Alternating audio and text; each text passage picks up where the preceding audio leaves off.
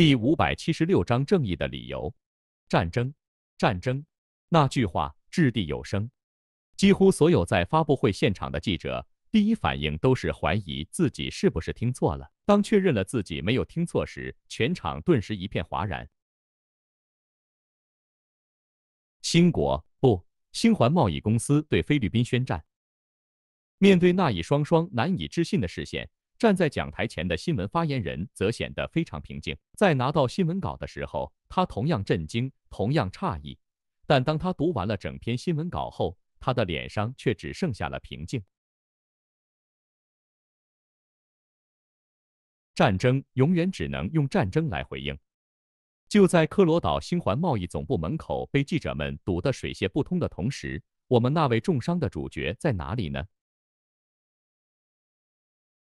此刻，距离医院十公里外的海景别墅内，江晨正悠闲地躺在阿伊莎清凉的大腿上，一边吹着海风，一边享受着轻柔的掏耳。偶尔扫过脸颊的发丝与那凝望在脸颊上的视线，着实让人感到有些痒痒的。无论是心理上还是生理上，之所江晨以此时此刻会如此的悠闲，其实是有原因的。毕竟现在他身受重伤，正在接受治疗，至少有一段时间他没法直接出现在媒体面前。当被摩洛国游击队带回安全的达沃港时，江晨见到了亲自赶来接他的伊万。从黑鹰直升机上全副武装的小伙子们来看。他们显然已经做好了大干一场的准备。如果菲律宾政府拦截，他们就将在舰炮和战机的支援强行登陆。从桑托斯和其他游击队士兵的眼中，江晨看到了他们对星环贸易士兵精良装备的羡慕。见到这一幕，江晨突然念头一动，一个计划在心中渐渐成型，一个非常危险的计划。他当时就走到了桑托斯的旁边，勾着他的肩膀走到了一边。想不想早点结束这场内战？当时桑托斯心中的那个激动，简直是没法用言语来形容。虽然游击队已经日渐壮大，但面对在火力和兵员都占据优势的菲律宾陆军，战况依旧非常的不明朗。见星环贸易打算进一步帮助自己，桑托斯哪里有拒绝的道理？虽然脸上没有任何的表示，但这个身上绑着谭家的壮汉立刻握住了江晨的手，表示棉兰老岛的人们会记住你们的慷慨与我们之间的友谊。云云。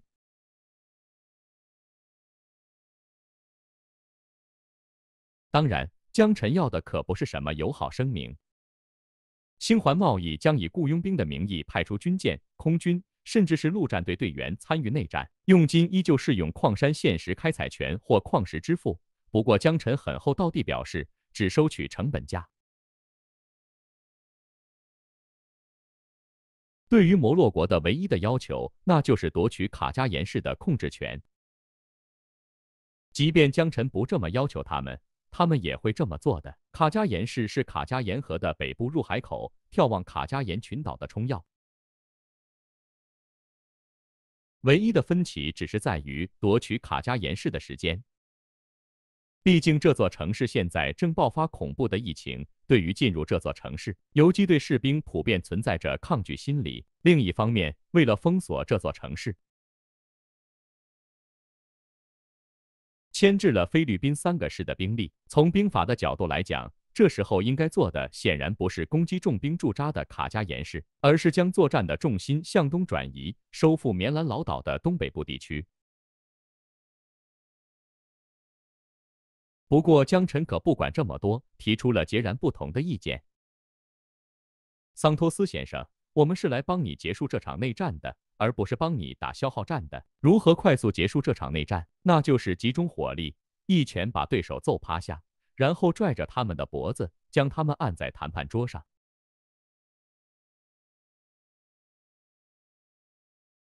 可是我们没有足够的兵力对抗三个师，桑托斯苦笑道。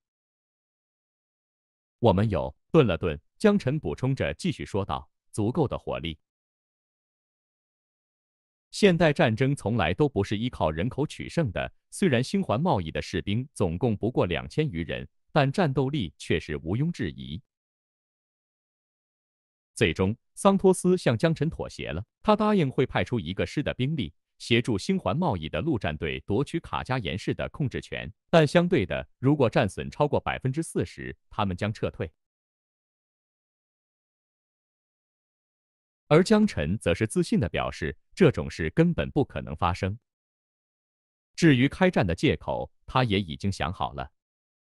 既然舆论普遍认为是菲律宾误将客机当成华国的侦察机，错误的发射了防空导弹将其击落，那么江晨这边不介意再添油加醋地上把火，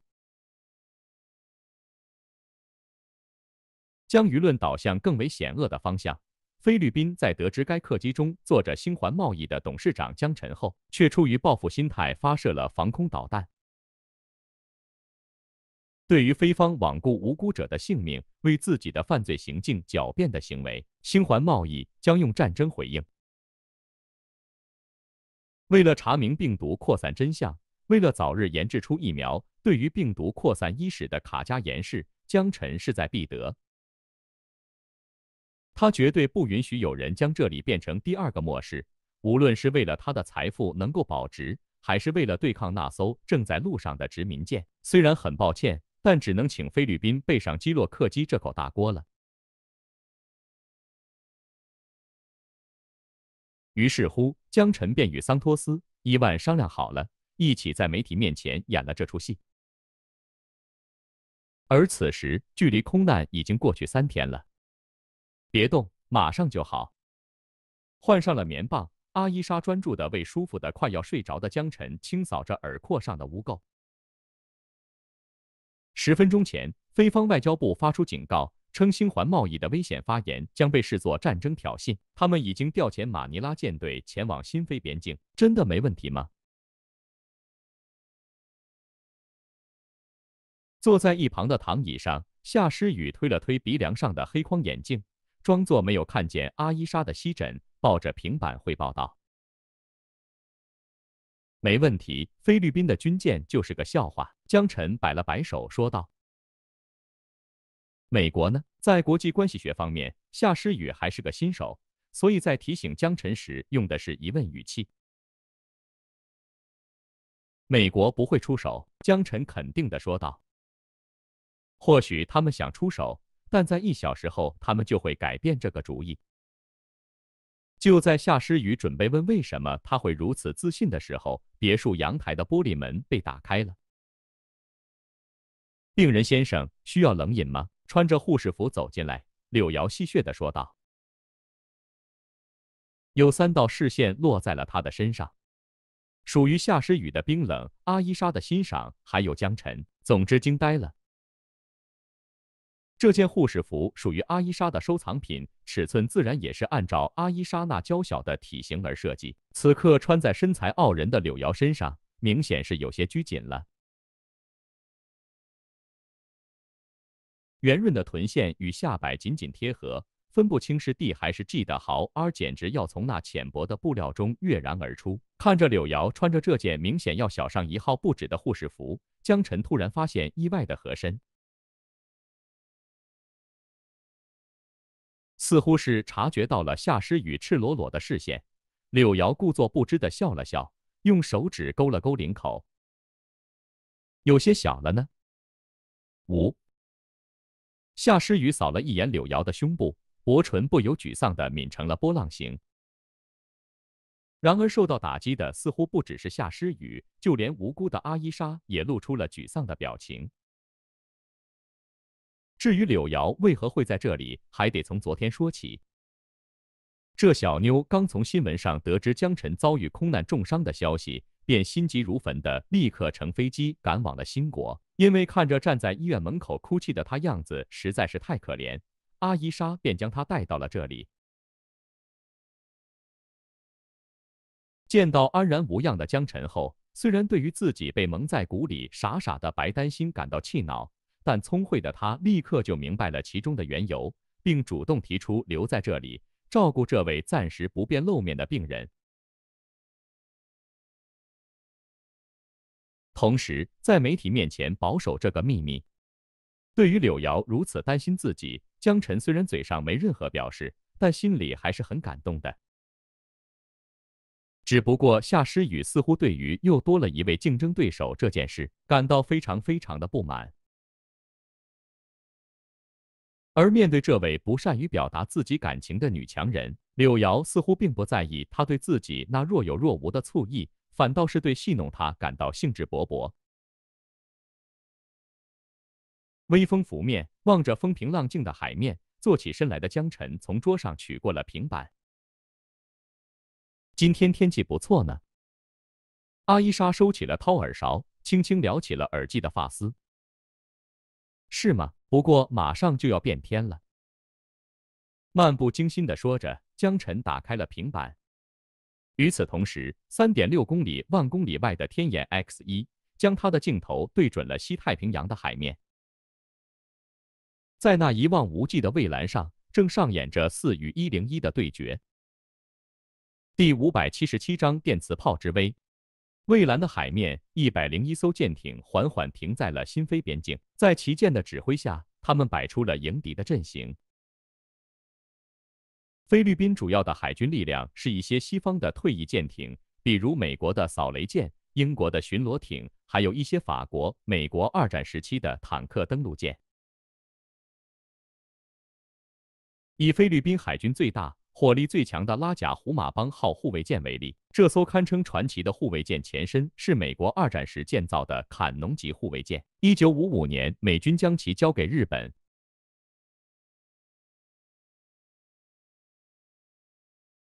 日本海上自卫队命名为出日号后，一直使用到一九七五、一九七八年，该舰被日本移交给菲律宾，先是拖至韩国进行大修及现代化改装后。于一九八零年在菲律宾再次服役，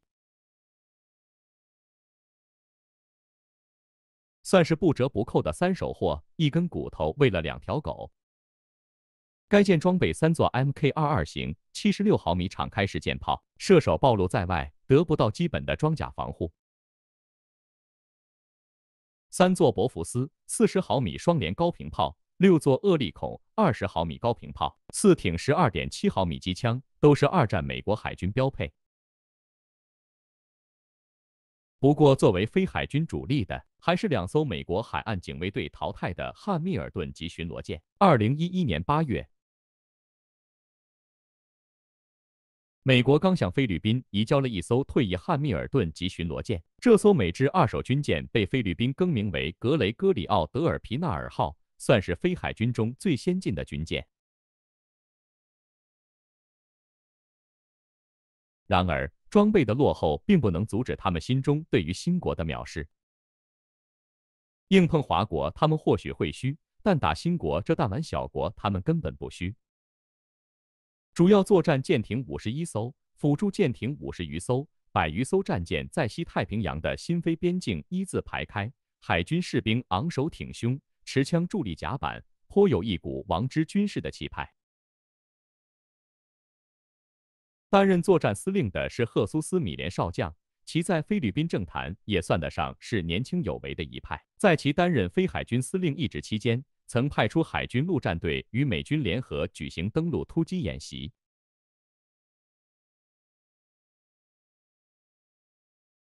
提出前线第一战略，坐滩耍流氓战略，在距离争议群岛仅百余海里的乌卢干湾搞建军一百一十六周年庆典，并筹划在该地建设海军基地。站在作为旗舰的汉密尔顿级巡逻舰的指挥舱塔内，赫苏斯上将整了整自己的海军帽，负手眺望着宁静的海平面。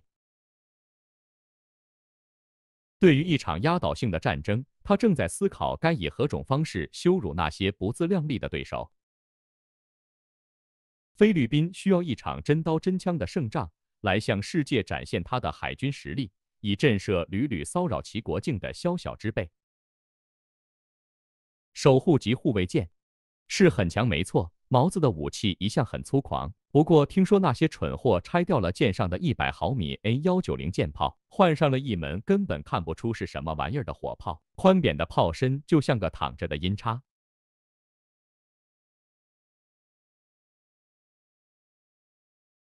赫苏斯不认为那玩意儿会对自己坐下的这艘汉密尔顿巡逻舰产生威胁，少了最重要的主炮，仅仅凭借两挺十四点五毫米机枪，就算是守护级护卫舰，又能做得了什么？赫苏斯可是清楚的很，虽然毛子将船卖给了江晨，但舰上的防空导弹和反舰导弹都是拆除了的，毕竟这些装备都属于军事机密，就算是生意上的朋友。俄罗斯也没道理做到倾囊相授的程度。副官走到了他的旁边，干净利落的行了个军礼。五架 F/A 五零已经抵达上空，进入巡航模式。于差役请求攻击命令。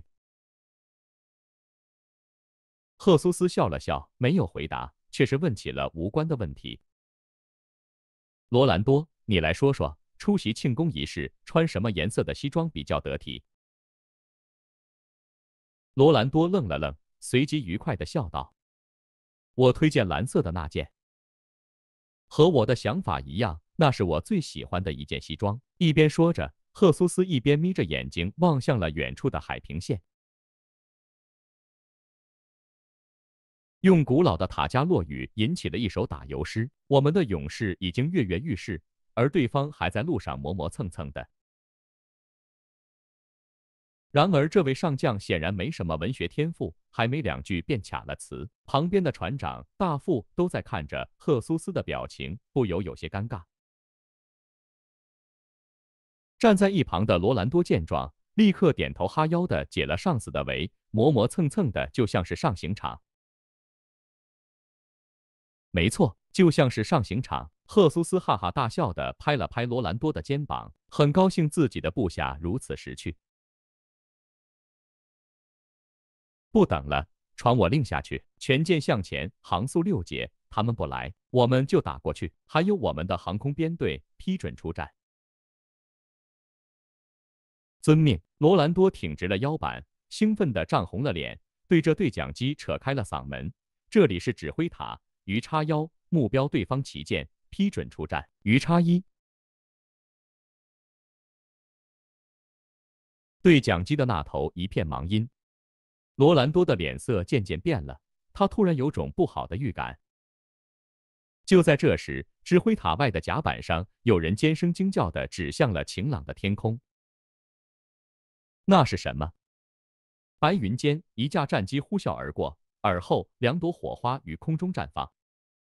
在那纷飞的碎片上，铭刻着 “F.A.” 的字样，在一道道惊愕的视线中轰然入海洋，如虎入羊群。极光二零机炮如利爪般撕碎着 F.A. 五零那脆弱不堪的装甲与信仰，用高机动重复着这个轮回。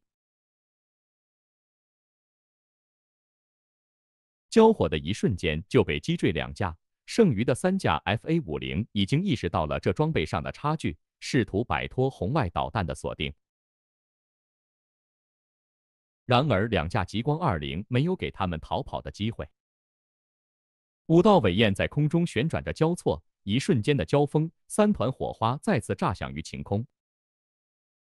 反应过来的菲律宾舰队立刻向天空宣泄出橙黄色的弹雨，然而极光二零却如海燕般灵巧地躲过，投下两枚航弹后便迅速拉升于云端之上，热诱弹于空中飞舞，错乱了那一道道追来的防空导弹。拉贾胡马邦号护卫舰中弹，弹药舱起火！啊啊！凯米拉反潜舰中弹，甲板断裂。赫苏斯面色铁青，因为信息量太大，一时间他完全接受不了。先前的游刃有余已经被粉碎殆尽，颤抖的手指抬起，他整了整自己歪了的海军帽，然而怎么都戴不好。长官。船长同样面色苍白的看着赫苏斯，他心中的不祥预感愈来愈强烈了。然而无论如何，撤退这个词他怎么也说不出口。就在这时，异变再次发生，一道橙黄色的弧光划破寂静的海浪，毫无预兆的从航行在舰队前列的汉密尔顿巡逻舰侧面穿过。留下了一道狰狞的豁口。船体被炮弹庞大的动能撕开了钢筋骨架，推的倒向了海面。海水疯狂的涌入，瞬间淹没了这艘被菲律宾视作骄傲的舶来舰。赫苏斯面色已经变成了蜡白色，脸上再也看不见先前的自负。他的副官罗兰多则已经忘记了言语，瞳孔呆滞的望着那风平浪静的海面。他们甚至没能看清对方舰船的影子，便被侧面飞来的炮弹打了个对穿。是的，这是一场不对称战争，只不过不对称方的身份不属于他们，而是属于对面。快跑！那虚妄的骄傲被粉碎殆尽。赫苏斯用最后的勇气对着对讲机喊出了这句话语。菲律宾的海军开始分散，然后掉头逃离。然而，已经抵达战场的两艘守护级护卫舰不会让他们得逞。高高扬起的五十式 J 型舰载电磁炮不断的重复着充能与射击。橙黄色的弹道在地球引力的牵引下划出一道大曲率的弧线，在天眼 X 一卫星的观测下，收割着仓皇逃离的菲律宾舰艇。两艘基洛级潜艇游弋在战场的边缘，用鱼雷射杀着那些试图逃离的舰艇，如渔船驱赶鱼群。属于菲律宾海军的噩梦才刚刚开始。钢铁的碎片在海浪中若隐若现。哀嚎与祈祷被一同淹没在那此起彼伏的爆炸声浪，火光与海面绽放，映衬着天边嫣红，一时间竟是让人分不清哪里才是晚霞。第五百七十八章封锁中的卡加盐，全城隔离的恐惧就像是瘟疫一样在人们的心中蔓延。虽然菲律宾增派了两个师的兵力控制住了局势，但死亡的阴影依旧在人们的心中挥之不去。数十万的城市就只剩下了这么七万余人。东城区已经全面沦陷，西区也沦陷大半。政府军士兵用一晚上的时间击退了进攻的游击队，又用一整天的时间在西城区的南区附近用铁丝网拉出了一条隔离带，确立了安全区。空难后的第二天，政府军在全城拉开了隔离网。将丧尸限制在了卡加岩市的范围内。与此同时，黑鹰直升机沿着城市环绕，贴着交战的前线搜索漏网之鱼。与此同时，菲律宾政府派出了运输机，向丧尸占领区域空投了人道主义救援物资，以及由卫生部印刷的小册子，指导幸存者如何在丧尸占领区求生，在面对灾难时要保持信心等等。预计依旧有一万余人在沦陷区挣扎，他们或是未感染者，或是对病毒先天免疫的幸运儿。无论如何，他们的情况都很危险。然而，菲律宾政府已经分不出更多的直升机进行救援，因为病毒的危险性和内战影响，就连国际救援组织的人也不被允许进入。生活在安全区内的人同样不好受。七万余人生活在不过数平方公里的隔离带内，不被允许离开城市，生活空间极度拥挤，生活物资匮乏，导致治安混乱。在绝望中，人类丑陋的一面被暴露得淋漓尽致。人们为了一盒抗生素而打破头。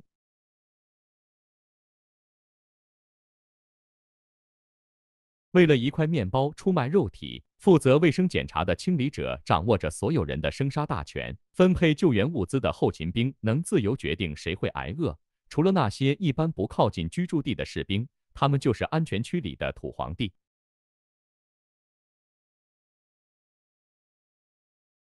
任何媒体都不被允许进入隔离区，这里发生的一切都无人知晓，没人知道隔离会持续多久。他们体内或多或少都潜伏着丧尸病毒，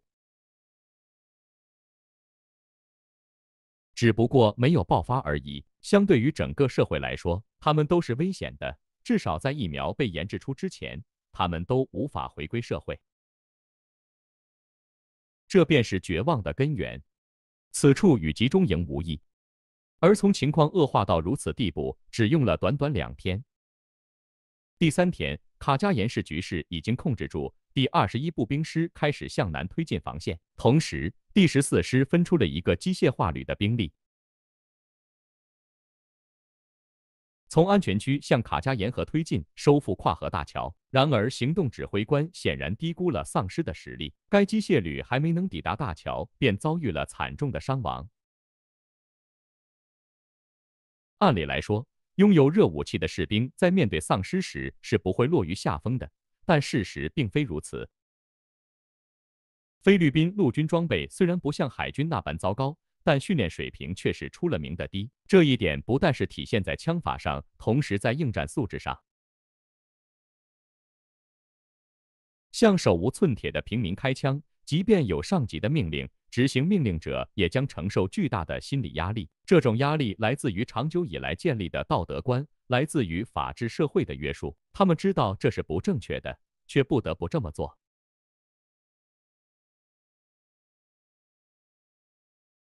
不少人因为承受不住这血腥的压力，扣着扳机扫射狮群，将恐惧宣泄在火力中，忘掉了射击头部的命令。在面对丧尸时，犯下这样的错误是致命的。最让这些士兵崩溃的是，他们不得不对那些被丧尸咬伤的战友扣下扳机。没有任何药物能够抑制感染、结束他们痛苦的方法只有死亡，至少目前是如此。为什么不用支援火炮协助推进？因为那该死的人道主义。只要城区内还有一位平民，只要外面的世界还是文明社会。菲律宾政府军就不能对自己的城市开炮，无数双眼睛盯着他们，政客不允许他们这么做，媒体也不允许他们这么做。倒不如说，对那些患者开枪而非使用麻醉剂，他们就已经承受了很大的压力。卡加延市就是一座烂摊子，而且是不得不管的烂摊子。阿基诺不止一次极端的想过。干脆一把火烧掉整座城，将那些疯子和病毒一把火全烧掉。除非他想面对反人类罪的指控。就在十四师的第三机械化旅带着低迷的士气回到安全区后，非外交部收到了星环贸易方面递出的宣战布告。三小时前，在新飞边境摆开阵型的海军编队被全灭。两个半小时前，菲方总统府反复向海军司令部确认了该消息的真实性。两个小时后，该消息传到了驻扎在卡加延市的第二军陆军司令部。与此同时，星环海军陆战队开始在达沃港登陆。此刻，艾里贝里中将正站在临时指挥部内，召开简单的作战会议。就在这时，一名军官走进了军营，打断了正在进行中的会议。怎么了，卡维勒中士？卡维勒中士行了个军礼，立正站好后汇报道：“根据美方卫星拍摄的画面显示，突破海军封锁后，星环贸易海军陆战队士兵已经在达沃港登陆，疑似有火箭炮等重型武器上岸。美军方面呢？”这是艾里贝利最关心的问题。斯坦尼斯号航母暂时没有动静，白宫方面表示会通过卫星对我们的作战提供情报支援，并在外交斡旋解决问题上提供协助。卡维勒答道：“这帮背信弃义的胆小鬼！”艾里贝利骂道，将记号笔摔在了地图上。江晨目前昏迷不醒。美方之所以会做出这种绥靖策略的考虑，一方面是担心失去领导的星环贸易做出出格反应，另一方面则是不确定其战斗力。守护级护卫舰的电磁舰炮与极光二十的作战性能，震惊了通过全球鹰无人机观战的斯坦尼斯号航母。因此，白宫方面不得不重新评估新国的实力，同时讨论是否调整对新国的外交策略。汉密尔顿巡逻舰虽然是他们海上警卫队淘汰的舰种但被一炮打了个对穿还是有些太过于害人。尤其是这种半驱射火炮不像是导弹无法靠反导设备防御。在不确定斯坦尼斯号航母能挨上一发之前他们不打算冒这个险毕竟他们在南海真正的对手是华国。即便他们解决掉了新国的海军如果部署在南海周边的航母战斗群受损，对于他们来说也是一件得不偿失的事情。是的，他们并不认为那两艘守护级护卫舰是斯坦尼斯号航母战斗群的对手。毕竟再牛逼，那也只是两艘护卫舰而已。相比起作战功能全面的航母战斗群来说，他们的能力还是太渺小了。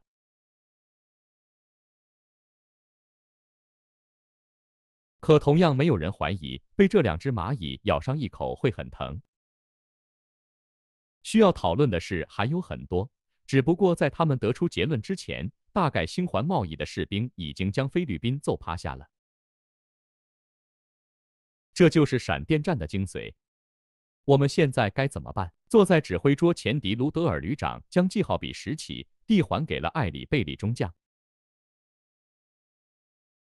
不怎么办？艾里贝利扬起了眉毛，拿起记号笔，在深入棉兰老岛的卡加延河三个拐点上画了三个圈。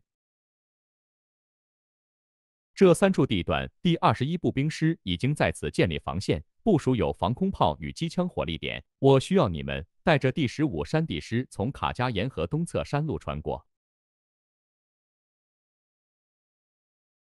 在这五个点部署新的美军支援我们的中距离防空导弹，以及步兵火炮阵地，与西侧沿河布防的第二十一师相互策应。另外，把东北战区的第一百零一装甲旅调往卡加延市郊区，一旦对方集中力量攻打我们沿卡加延河布下的防线，就把第一百零一装甲旅向南推进。配合第十九空降旅进攻达沃港，将那些狂妄的新国人撵到海里去，让那帮窝囊的海军见识见识咱们陆军的实力。如此一来，从达沃港通向卡加延市的道路将被两个师的火力彻底封死，任何试图闯入的部队都将付出惨重的代价。防守吗？这场战争大概得打多久？军需官转着笔，看着艾里贝利问道。没准半年，也许只需要一个月。艾里贝利说道：“如果那些外行一窝蜂的扑进我们的防线，没准只需要十天。”见会议差不多结束，一名长相粗犷的军官开玩笑道：“艾里贝利嘴角勾起一抹自傲的笑意。对于他手下的发言，他非常认同，虽然他不认为对方会如此愚蠢的送死。”再怎么说，菲律宾的军事力量在全球也排在二十五名，这还是在被海军那些帮废物拖累的情况下。虽然这个排名不是什么值得骄傲的事，但面对完全没有摸上榜单的新国来说，他们完全不虚。就在菲律宾做着防御部署的同时，两艘守护级护卫舰已经抵达达沃港附近海域。五十式 J 型电磁炮已经架起，等待着射击的指令。一夜的休整，一千余名身穿机械外骨骼的星环贸易士兵已经搭乘登陆艇进入达沃市。进驻摩洛国为他们划定的驻扎区域休整，十数架大中型运输直升机也已经在空地上待命，等候着出击的指令。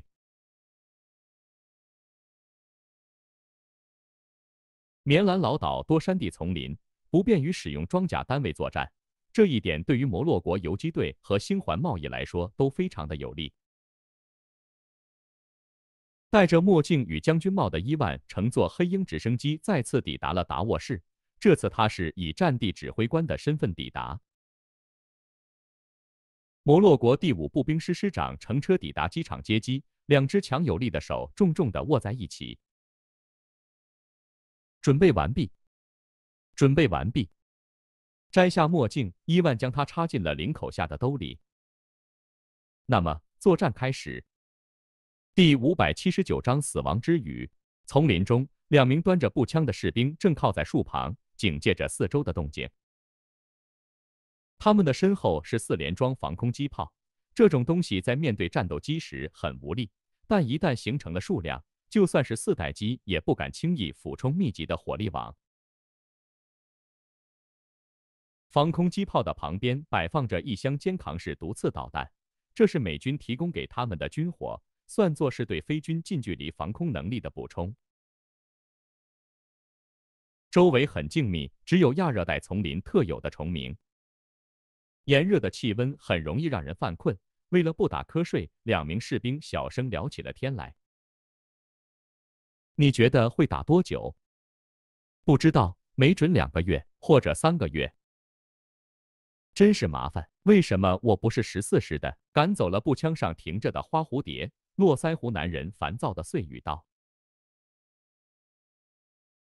十四师和感染者待在一起很有趣吗？我记得去的人都必须签字愿书，直到疫苗出来之前，进去了就出不来了。”另一个看起来年轻的男人将步枪扛在了肩上，笑着说道：“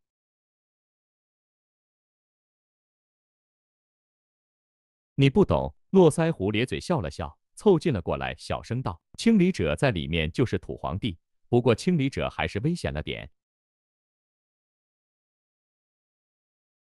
得经常和感染者打交道。最吃香的是搞后勤的，那些安全区里的女的，嘿嘿，你想怎么玩就怎么玩。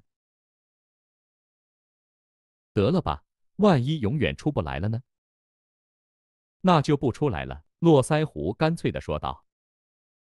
我还有女朋友。微风吹过，男人扫视了一眼安然无恙的灌木丛，不感兴趣的说道：“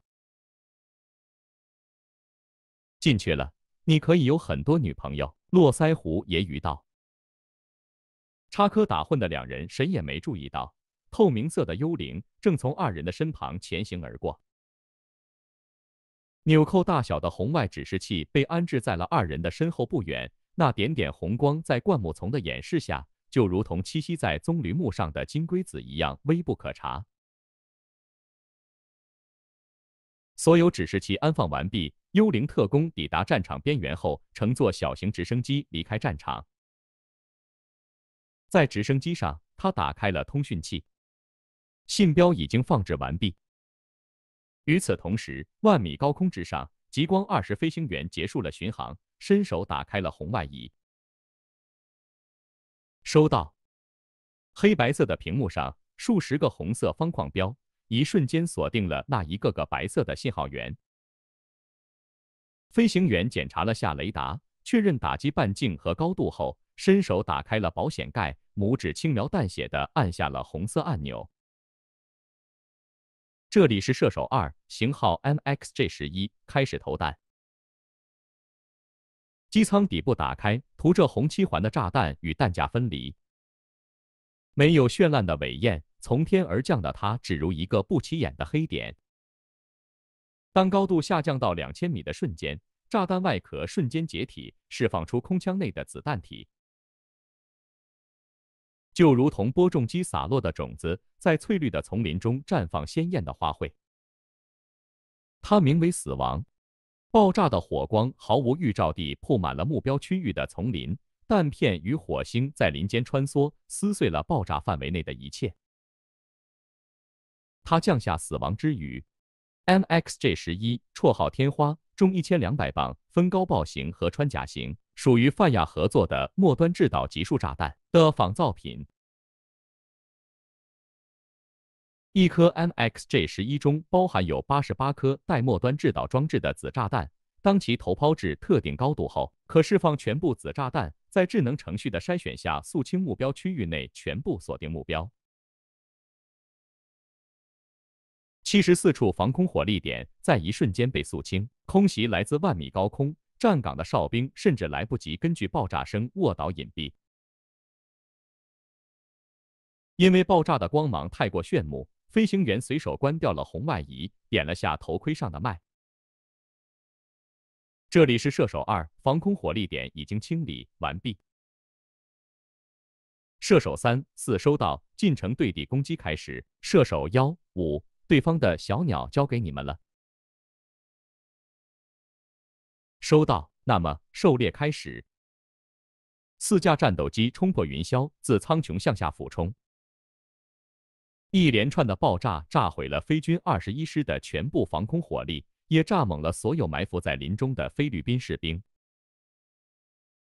没有给他们很多的反应时间，空袭的呼啸声由远及近。发现敌军飞机，该死，他在向我们的人开火，我们的防空炮在哪？我们需要支援。匍匐在沙袋背后，观察员扯着嗓子对对讲机吼道。对面没有回应，他不会看到野战指挥部的营房内，戴着军官帽的长官已经倒在了血泊中，与旁边躺着的副手和保镖一样，他的额头上纹着渗人的血洞。而身为作案凶手的幽灵特工早已离去。空袭的呼啸声回应了那名观察员的吼叫。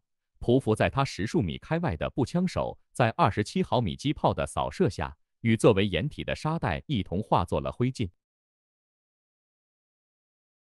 接着，他又看到了十团火花从天空坠落，那爆炸毫无疑问属于菲律宾空军的 F/A 五零。那是他们引以为豪的神器，由韩国根据 T 五零精英战斗机改装的四代机苏标五代机，象征着韩非两国之间的友谊。不过现在已经变成了碎片。达沃港的方向，伊发发火箭弹次第升空，在菲律宾士兵绝望的视线下，覆盖在他们阵地的上空。然而让他们诧异的是。这些火箭弹并没有对他们造成伤亡，就像是哑火了一样，在空中只是闪烁过一瞬间电流的弧光。匍匐在掩体后的观察员刚想把消息汇报给战区后方的师部，可马上他便愣住了。对讲机就像是坏掉了一样，不只是对讲机，包括 GPS、手表、全息瞄准镜，甚至是他的手电筒，全都失去了作用。他的脸上立刻浮现了见鬼了一样的表情。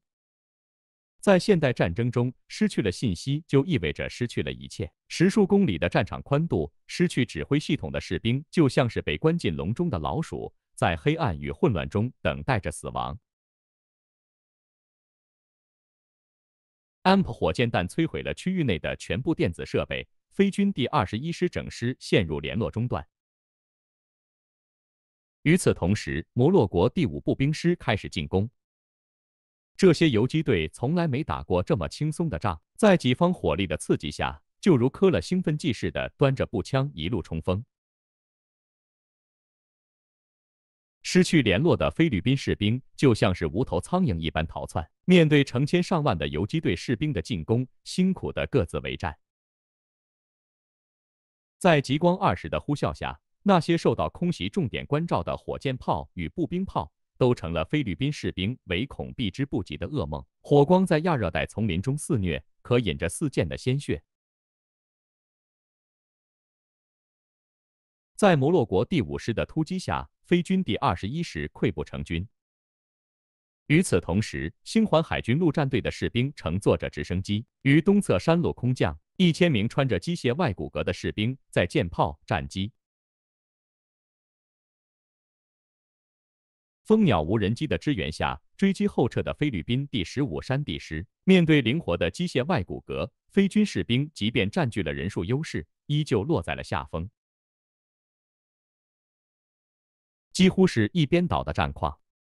战争没有持续很久，第二军陆军司令部还来不及做出反应，前线崩溃的噩耗便一个接一个的飞到了艾里贝利的指挥桌上。后撤，让十五山地师的人撤回来。还有二十一师那帮蠢货，妈的，一帮饭桶！艾里贝利愤怒的一拳捶在了桌子上，气得帽子都掉了下来。通讯员战战兢兢地看着长官，长官，怎么还不去？艾里贝利恨不得一耳光拍死这家伙。每一秒都有人在战死，他的心简直在滴血。十五师已经被包围。艾里贝利愣了愣，艰难地咽了口唾沫。那二十一师呢？二十一师暂时联系不上。长官，长官，你去哪？长官。通讯员诧异地看着摔门而出了的艾里贝利，以及掉在地上来不捡起的帽子。一边仓皇地爬上了自己的座驾，艾里贝利粗鲁地催促着驾驶员，让他带着自己迅速赶往驻扎在卡加延市的第十四师指挥部。此刻，这位司令神色狰狞，瞳孔中书写着的尽是恐惧。妈的，这不是战争，这是屠杀！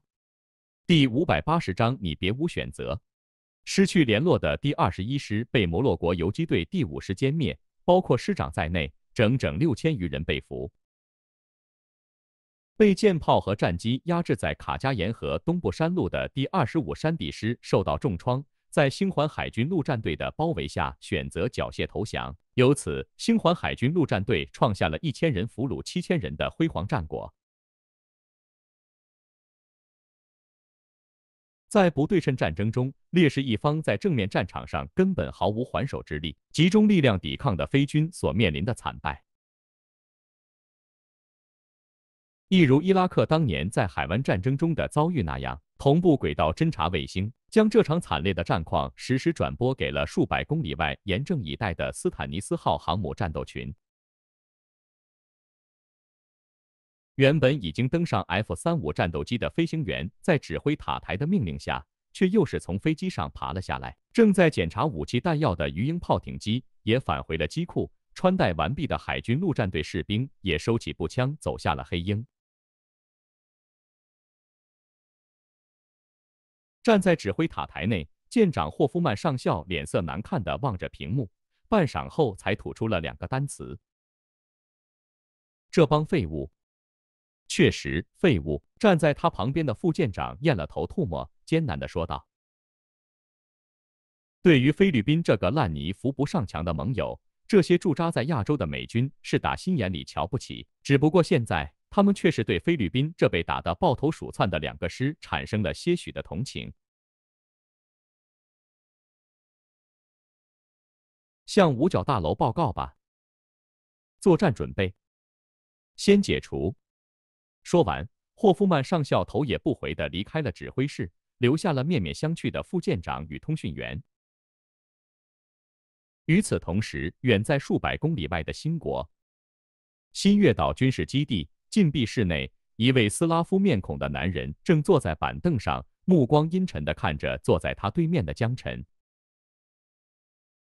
这些天来，他一直被关在这里。不过，星环贸易的人倒是没虐待他，不但每天会扔给他两只营养合剂，还会给他塞一张报纸，却是没有审问过他一句话。看来你没负伤，拉迪斯夫阴沉着脸说道。你应该感谢我的仁慈，至少我的人还让你看报纸。坐在他对面，江晨的食指在膝盖前交叉，微笑的说道。而你隔壁的那位，我们正在反复实验他恢复力的极限。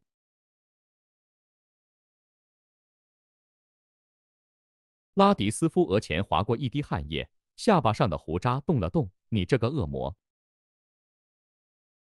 你是这么认为的吗？江晨笑了笑，靠在了椅子上，将一份文件推到了这位斯拉夫人面前的桌上。前线的捷报已经收到。他现在有充足的时间去处理这些琐细的私事。拉迪斯夫扫了眼文件，又询问的看向了江晨。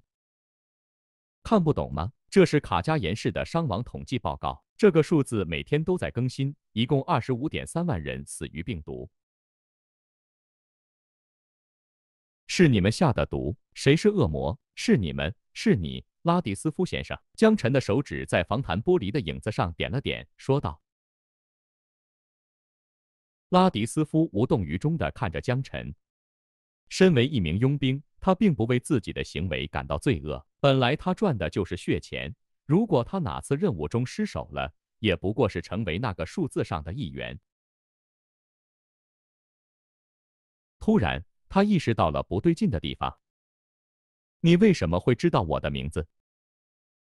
江晨扬了扬眉毛，笑着说道：“我不但知道你的名字。”还知道你有两个女儿和一个儿子，在马其顿共和国色雷斯省一家福利院。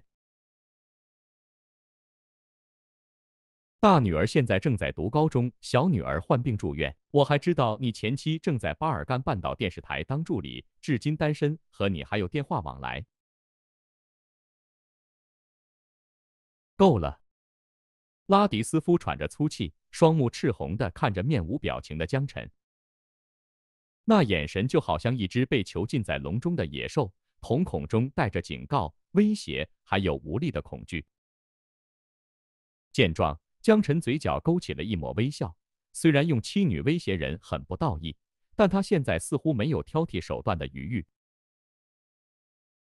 是谁告诉你的？拉迪斯夫喘息着从牙缝中挤出了这几个字。当时一共有三个人，除了死掉的那位吉尔斯先生，我们的摩洛国游击队朋友还俘虏了一名你们的人。很显然。并不是所有人都能对抗我们的土真纪。虽然他的脑子里没装多少情报，但意外的装着这些有趣的东西。说着，江晨的身子微微前倾，交叉的食指搁在了桌子上。我很好奇，你这样的人为什么会选择加入黑船？你应该知道，他们的行为将毁灭世界，你的爱人和儿女没有人能幸免，这其中当然包括你自己。那就毁灭掉吧，反正这个世界烂透了。更何况黑船抵达在一百多年后，我这辈子也看不到末日的那天。拉迪斯夫冷笑道：“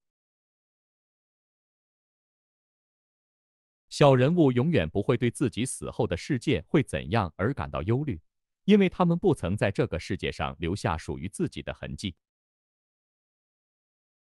江晨很理解他会产生这样的想法。因为如若不是自己拥有如此庞大的家业，他也不会为那什么殖民舰的事操闲心。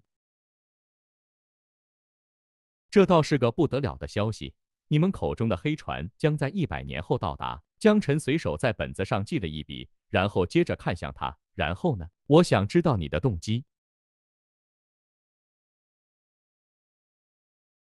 钱被看穿的拉迪斯夫不再隐瞒，很坦然的说道。那我给你钱买你口中的情报如何？江晨愉快的说道。对于他来说，一切能用钞票解决的问题都不是问题。然而拉迪斯夫却是嗤笑一声，讥讽道：“你以为我需要钱是为了自己吗？为了你的小女儿。”江晨翻看了下他的资料，随口问道：“为了家人？”拉迪斯夫淡淡的说道。如果我说了，他们会杀掉他们。相信我，他们对这个世界的渗透远比你想象的恐怖。是吗？江晨不置可否的说道，取出桌上的平板，点了几下，调出一幅画面，推到了他的面前。但对我而言，他们只是一群阴沟里的老鼠。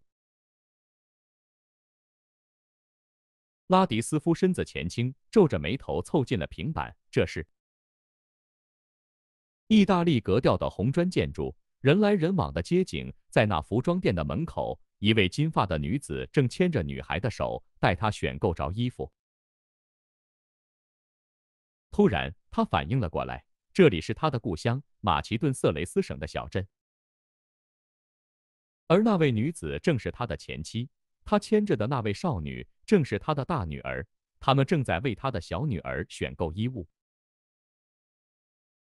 很久没回去了吧？江晨问道。你的人跟踪了他。拉迪斯夫压低了声音说道。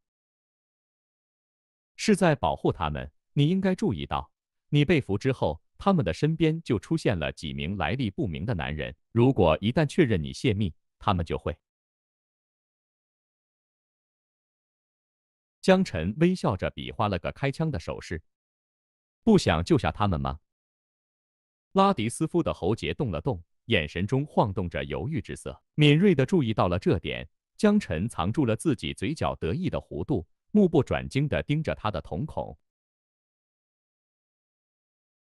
你会救？当然，江晨说道。你如何保证？连续的问句已经暴露了拉迪斯夫内心的动摇。这时候，想要获得他的妥协，只需要一点点强硬。你别无选择，看着他们死去，或者加入我们，拯救他们。选择权在你，拉迪斯夫先生。是的，除了相信江晨，他别无选择。拉迪斯夫死死地盯着平板上的女人，用阴霾的声音念叨着：“如果你食言，我会在地狱等着你。放心，虽然我不认为我死后会下地狱。”重新转起了圆珠笔，江晨微笑着说道：“第五百八十一章兵临城下。”桑托斯依然无法相信，哪怕是第五师的师长，满脸喜悦地将战报摆在了他的面前。他依旧无法相信胜利竟然会来得如此容易。面对美式装备、美式训练的菲律宾政府军游击队，在正面战场几乎没有赢过，往往只能依靠地形优势，在装甲单位无法通过的山地和丛林战场扳回一点优势，在僵持中考验菲律宾政府所能承受的底线。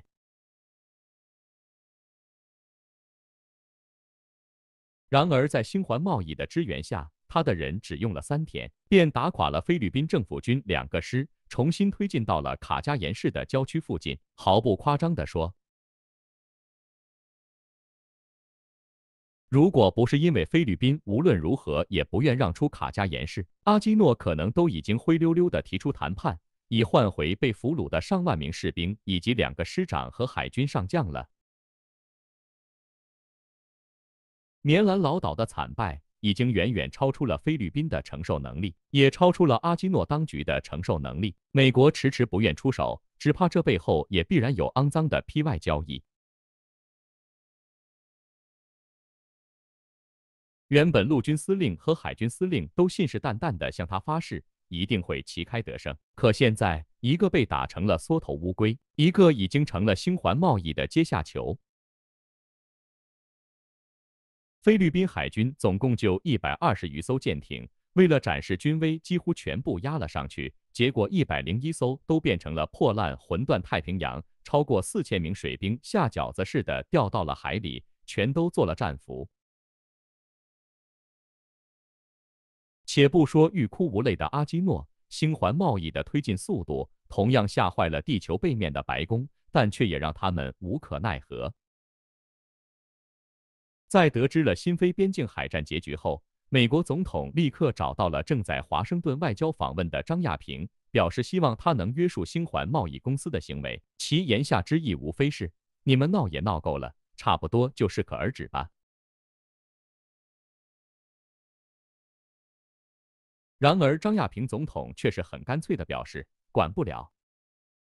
严格意义上来讲，星环贸易属于私人军事公司。并不属于国家组织，以雇佣兵的形式参与内战的摩洛国方，在法理上他们根本构不成违反国际法。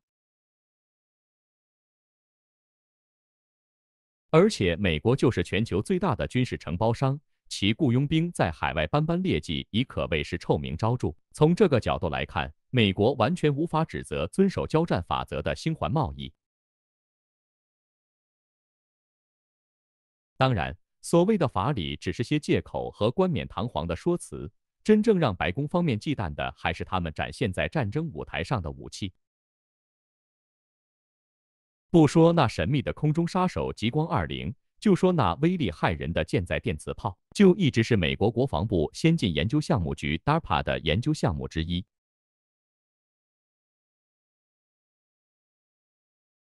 然而，即使是目前已经装备在福特级航母上的最先进的实验型电磁炮，也无法达到他们从间谍卫星中观测到的那般恐怖的杀伤力。一炮将汉密尔顿巡逻舰击沉，美海军有不少战舰都能做到，但隔个上百公里外，一炮将其打个对穿。还真没几门炮能做到，更何况这还涉及到一个命中率的问题。如果是常规火炮的话，隔着这么远还能打中，本身就是个奇迹。另外，极光二零战机在与 FA 五十的空战中表现出的优异性能，也让白宫方面感到了警惕。根据五角大楼给出的评估报告，如果要瓦解星环贸易的海上力量，重新在棉兰老岛空域建立禁飞区，保守估计可能对斯坦尼斯号航母战斗群造成百分之三十左右的战损。这还是保守估计，在和平年代，如此高的战损是白宫和国会都无法接受的。一架 F 三五坠毁就已经让白宫焦头烂额了，和平主义者至今依旧围在白宫门口，举着飞行员的照片喊口号。更何况，斯坦尼斯号的战略作用是牵制华国。如果因为贸然介入新环贸易与菲律宾之间的冲突，很有可能打破美国在南亚的军事部署。还有就是爆发在卡加延市的丧尸病毒，这也是最令白宫方面头疼的一点。因为菲律宾封锁消息的态度，媒体记者普遍怀疑病毒是菲律宾政府部署在卡加延市的生化武器。而阿基诺偏偏拿不出充分的证据来澄清这一点，只是一味的将谎言、污蔑这两个词扣在媒体的脑袋上。任何成熟点的政客都清楚，和媒体对骂是多么愚蠢的选择。不过，在成熟的政客面对如此糟糕的局势时，恐怕也很难保持理性。无论怎么说，此刻公开支持菲律宾政府都并非明智之举。当然，也有国会议员提出，如果让摩洛国控制了卡加延市，鉴于其与美方的敌视态度，难保他们不会将病毒泄露给同样仇美的恐怖分子。绥靖政策无异于慢性毒药，毕竟目前暂时没有疫苗或解药能够克制这种病毒。一旦该病毒在人口密集区扩散，后果将不堪设想。虽然行尸走肉在美国的收视率不错。但这不意味着美国佬真想自己的国家变成丧尸国度。也正是因此，也有国会议员紧接着提出，应该向卡加延市派出美国海军陆战队，至少派出维和部队以及国际卫生组织的医疗团队，将卡加延市纳入国际社会的共同管控之下。威胁人类社会的病毒，应该由全体人类共同克服。就在白宫和国会讨论该采纳哪种策略时，星环海军陆战队已经在利伯纳南部山区集结，重新部署了由火球翼火箭炮构成的炮兵阵地，并通过重型直升机将 M 火箭弹运送至炮兵阵地。摩洛国第五游击师在收缴了菲军的美制装备后，摇身一变，现在已经成了整个摩洛国内装备最精良的第五步兵师。在简单的休整之后，所有俘虏由第六师接管，第五步兵师紧随星环海军陆战队的脚步，沿卡加延河而上，在极光二零的空袭支援下，毫不费力地攻占了棉兰老岛北部最大的机场卡加延国际机场。一天之内被打掉了两个师，菲律宾陆军已经彻底被打懵了，在保卫机场的时候，甚至没有做过多的抵抗。便放弃阵地，向卡加延市的方向撤离。驻守在卡加延市内的第十四师本就低迷的士气，更是跌落到了谷底。空中时不时有战机呼啸而过的声音，将他们赶回了掩体。这声音曾经属于他们的友军，然而此刻却成了他们惶恐不得入睡的噩梦，令他们瑟缩在掩体中，不敢弹出头。城市攻坚不像丛林野战那般轻松，尤其是菲律宾当定了缩头乌龟的情况下。第十四师本就是菲律宾陆军中装备最精锐的师团之一，不但参加过美菲联合军演，更是配备有两个机械旅，是美国教官唯一点头的现代化部队。因为阿基诺下达的必须守住卡加延市的死命令，菲律宾陆军总司令咬牙再从北部战区抽调了一个坦克旅进入该城区，强化防御。为了弥补空军力量的不足，原本全面退役的 F-5A 自由战士也被从战机坟场中拖了出来，休整后重新服役，配合 OV 十野马轻型攻击机，算是勉强填补了空军实力的空白。然而，菲律宾飞行员对于死亡飞行显然充满了恐惧。用 F-5A 去对抗就连 F-A-50 都无法匹敌的极光二十，就好像用牙签去戳大象。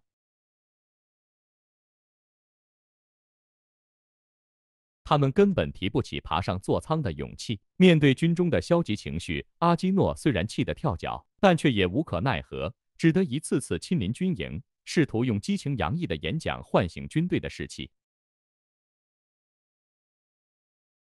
只不过台下的基层官兵却是反响平平，掌声稀稀落落不说，白眼却是此起彼伏。为了不让这位领袖伤心，善于察言观色的菲律宾军官不得不给每位士兵发上了一只墨镜，好让他们白个尽兴。就在菲律宾陷入危机的同时，日本东京武田制药总部田中正面对着日本政要的质询，病毒扩散的影响远远超出了日本首相的预计，不但江晨未死，新国还将计就计的把锅扣在了菲律宾的脑袋上，出兵棉兰老岛。菲律宾是日本的战略盟友之一，日本并不乐意看到在南海牵制华国的小朋友被新国殴打。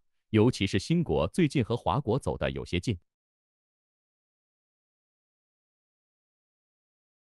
另外，那架 F 三五的临阵叛变，也让日本政府对黑船组织产生了一丝忌惮的情绪。这条被他们喂养的狗，竟然在他们毫不知情的情况下，将爪子伸向了他们的爸爸国。目前，CIA 已经介入调查，日本的政客可是清楚的很。那些美国国会喂养的猎犬，对于阴谋的嗅觉究竟有多灵敏？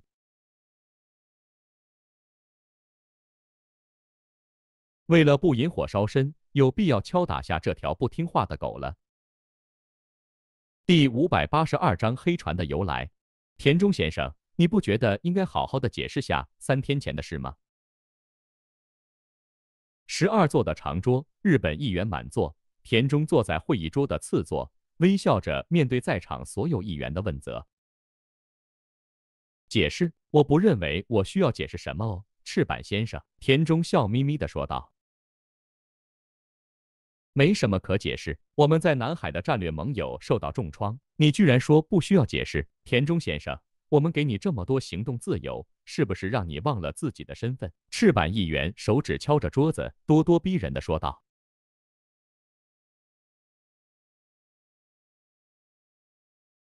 最关键的是，江晨没有死。西尾议员推了下鼻梁上的无框眼镜。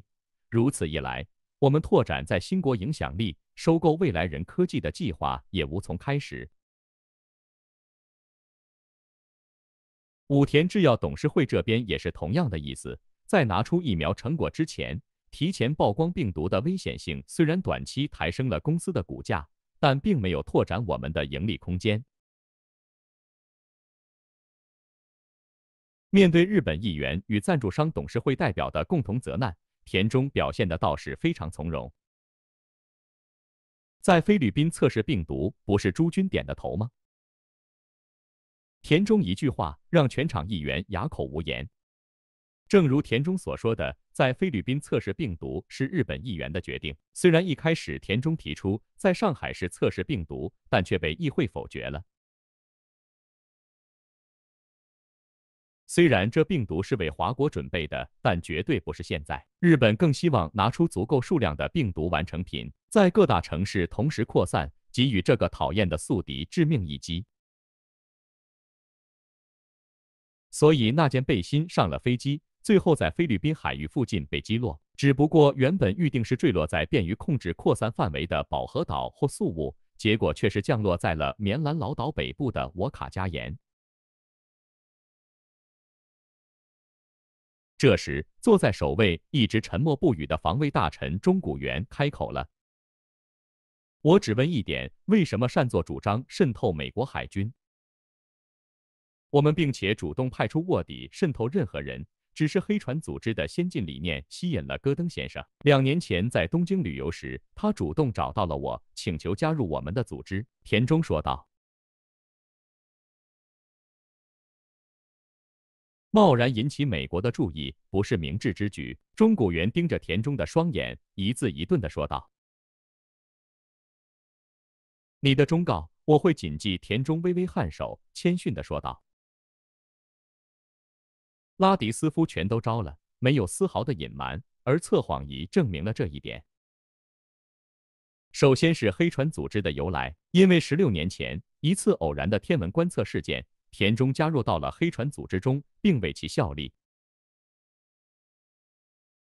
等等，田中不是黑船的创始人吗？记录完黑船组织的相关细节，江晨问道。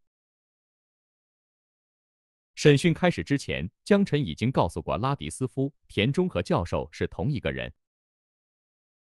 不，黑船组织最早可以追溯到二战之前，当时昭和天皇便是黑船组织的荣誉领袖，那时也是黑船组织的巅峰期。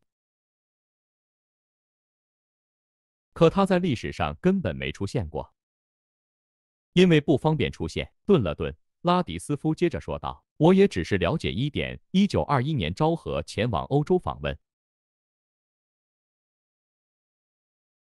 在比利时结识了从事天文学与生物学研究的菲利特，回国时将他带往日本，资助他在地外文明探索领域的研究。”由此，黑船组织成立。当时，黑船组织的理念是借天兵以攘四夷。不过，在与地外文明取得联系后，组织的内容逐渐变质，没能等到金苹果、日本战败、天皇失势，一系列的原因使得黑船组织开始走向衰败，甚至一度灭亡。你们成功取得联系了？江晨问道。对于这点，他并不意外。毕竟田中知道他的能力已经证明了这点。是的，具体是什么时候我不清楚，不过好像是在九十年代末。毕竟不是什么感兴趣的事。拉迪斯夫费了一番功夫才回忆起，那会儿日本正面临史无前例的经济危机，整个国家都笼罩在破产的绝望中。与此同时，走向开放的华国开始崛起。或许是在那会儿，某人灭世的念头与执着得到了物竞天择号的回应。还有一个问题，我注意到你提到了金苹果，那么你们是否听说过维利会？二战时期我们是盟友，不过现在我们是死敌。为什么？根据田中的说法，我们在通讯频道上出现了根本的分歧。拉迪斯夫说道。江晨微微眯起了眼睛，一时间没有说话。拉迪斯夫的话中蕴含的信息量有些大，他需要时间来消化。通讯频道上出现分歧，分别联系上了不同的人吗？两者之间的关系是死敌？分歧究竟发生在利益上，还是信念？这个问题先放到一边。黑船组织我已经差不多了解了。那么，江晨看了下表。手中的圆珠笔点了点笔记本，接着问道：“你们为什么会对土针剂免疫？”拉迪斯夫摇了摇头：“这个我不知道，我不是医生，只是个帮他干了不少脏活儿的佣兵，包括土针剂是什么，我都不知道。”这样啊，江晨思索着，在笔记本上点了点。拉迪斯夫像是想起什么似的，开口说道：“不过我们的核心成员都会注射一种特殊药剂，据说能够提升脑细胞活性与肌肉强度，或许与那个有关。”基因药剂，江晨瞳孔微微收缩。不知道，拉迪斯夫摇了摇头。我只知道那是黑船赐予黑船组织为数不多的科技之一，在传授技术方面，他们非常保守。甚至可以说是吝啬，而且他们的技术似乎严重倾斜于生物科技领域，这也是最不可思议的一点。光靠生物技术能实现星际航行吗？即便是没什么文化的拉迪斯夫也对此表示了怀疑。不过，亲眼见识过那艘庞然大物的江辰，对于物竞天择号是否能抵达地球，可是毫不怀疑。如果是基因药剂，那也就能解释那个俘虏不正常的恢复力了。江晨点头，自言自语道。该说是幸运还是不幸呢？虽然他们在生物技术上走得很远，但从基因药剂的效力来看，似乎其他方面的技术依旧停留在战前水准，甚至有所倒退。毕竟他们早已抛弃了人类的身躯，走向了和谐的道路。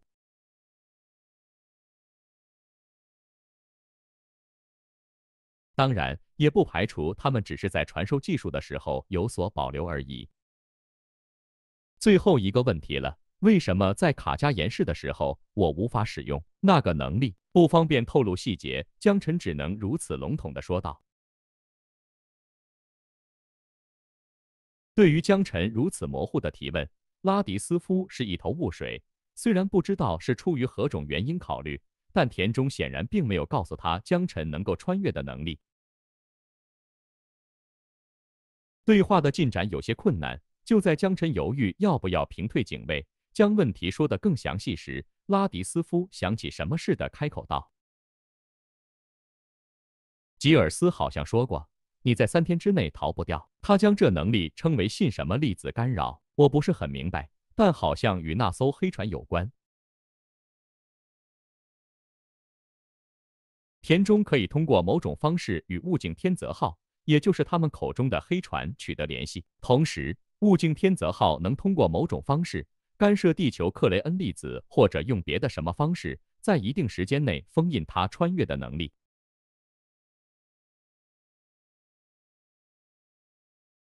这个时间的极限很可能是三天，而且这个干涉能力必定存在冷却时间，且会产生不小的消耗。否则，他们只需要保持这种干涉状态，将江辰永远封印在现世这一侧，这仗基本上就不用打了。不借助末世那边的力量，但是依靠现实这边的资源，江辰没有半点取胜的信心。非常感谢拉迪斯夫先生，人类会记住你的贡献。另外，很快你就可以和你的亲人在科罗岛相见。因为拉迪斯夫的配合，审讯很快就结束了。江辰站起身来，微笑着说道：“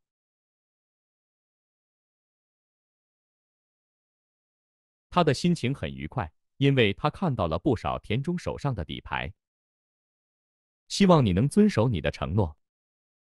当然，我会支付你一笔可观的报酬。不过，在未来的五年里，你和你的亲人都不被允许离境，你们会在新国生活的很安全。幽灵特工和星环贸易的军队都会保证这一点。”江晨愉快地说道。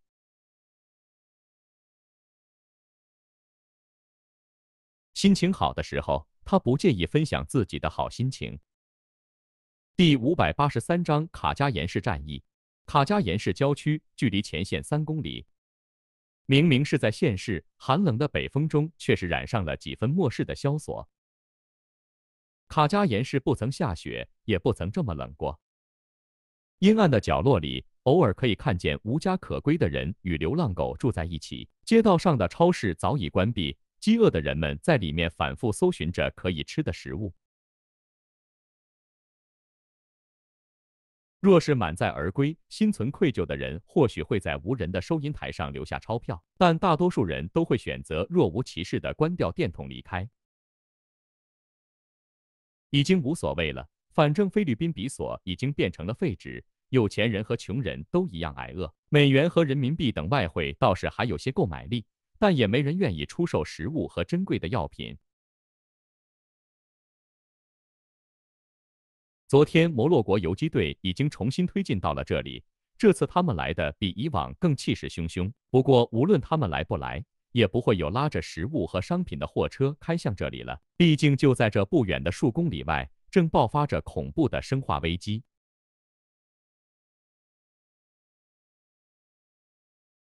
平民们早已放弃了原本的政治立场，无论是谁都好，赶紧结束这场愚蠢的战争。无论是封锁卡加延市的非军第十四师，还是摩洛国游击队，在当地人的眼中都不是什么好东西。至于星环贸易，他们很少出现在一般人的视线，所以当地人对这些装备媲美正规军的佣兵没有任何的直观的感觉。侵略者或许是吧，但谁在乎？为了阻止摩洛国游击队推进，第十四师向该城区派出了大量狙击手，同时在一些关键位置埋下了反人员地雷。这确实对摩洛国第五师的推进造成了不小的麻烦，毕竟摩洛国缺乏坦克和装甲车，兵力的组成几乎都是步枪兵和机枪手。狙击枪这种金贵的玩意儿，也就最近他们才从二十一师的手中缴获了一批。但死在地雷和狙击手枪下的不只是游击队士兵，更多的还是那些没有战斗经验的平民。这里是人道主义的盲区。为了对付这些麻烦的狙击手，星环贸易的选择是空袭。隐形前行的幽灵特工将镭射定位仪对准目标，然后极光二零一梭子机炮过去，将狙击手和他蹲的大楼一同打成了筛子。为了避免造成平民伤亡，江晨下令尽量避免在城区内使用航空炸弹。倒不是因为仁慈，而是为了不在国际社会落下对星环贸易不利的口舌。可纵使如此，这些狙击手依旧耽误了两天的时间。不过，这种状况很快就要结束了。十二月三十一日晚，星环贸易作战指挥部下达了总攻的作战指令，于元旦夜向卡加延市发动进攻，歼灭非军十四现代化师以及赶来增援的坦克旅。争取在一月二日零点之前夺取对卡加延市的控制权。进攻由星环贸易的火箭炮率先开始，AMP 火箭弹在卡加延市西城区上空炸裂，彻底摧毁了十四师的电子设备。不过，十四师毕竟是非军的精锐，在火箭炮升空的第一时间。就对星环贸易的炮兵阵地发动了反制炮击，八门一百五十五毫米火炮几乎炸没了一座小山包，但还没开两炮，便被极光二零的导弹轰成了废铁。为了躲避星环贸易的空袭，飞军可算是绞尽了脑汁，想出了一些主意，比如将步兵炮用灰色布条缠成了种子，将坦克化整为零，藏在建筑群中。等到摩洛国游击队的士兵接近，才发起进攻。不过，当 AMP 火箭弹抵达战场后，这一切伎俩都失去了作用。失去了观察员的爆点，炮兵只能依靠测距烟雾和直觉开炮。坦克旅的状况倒还好，多亏了那些落后的武器装备。作为主力的蝎式侦察坦克，本来就是上个时代的玩意儿。虽然不像现代坦克那样设计有抗辐射、抗 AMP 功能，但挨了 AMP 后依旧像没事一样。毕竟这坦克身上除了一个通讯设备之外，也没什么先进的电子产品可以破坏了。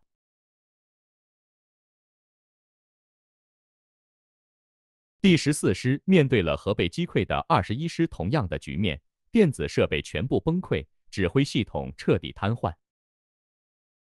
与此同时，照明弹升空，点燃了城市西南面漆黑的夜空。在车载机枪的配合下，士气高涨的摩洛国第五师的步兵开始进攻，如一记直拳揍在了十四师精锐的脸上。另一边，城市东南面在西南面的承托下，却是如死寂般的黑暗。五百名星环海军陆战队在十数架重型运输机的空运下。在丧尸占领区边缘空降，因为注射过一级基因药剂，这些士兵对于丧尸病毒已经能够做到完全免疫，所以即使是不穿戴防护服，也无需担心感染问题。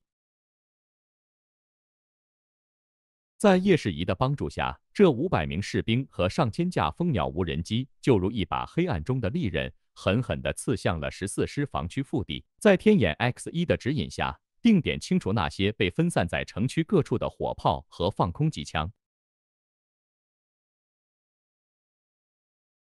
这一夜，十四师的士兵深刻的体会到了不对称战争的恐惧。在马尼拉空军基地待命的 F 五 A 野马攻击机拒绝起飞，发五零战斗机都无法战胜的战机，任谁都知道这将是一场有去无回的死亡飞行。对此，桑托斯还有些遗憾。他可是见识过极光二零的恐怖收割能力。除了斯坦尼斯号航母上的 F 三五等五代机还能对其造成有限的威胁之外，菲律宾的那些纸飞机，就算来的再多，也是有折戟沉沙的命。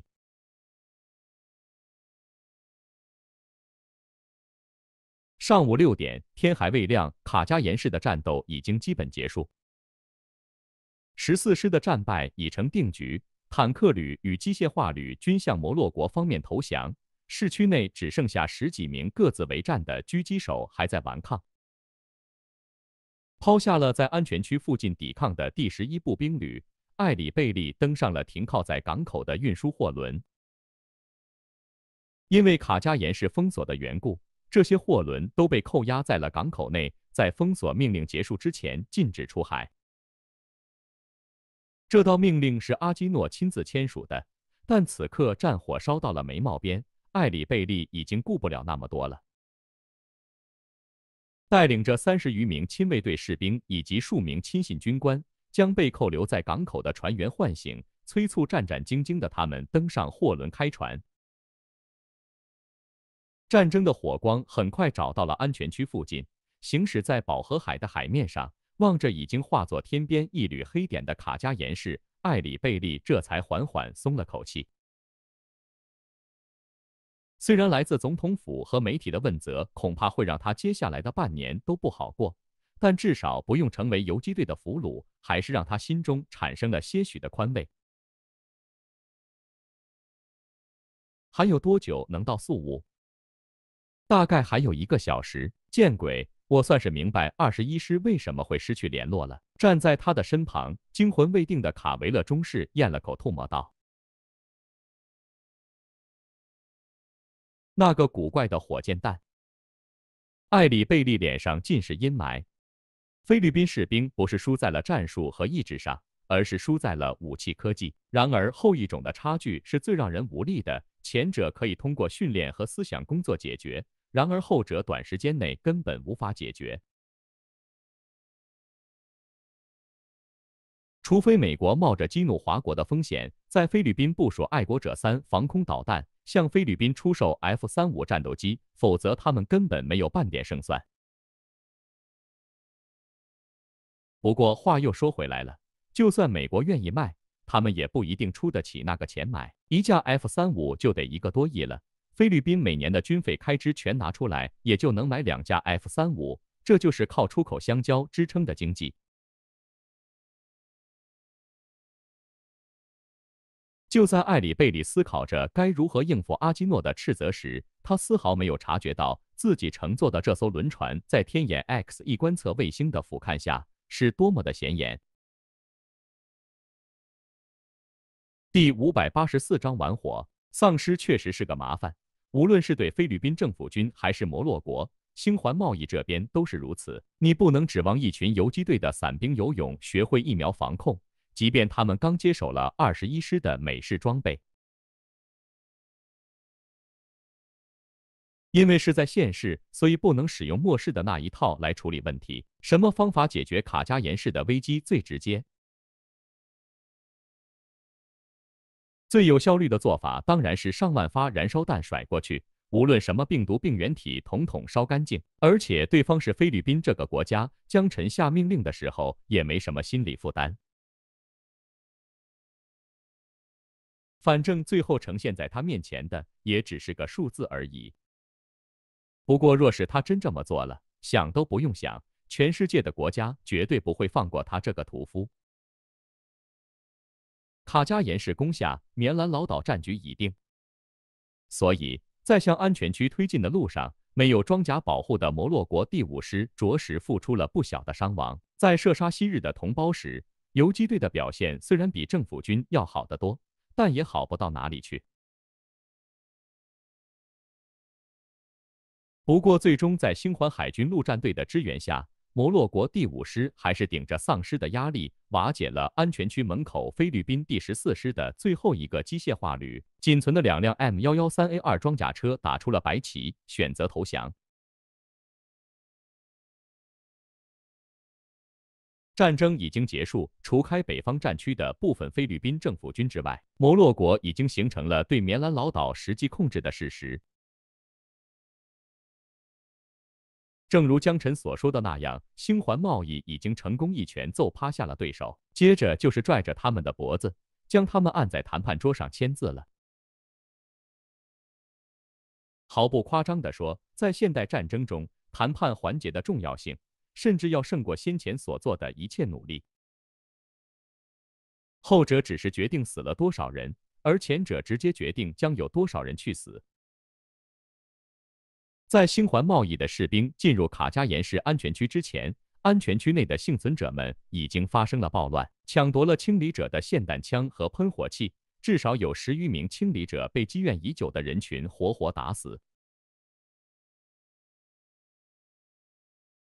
占领安全区的幸存者隔着铁丝网与摩洛国游击队发生了短暂的对峙。不过，当看到缴获的装甲车和坦克开过来时，所有人都放下了武器。抱头蹲在了墙边。当江晨从战斗录像上看到这些人的面黄肌瘦的惨状时，同情之余，顿时心生一计，给已经抵达安全区的伊万打了个电话，吩咐他将这些人好好安顿。接着，江晨便吩咐升任未来人集团 CEO 的夏诗雨，通过他从未来人集团旗下的食品加工厂调集了一千吨大米、蔬菜。饼干以及牛奶等食品物资通过空运运往卡加延市机场，分发给当地幸存者。星环贸易的善举立刻赢得了这些幸存者们的好感，所以当星环贸易的人提出希望他们配合媒体记者拍摄视频，帮助星环贸易赢得国际社会好感时，几乎没有人拒绝。在舆论的筹码上，江晨拿下了一分。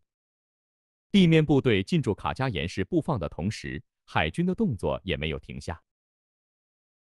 一艘守护级护卫舰在基洛级潜艇的陪同下，从三宝岩市与伊莎贝拉岛之间的海峡穿入苏禄海，西临巴拉望岛。五十式 J 型电磁炮遥指菲律宾首府马尼拉。星环贸易的这一举动，可差点没把阿基诺吓得从椅子上摔下来。直到这时，他才体会到前线士兵所面临的恐惧。这巨舰大炮进国门的恐惧，菲律宾国会的议员乱成了一团。前段时间，他们还在讨论如何伪造主权文件，将帕努群岛变成菲律宾自古以来的岛礁。然而现在，他们却是赶紧撕毁了那些纸片，哭丧着脸讨论该如何谈成无条件投降的谈判。另一艘护卫舰和潜艇则沿着新菲边境向东移动，停在了密克罗尼西亚的雅普岛附近海域。紧接着，部署在南亚海域的斯坦尼斯号航母战斗群，并不动声色地将关岛军事基地纳入打击半径之内，但未做任何动作。全部十架极光二十在新月岛军事基地二十四小时待命，二十名飞行员以轮换制坐在飞机座舱内，随时准备应对可能爆发的战争。另一方面，部署在西太平洋海域的 G 零幺三导弹井打开了闸门，缓缓放入海水，充满了导弹井内部，完成了发射准备。部署在 G 零幺三导弹井内的自然是海豚式洲际弹道导弹，不过装载的战斗部件却并非核弹头，只是常规爆炸物。如果美国做出危险举动，星环贸易将在数小时后证明自己的远程导弹打击能力。不是核武器，所以没有威慑力，那可不一定。别忘了，现在是谁控制着卡加延市？导弹既然能投送炸药，自然也能投送病毒。核武器和生化武器究竟哪个更有威慑力？相信美国国会和白宫一定会好好斟酌。到现在，江晨已经将全部筹码都摆在了赌桌上。究竟是不顾一切的发动一场亚洲版海湾战争，像惩戒入侵科威特的伊拉克那样惩戒星环贸易？还是在新环贸易闪电战造成的既成事实面前，像英法曾对德国妥协那样，让出菲律宾这个烂泥扶不上墙的盟友，维持地区局势的平衡？值得注意的是，菲律宾并没有科威特那般丰富的石油资源。如果以上选项都不管用怎么办？那就只有和按钮这个最终选项了。除非万不得已，他不想走出这最后一步。你这是在玩火。当新环海军陆战队攻下卡加延市的当晚，娜塔莎按响了江晨别墅的门铃。原本江晨是不想开门的，但这小妞却是抱着不按开门就不走的决心，手指戳在门铃上就不松了。无奈于娜塔莎的决心，江晨便开了门。反正失踪了这么久，他也该重新回到公众的视线中了。然而没想到的是，娜塔莎见到他的第一面，倒是没有“你居然没受伤”的惊讶，而是说出了这么一句话来：“玩火吗？”这句话似乎我们的张总统曾对阿基诺说过。江晨对着沙发做了个请的手势：“请坐吧，这次我准备了伏加特。”我不是来喝酒的。娜塔莎眯着眼睛，上下打量了江晨几眼，鲜艳的红唇勾起了一抹玩味。果然，我就知道你这老狐狸不可能会出事。我还很年轻，好吗，北极熊女士？江晨开玩笑道。这个玩笑一点也不绅士。娜塔莎瞪了江晨一弹，越过他走到了沙发旁坐着，这次却是反常的没碰桌上的酒。翘起了匀称的腿，他抱着双臂看着江晨，接着说道：“那么你准备怎么办？怎么解决这个烂摊子？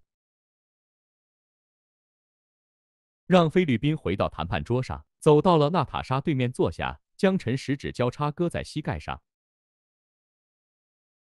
如果美国不同意呢？娜塔莎挑了挑眉毛。那就做好一起完蛋的准备。当这句话说出口的时候，江晨没有开半点玩笑。第五百八十五章回到谈判桌的东西。斯坦尼斯号航母战斗群向新国西太平洋方向移动，F 三五战机频繁在甲板上起降，加大了对西太平洋公海的侦察力度。与此同时，一架 B 五二轰炸机部署在了关岛军事基地。两座海上堡垒以犄角之势逼近了新国的领海，但江晨却反倒是松了口气。他们摆出了进攻的架势，这反倒说明他们不打算真的动手了。否则出动的也不会是航母战斗群和 B 五二轰炸机，而是弗吉尼亚级核动力攻击潜艇上部署的巡航导弹了。江晨很清楚。仅仅凭借两艘装备了电磁炮的守护级和高速巡航的极光二零，是无法帮助星环贸易战胜五流氓之一的。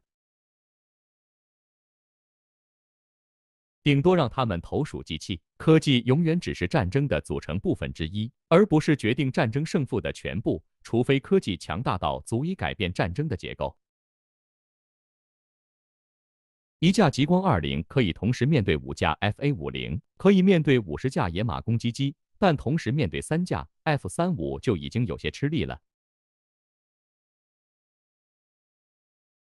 就像当初轴心国的 Me 二六二喷气飞机在面对盟军的螺旋桨战斗机时那样，虽然给盟军造成了不小的麻烦，但并没能从根本上改变战争的走向。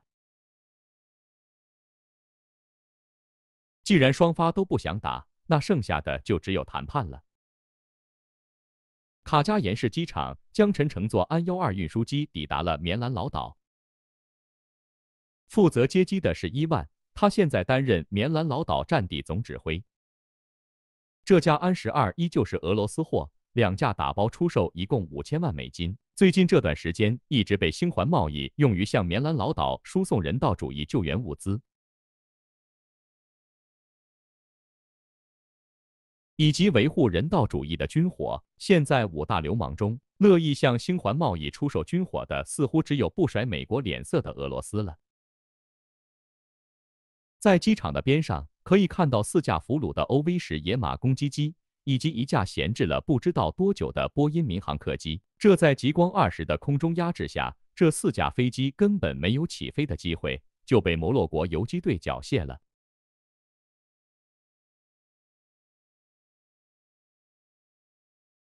桑托斯很爽快地表示送给江晨这边两架，毕竟是双方共同的俘虏。不过江晨倒是婉拒了。这种参加过六十年代越战的老古董加二手货，江晨连改装的兴趣都提不起来。坐在军绿色的吉普车上，江晨向伊万询问起了战争情况。空袭一共消耗六万余发航空子弹，三十七枚航空炸弹。十五枚中距离空地导弹，十七枚近距离空空导弹，接近一亿美元吗？战争这玩意儿还真是烧钱。看着车窗外荒凉的街道，江晨眯着眼睛道：“这还只是空袭部分，这场战争的花费远远不止一亿美金。”不过，当江晨想到他的星环贸易只用了五天就打残了年军费开支五亿的菲律宾海陆空三军，他也就释然了。更何况，完成独立夙愿的摩洛国会用棉兰老岛丰富的资源为星环贸易的军费买单。人员伤亡呢？只有十一人阵亡，重伤士兵已经运往科罗岛接受治疗。那个智能医疗舱真是个好东西，毕竟是未来人出品。对了，阵亡士兵家属你妥善安置下，不能亏待了我们的战士。江晨吩咐道。是伊万点头道。吉普车开进了卡加岩市，灼眼的阳光让人感受不到半点漠视的气氛。主要交通干道都已经被摩洛国游击队的士兵控制了起来。他们身上穿戴的防护服和防毒面具都是由星环贸易方面提供的。此刻，他们正端着步枪，警戒着铁丝网外那一张张呆滞而布满血污的脸。安全区目前由星环贸易方面控制。身穿机械外骨骼的士兵检查了伊万的身份，行了个军礼后，便将车辆放行。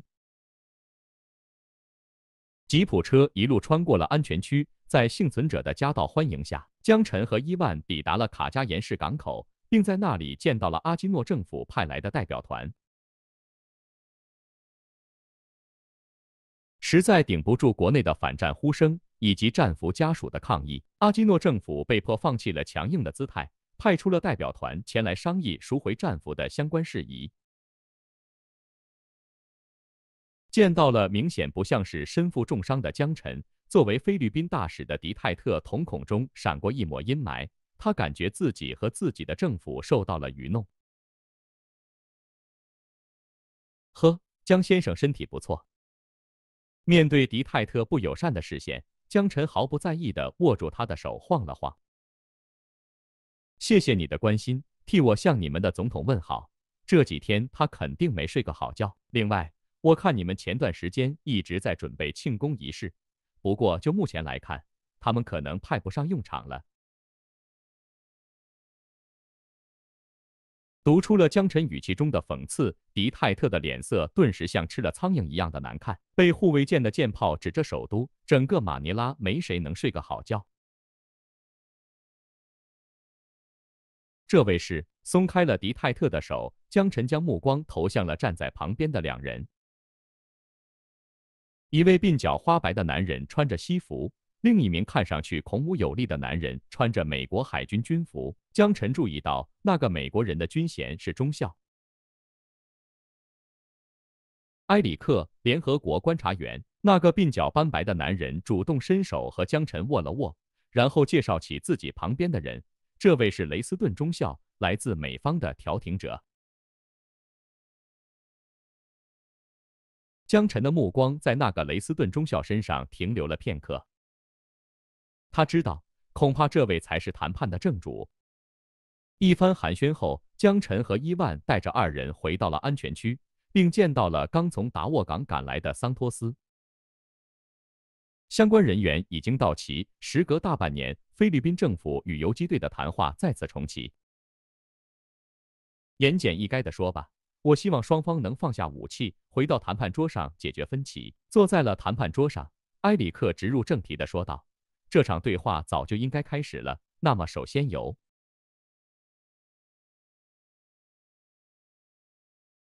领土完整，我们不会让步。”迪泰特打断了埃里克的话，看着桑托斯冷冷的说道：“但我带来了阿基诺先生仁慈的决定。”摩洛国将以自治区的形式存在，只要你们肯放下武器，并释放所有非法拘留的菲律宾士兵。谈判桌的气氛瞬间冷了下来。江晨眯着眼睛直视着迪泰特的眼睛，这个菲律宾人从一开始就没有拿出谈判的态度。看来我们只能去马尼拉谈了。桑托斯耸了耸肩，摊开手说道。我们不会让这件事发生。一直一言不发的雷斯顿中校突然开口道，微微昂起了鹰钩鼻，盯着桑托斯那不止天高的的脸。斯坦尼斯号航母战斗群不会允许。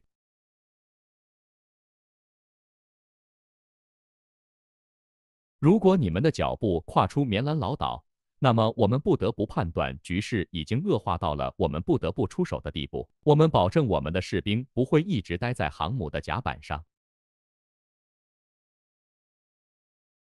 说着，雷斯顿用警告的眼神看了江晨一眼。毕竟是土匪出身，桑托斯顿时嘴角一撇，不屑道：“那么我的游击队会让棉兰老岛成为第二个越南。”谈判在一开始就走向了谈崩的僵局。江晨的视线在那位笑眯眯的联合国观察员、一脸阴恻恻的迪泰特，还有那扑克脸的雷斯顿之间不动声色的变换。就在双方准备不欢而散的时候，江晨突然轻咳了声，从兜里掏出了一个指甲盖大小的小瓶子，轻轻地摆在了桌子上。瓶子上塞着袖珍的软木塞，里面盛着晶莹透亮的液体，窗外阳光的照耀下散发着淡淡的油光。这是什么？迪泰克扫了瓶子一眼，伸手将其拾起，凑近鼻子前打量了一番。让我们重新回到谈判桌的东西。一边说着，江晨一边将手机摆在了桌子上，微笑着看向了雷斯顿。第五百八十六章打击半径之内，拿捏不准江晨在玩什么把戏。雷斯顿和埃里克交换了下视线，然后看向了江晨，等待着他的下文。菲律宾派来的代表迪泰特则是眯着眼睛，反复打量着手中的瓶子。希望看出些什么端倪来。就在他捏着软木塞，准备打开瓶子闻闻时，江晨再次开了口：“我劝你不要这么做。”迪泰特停下了手中的动作，斜着眼睛看向了江晨：“这到底是什么？”丧尸身上的病原体提取液，我们称其为 T 病毒。江晨的话音刚落。顿时吓得迪泰特赶忙扔掉了手中的瓶子，指甲盖大小的瓶子咣当一声摔在了桌上，绕着瓶口打了两个圈圈。雷斯顿和埃里克也是脸色齐齐一变，下意识的向后缩了缩。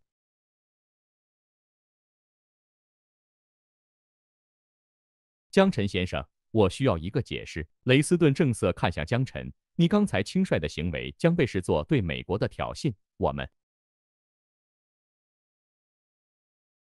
我们今天是在谈判，不是吗？江晨打断了雷斯顿的话，摊开了双手。而从谈判开始到现在，我没有看到丝毫诚意，只是你们单方面的在秀肌肉。我很理解，肌肉是谈判的筹码之一，毕竟只有武力才能捍卫和平。江晨竖起了一根食指，轻轻的按在了摆在谈判桌上的手机屏幕。所以，请允许我展示下我们的武力。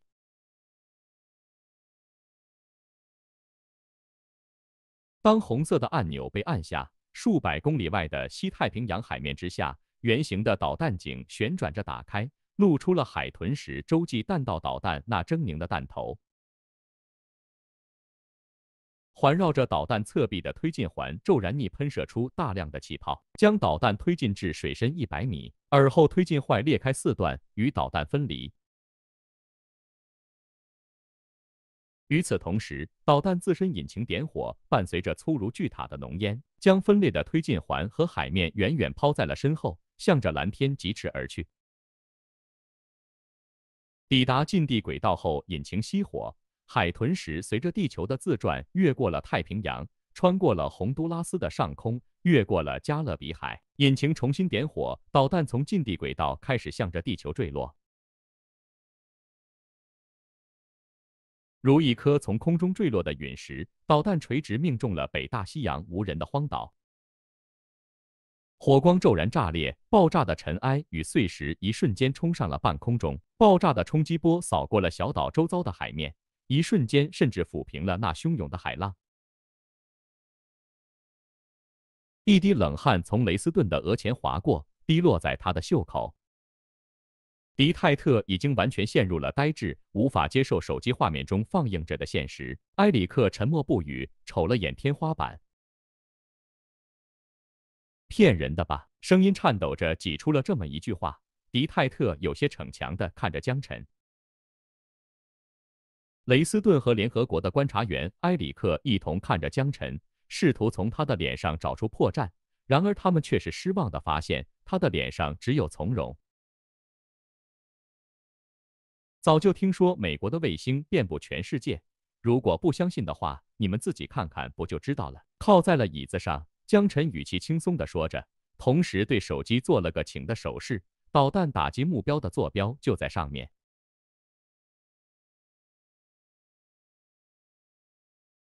我们的卫星可不会闲着没事观察北大西洋。雷斯顿盯着江晨的眼睛说道。那就派出人员观察呗，爆炸评估总会做吧？江晨翻了个白眼说道。雷斯顿没有说话，他在等待斯坦尼斯号航母的电话。如果导弹横跨了整个太平洋和中美洲，不可能不会被美利坚的雷达捕捉到。从导弹的打击曲线来看。该导弹应该是通过近地轨道进行投送，爬升到近地轨道这种高度，恐怕在导弹爬升至散逸层的时候就被关岛军事基地的雷达给捕捉了。江晨知道他在等什么，所以也没说话，而是拿回了桌上的手机，在众目睽睽之下玩起了手机游戏。迪泰特脸上闪过一抹愠色。他感到自己和自己的国家完全被无视了。虽然雷斯顿是在帮他说话不假，但从头到尾，无论是美国还是新国，都没有将他这个当事人放在眼里，更没有问过他菲律宾的意见。这种被忽视的感觉，就像是毒药一样刺扎着他的心脏。反观桑托斯，则是淡定的很。这位土匪出生的革命领袖。并不在意自己在谈判桌上受不受重视，他只关心一点，那就是摩羯组织数十年来的独立诉求，终于要在他的手上实现了。半小时过去了，雷斯顿沉不住气了，最后看了眼表，他深呼吸了一口气，站起身来：“我需要打个电话。”“没问题，你早该打这个电话了。”一边玩着手机，江晨一边不在意的说道。雷斯顿扫了江晨一眼，掏出卫星电话向外走去。当电话打到斯坦尼斯号航母上，舰长霍夫曼上校立刻问起了谈判的结果。如果谈判的进展不顺利，他们可以配合谈判的进展，再向新国的领海逼近几公里。然而，雷斯顿却是苦笑了起来。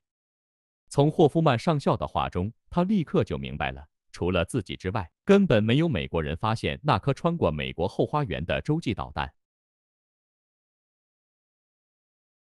向霍夫曼上校汇报了情况之后，雷斯顿挂了电话，靠在会议室门口的墙边，给自己点了根雪茄。他现在脑子有点乱。被一个不按常理出牌的疯子打乱了套路。此刻他只想静静借着抽烟的空档，在脑中重新调整下思路。半小时的等待，这次打来电话的不是斯坦尼斯号航母，而是远在华盛顿的白宫。数分钟前，一架挂载有侦察吊舱的 F-22 从美国本土军事基地起飞，抵达了北大西洋那座小岛的目标空域。从 F-22 那边反馈的图像来看，小岛却是不久前才遭遇了导弹打击。虽然没有人愿意接受这个现实，但事实已经摆在了所有人的面前。新国不，星环贸易已经具备了全球打击的能力。雷斯顿无言地将电话收回了兜里，转身回到了会议室内。好慢，江晨收起了手机，食指在桌面上交叉，微笑地看着坐回座位的雷斯顿。只是一发洲际导弹就想威胁我们吗？你以为美国有多少洲际导弹？雷斯顿面色阴沉地说道。那再加上这个呢？将他从丧尸身上弄下来不是很难。江晨伸手拾起了桌上那个被迪泰特抛下的瓶子，将它放到桌面上摆正。要试试爱国者三的拦截能力吗？为了你们在上万公里之外的小朋友。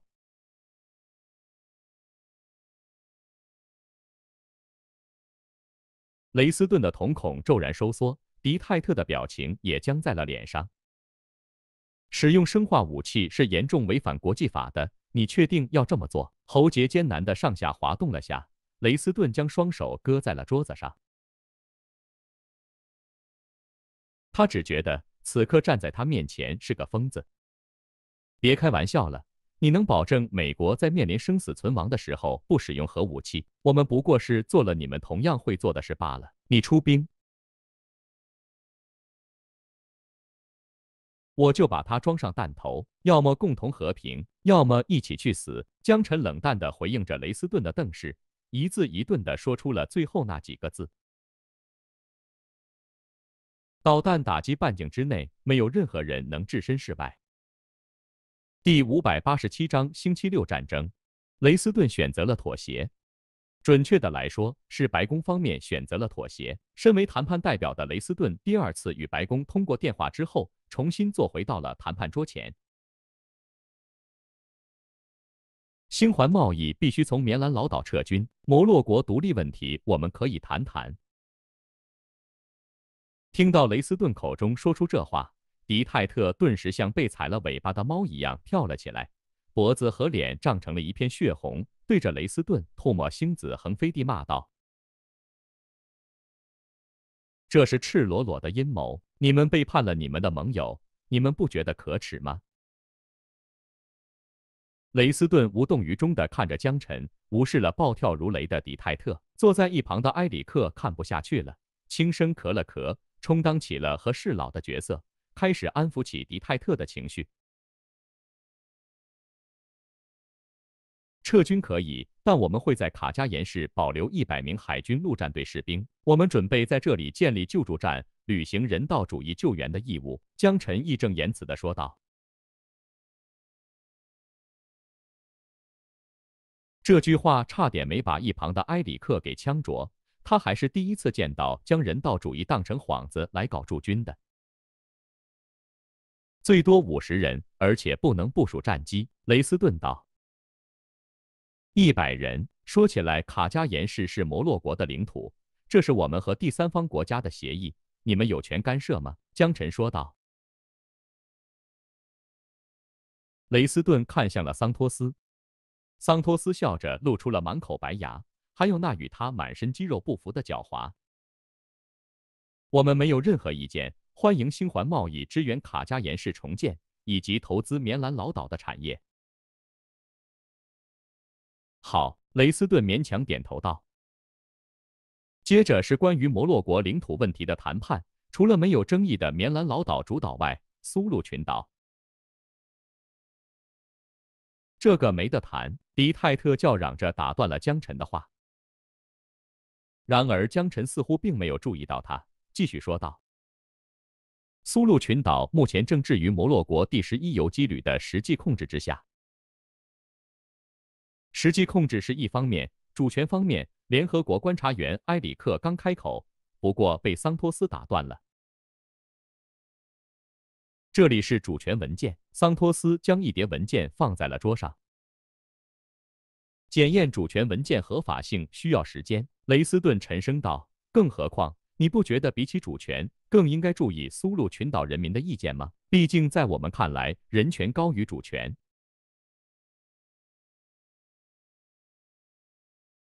是吗？你们的标准似乎总是变幻莫测。比如，在乌克兰西部各州人权高于主权，东部各州主权高于人权。江晨嘲讽道。雷斯顿的表情有些尴尬，轻咳了咳。我们现在讨论的是苏禄群岛问题。我提议全民公投，这样最公平。江晨说道。不行，除非全体菲律宾人民共同参与投票。菲律宾的版图应该由全体菲律宾人一起决定。迪泰特拍着桌子叫嚣道：“开玩笑，苏禄群岛那帮刁民早就想分离了，岂能容得他们自己投票？”正如迪泰特说的，就像一栋房子，不能因为一个人要分家，所以拆了他的卧室，除非这栋房子里的所有人都同意他的选择。这是雷斯顿第一次在谈判桌上符合迪泰特的意见。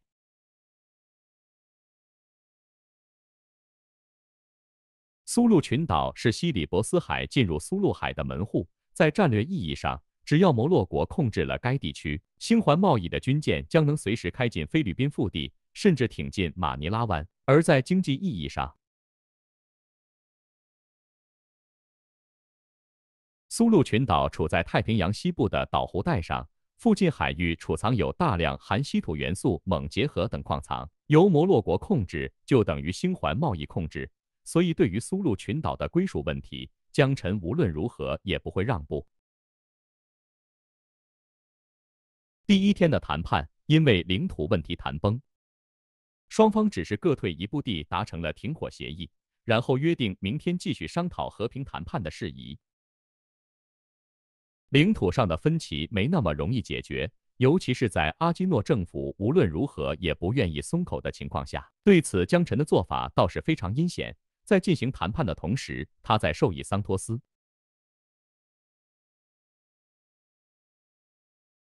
在棉兰老岛西段的三宝岩市为三点四万菲律宾政府军俘虏家属开放了探亲的渠道，允许探亲者入境，并最多逗留两日，在摩洛国士兵的带领下探访被扣押的亲人。这下可好，不见面的时候，这些俘虏家属还能保持理智；一见到自己的儿子、丈夫、男友被关在战俘营中，这眼泪和悲伤顿时克制不住了。虽然这些战俘并没有受到非人的待遇，但毕竟或多或少都带着凄惨的战伤。面对放人的哀求，摩洛国方面的回应坚决而强硬。我们渴望和平，但决绝向敌人妥协。如果你们想要你们的亲人回家，那就去求你们的阿基诺吧。选择权一直都在他的手上，只要他愿意在和平协议上签字，我们也能放下武器，回家与亲人团聚了。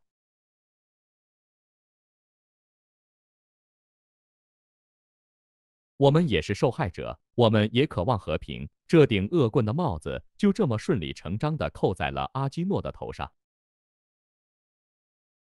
接下来发生的事，用脚趾头都能想到了。回到菲律宾的士兵家属高举着抗议的标语，高喊着反战的口号，堵住了菲律宾总统府和阿基诺死人的宅邸。士兵家属的遭遇获得了菲律宾其他反战人士和因为战争而失去了生活来源的市民的回应。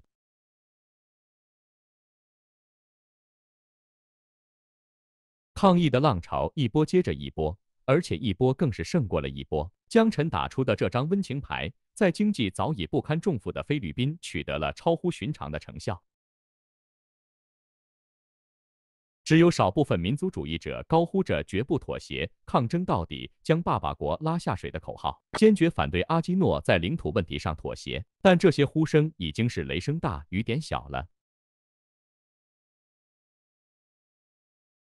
民众永远是善变的，和平年代。他们或许会因为心中的骄傲叫嚣战争，但战争年代，他们中的大多数人都会随着生活质量的下降改变先前的主意。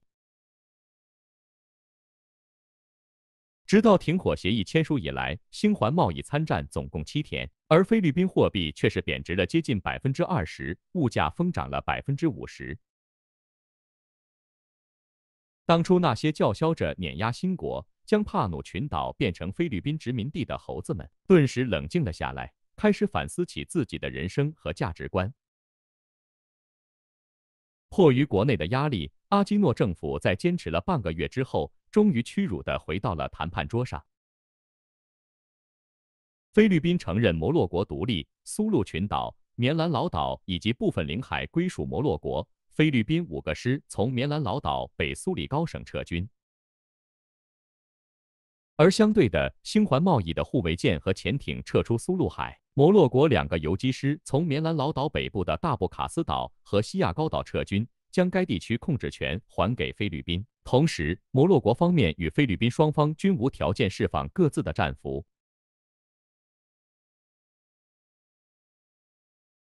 由此。摩洛国终于完成了数十年来的独立诉求，成为了世界第一百九十五个主权国家，而失去了国内仅次于吕宋岛的第二大岛菲律宾也因此一蹶不振。而促成这一切的星环贸易，已经隐隐成为了他们的宗主国，以及这场战争中的最大赢家。因为星环贸易是星期六介入的战争。而战争刚好打了一个星期结束，所以这场战争又被国际社会称作“星期六战争”。第五百八十八章进军医疗业。在和平协议的签署仪式上，江晨看到了阿基诺那张颇具喜剧色彩的马脸，不过那浮肿的眼圈和泛白的鬓角，却又是为这张脸染上了几分悲剧的色彩。在记者的镜头下。阿基诺走上前去，握住了浑身肌肉的桑托斯的手。桑托斯冲他咧嘴一笑，而他只得用比哭还难看的笑容回应了下。最后，媒体的镜头定格在了和平协议的两双手上，两人分别在两份和平协议上签下了自己的名字，并在全世界人民面前宣布了内战的结束。在媒体的镜头之外。这场和平谈判的真正促成者雷斯顿与江晨正远远地围观着这历史性的一幕。我希望这是最后一次。雷斯顿盯着江晨的眼睛：“你已经触碰了我们的底线。想知道国会对于战争选项的投票率是多少吗？”不想知道。江晨笑着摇了摇头。但你们应该也很清楚我的底线才对。一把手枪，无论有多少发子弹，哪怕是握在婴儿手中，那同样是野枪。倒不如说，因为握在婴儿的手中，这把枪反倒更危险。只要这婴儿不是太过贪婪，双方还是能够和平相处的。雷斯顿深深地看了江晨一眼。还有，CIA 的探员会进入棉兰老岛搜寻失踪的 F 三五飞行员戈登，希望你们的人能够配合。这话你应该去和桑托斯说，他才是棉兰老岛的主人。不过我觉得，如果你们的人不探头探脑的到处瞄，应该不会被他们拒之门外。江晨微笑道。F 三五的飞行员江晨当然吩咐人搜寻过，摩洛国方面也派出了侦察员，沿着棉兰老岛的丛林山路搜索。毕竟，一名美国飞行员可是谈判桌上的重要筹码。不过，遗憾的是，星环贸易和摩洛国方面都没有找到这名飞行员队的下落。乐观点想，那倒霉的家伙没准已经被风给吹进了棉兰老岛的火山口。雷斯顿哼了一声，掏出火机给自己点上雪茄，然后坐上来接他的车子走掉了。江晨在仪式现场站了一会儿。瞻仰了下联合国国旗上那对飘扬的橄榄枝，嘴角勾起了一抹讽刺的笑意。在掌声响彻之前，他转身走掉了。战争已经结束，摩洛国总共欠下了星环贸易十二点五亿美金。老实说，如果不是因为开战的理由实在太过绝佳，卡加延氏的生化危机引起了他的警惕。他还打算将这场战争再多拖上一会儿。摩洛国欠星环贸易的钱越多，星环贸易对他们的控制力便越强，摩洛国对于新国的依附性也就越强。棉兰老岛本来就是菲律宾最贫穷的南部地区，直接拿出十二点五亿美元现金是绝对不可能的。这笔钱只能用当地丰富的未开发的矿产资源和肥沃的土地来补偿，而这些东西也正是江晨最想要的。这些资源和土地对于新国来说很重要。目前，新国和莫氏那边 NEC 的矿产资源和农产品大多来自澳大利亚进口。虽然新国与袋鼠的关系不错，但过于依赖美国的铁哥们儿显然不是什么好的选择。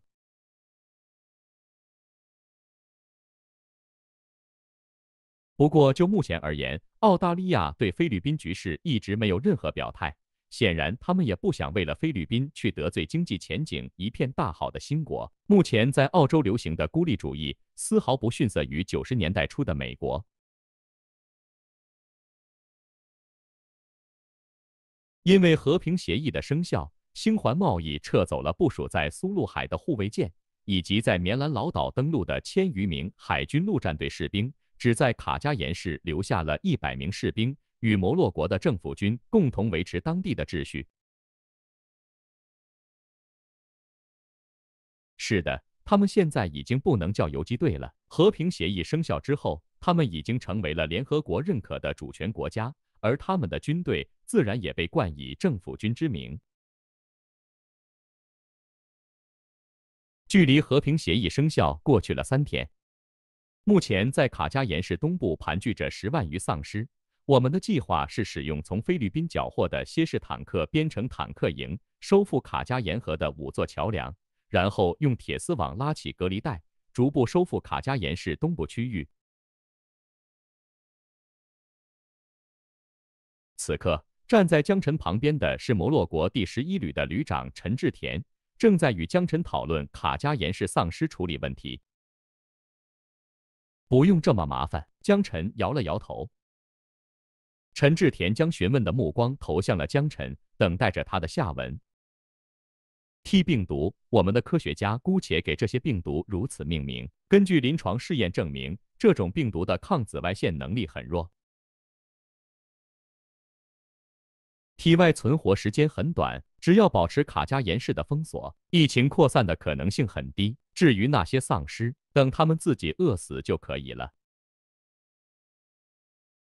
饿死？陈志田诧异的看着江晨。没错，江晨点了点头。爆发在卡加延氏的丧尸与末世那边的丧尸存在着根本上的区别，这种区别主要就体现在致病机理上，一个是病毒感染，而一个是细菌感染。前者虽然摧毁了人的神经系统和免疫系统，但却并没有解决丧尸的能源问题。后者为净化辐射细菌的变异种，在寄生宿主后，可使宿主获得光合作用的能力。任何生物不进食就会死，哪怕是丧尸也摆脱不了这个自然界的基本法则。即便放着这些丧尸不管，只要他们不会啃食同类，撑死坚持一个多月。他们就会变成人干，到时候只要多准备几台焚化炉，将这些死尸处理掉就可以了。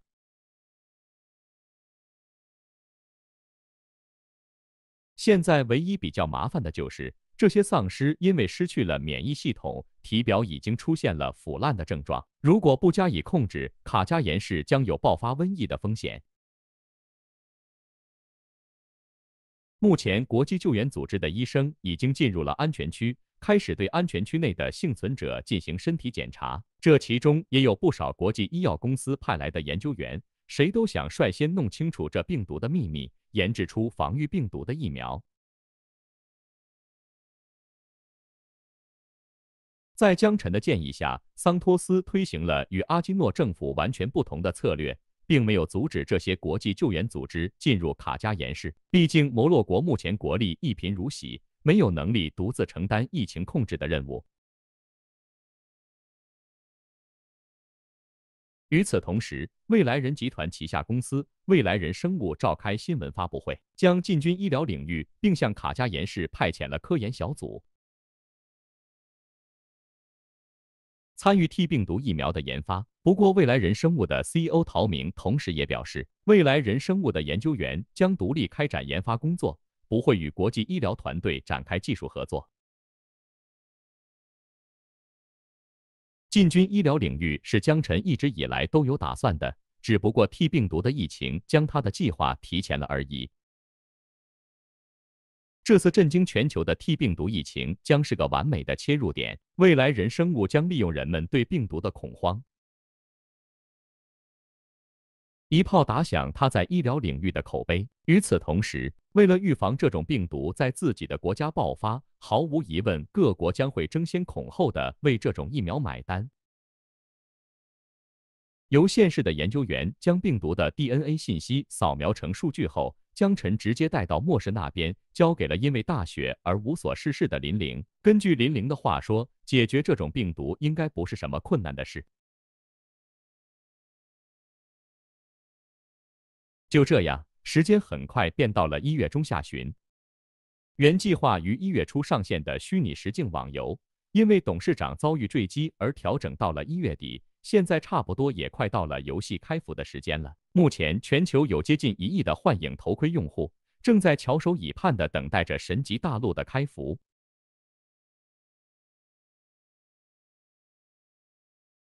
不过就在这时，一则消息却是引起了江晨的注意。第五百八十九章，替我盯着他们。科罗岛未来人大厦，这里是未来人集团总部大楼。如果不是因为这里禁止游客进入，这里绝对能成为仅次于海洋之心的科罗岛上最富有观赏性的地标建筑。既然是以未来为主题，这栋大厦的设计自然是充满了科幻感。四百三十七米高。拥有一百一十层上层空间以及二十层地下空间及写字楼、住宅、餐饮于一体的摩天大楼，上可俯瞰科罗岛的全貌，中可满足未来人集团总部员工的办公、住宿、餐饮一切需求，下可充当容纳一万人规模的核掩体。当然，最后一个功能只是防患于未然。自从月初投入使用以来。位于安家岛的未来人生物、矿业、旅游等子公司，以及星环贸易的文职人员办公的全部搬迁到了这里。目前，未来人总部拥有员工六千人，占新国总人口接近两成。不得不说，这是个很恐怖的比例。此刻，坐在未来人集团的大楼内，夏诗雨正站在江晨的办公桌前，汇报着集团的近况。虽然才刚上任一个月，但夏诗雨立刻便展现了自己在管理上的天赋，用最短的时间熟悉了未来人集团的业务，并进入了集团 CEO 的角色。当然，之所以能在如此短时间进入这个角色，也有一部分原因是因为在他担任集团 CEO 之前，江晨总是把本该自己来做的工作甩给他来做有关。当然，江晨这几天也没闲着。在处理完摩洛国的事务之后，他便回到了科罗岛上，过着往返于现世和末世之间的生活。好在他在两边都有能干的助帮手来替他处理那些琐屑的事，否则他真怀疑自己会不会患上精神分裂。武田制药。当听到这个陌生的名字时，江晨微微皱起了眉头。是的，夏诗雨点了点头，将平板电脑抱在了胸口。昨日午时，武田制药在东京召开新闻发布会，宣布在 T 病毒疫苗研究上取得重大突破，只需要通过最后的临床试验阶段，就可以将疫苗投放市场。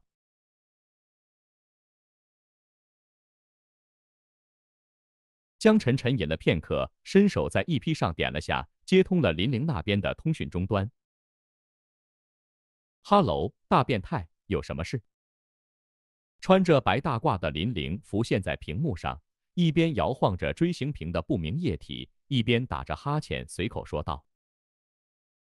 江晨眉毛抽搐了下，假装没有看见夏诗雨那古怪的眼神，轻咳了下，问道：“T 病毒疫苗的研发进展怎么样了？”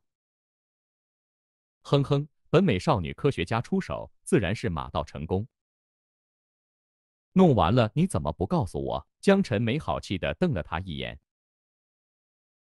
林玲吐了吐舌头，撅着嘴嘀咕道：“你又没问我。”放下了手中的锥形瓶，他转身走到了一台仪器旁边，从上面取出了拇指大小的 U 盘，然后回到了通讯终端的旁边，伸出几只葱指在触摸板上飞快对的敲击了几下。克雷恩粒子波将信息带到了现实这边。江晨见一 p 上信号灯微微闪烁，便知道数据已经传输到了他的 EP 上。这边的研究人员什么研究都不需要做。只需要按部就班的根据林玲的研究成果设计出疫苗的量产方案便可。安抚了吵着要芒果布丁的林玲，江晨便结束了通讯，最终还是对上了夏诗雨那古怪的视线。他是未来人集团科研部的研究员，江晨严肃道。科研部这个神秘的部门一直是集团内的传说，没人知道它究竟在哪。只是通过瑶瑶设计的低级人工智能程序，从那边获取经过江晨审核的数据。就连夏诗雨这个集团 CEO 对于这个特殊的部门也是不甚了解。他的年龄真的没问题吗？夏诗雨汗颜道。因为是电子人的缘故，哪怕是再过上一百年，林玲的模样依旧会保持着十六岁的样子。一直以来，江晨都在考虑，究竟该不该让夏诗雨接触未来人集团的核心秘密。可是从他此刻惊讶的表情来看，或许这个时间还得往后推迟些。疫苗的相关数据从 EP 传输到了 U 盘上，接过了江晨手中的 U 盘。夏诗雨接着又汇报了神级大陆上线准备等相关事宜，然后便离开了办公室。靠在了办公椅上，江晨闭着眼睛，反复思考着刚才夏诗雨向他汇报的消息。其中有一条消息他最为在意：武田制药的 T 病毒疫苗已经进入了临床试验阶段。如此迅速的研究出了疫苗，让江晨隐隐感到了一丝不寻常。武田制药吗？望着天花板，喃喃自语了句。江晨突然坐起身来，伸手在办公桌的电脑上按了下。很快，办公室的门再次打开了。这次进来的是阿伊莎。由于是工作时间，此刻她的身上穿着的也是和夏诗雨差不多的西装革履。新国国家安全局的文职人员也在未来人集团总部大楼内办公。包括他这位幽灵特工的总队长。不过，幽灵特工的任务通常是由安全局的人负责策划和指派。他的工作只是负责批准幽灵特工是否参与任务，所以还算是比较清闲，无需每天都到大楼内打卡。之所以此刻待在这栋大楼里，不过是因为江晨在这。有什么吩咐吗？嗯。我需要你的人帮我留意一件事儿。阿伊莎微微颔首，用眼神回应了江晨敬请吩咐。武田制药、黑船，只有这两个关键词。我需要你们从这两个关键词中搜集到尽可能多的情报，替我盯着他们。时间转眼间就到了一月二十四日，还有几天就是大年三十了。为了赶在年前完成神级大陆的开服，未来人集团整个都忙碌了起来。不过，对于年前的忙碌，却没有人感到丝毫的怨言，因为年关将至，发奖金的日子也越来越近了。董事长在年会上说了，会给未来人集团的每一名员工都包个大红包，让每一位为未来人集团奋斗到年关的员工都能回家过个好年。至于这红包的金额，当然是根据子公司的效益、员工的岗位、个人的绩效来评的。但无论怎么说，平均奖金在十万以上是跑不了的。另外，员工的奖金和高管的奖金是分开计算的。所以不存在拉高平均值的说法，像是子公司 CEO 分红少说都在千万美金以上，而夏诗雨这样的集团 CEO 一个亿是少不了的。毕竟今年未来人集团的盈利，因为幻影头盔超过一亿的出货量，净利润轻松突破了四百亿美元的大关，其他子公司的财报也是宾彩纷呈，颇有亮眼之处。根据只有两人的董事会决定，未来人集团十六年年度将拿出超过三百亿的总利润进行分红，由此江晨在海外的私人账户也正式突破了三百亿美元净的大关。再没有什么比分钱更令人开心的事了。虽然距离过年还有段时间，但公司里却已经开始洋溢着节日的氛围。年会上，江晨和员工们一起喝了杯小酒。对于员工们的热情，江晨自然是非常高兴。来者不拒的喝了几杯酒，他已经记不得了。他只是依稀的记得，喝醉的自己似乎打赌打输了，而且还在一群年轻男女的怂恿下，亲了一口夏诗雨的脸颊。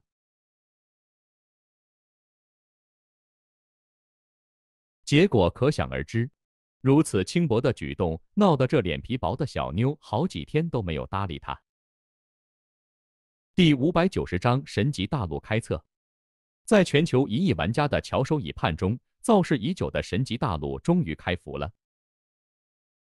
为了容纳一亿用户同时接入游戏，江晨通过权限将位于科罗岛地下的量子计算机运算区间开放到了百分之九十。也正是因此。科罗岛全市的耗电量瞬间攀升了百分之十三点七，为岛上的洋流发电机和风力发电站带来不小的压力。为了解决用电短缺，未来人生物不得不在西太平洋海域新增了十数平方公里的海藻发电田，满足未来人集团的供电。量子计算机的耗电量有多么恐怖，可见一斑。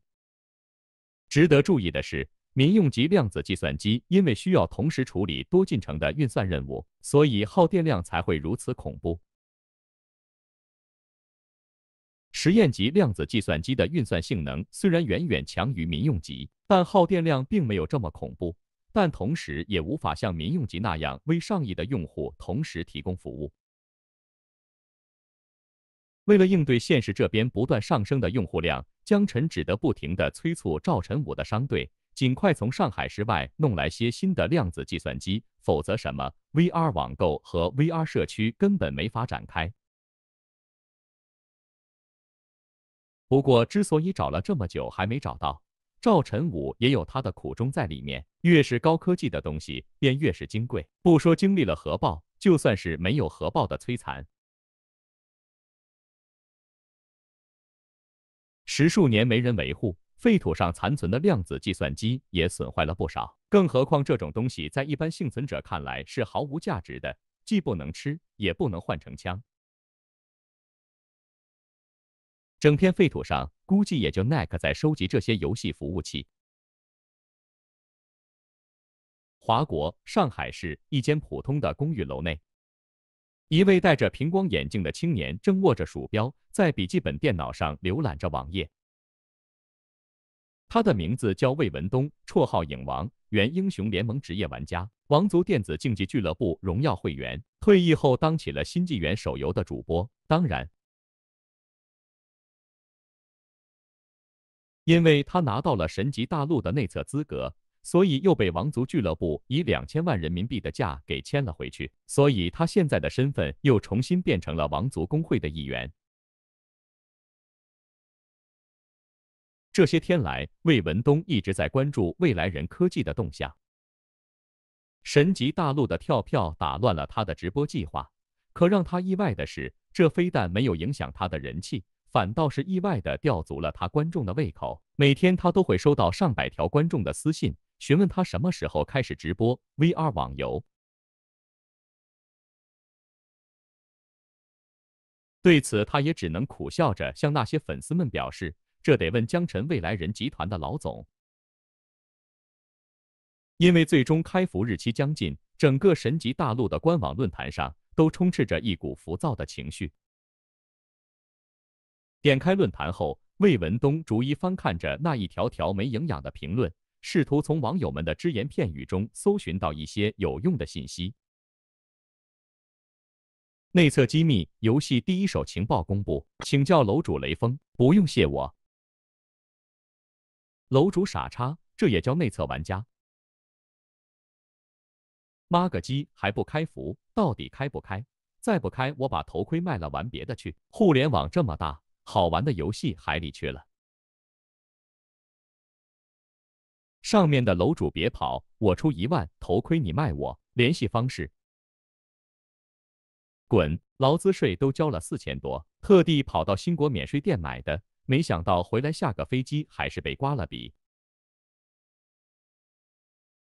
哈哈哈哈！请允许四 L 做个悲伤的表情。顺便一提，如果楼主愿意卖，我出一万一。妹子求带，主牧师奶足，么么哒。与昨天的论坛没什么区别，全都是些没营养的东西。虽然有些遗憾，但坐在电脑前的魏文东反倒是松了口气。内测玩家是他唯一的优势，除了一些游戏的基本操作、常规任务位置、怪物刷新点之类的基础情报外。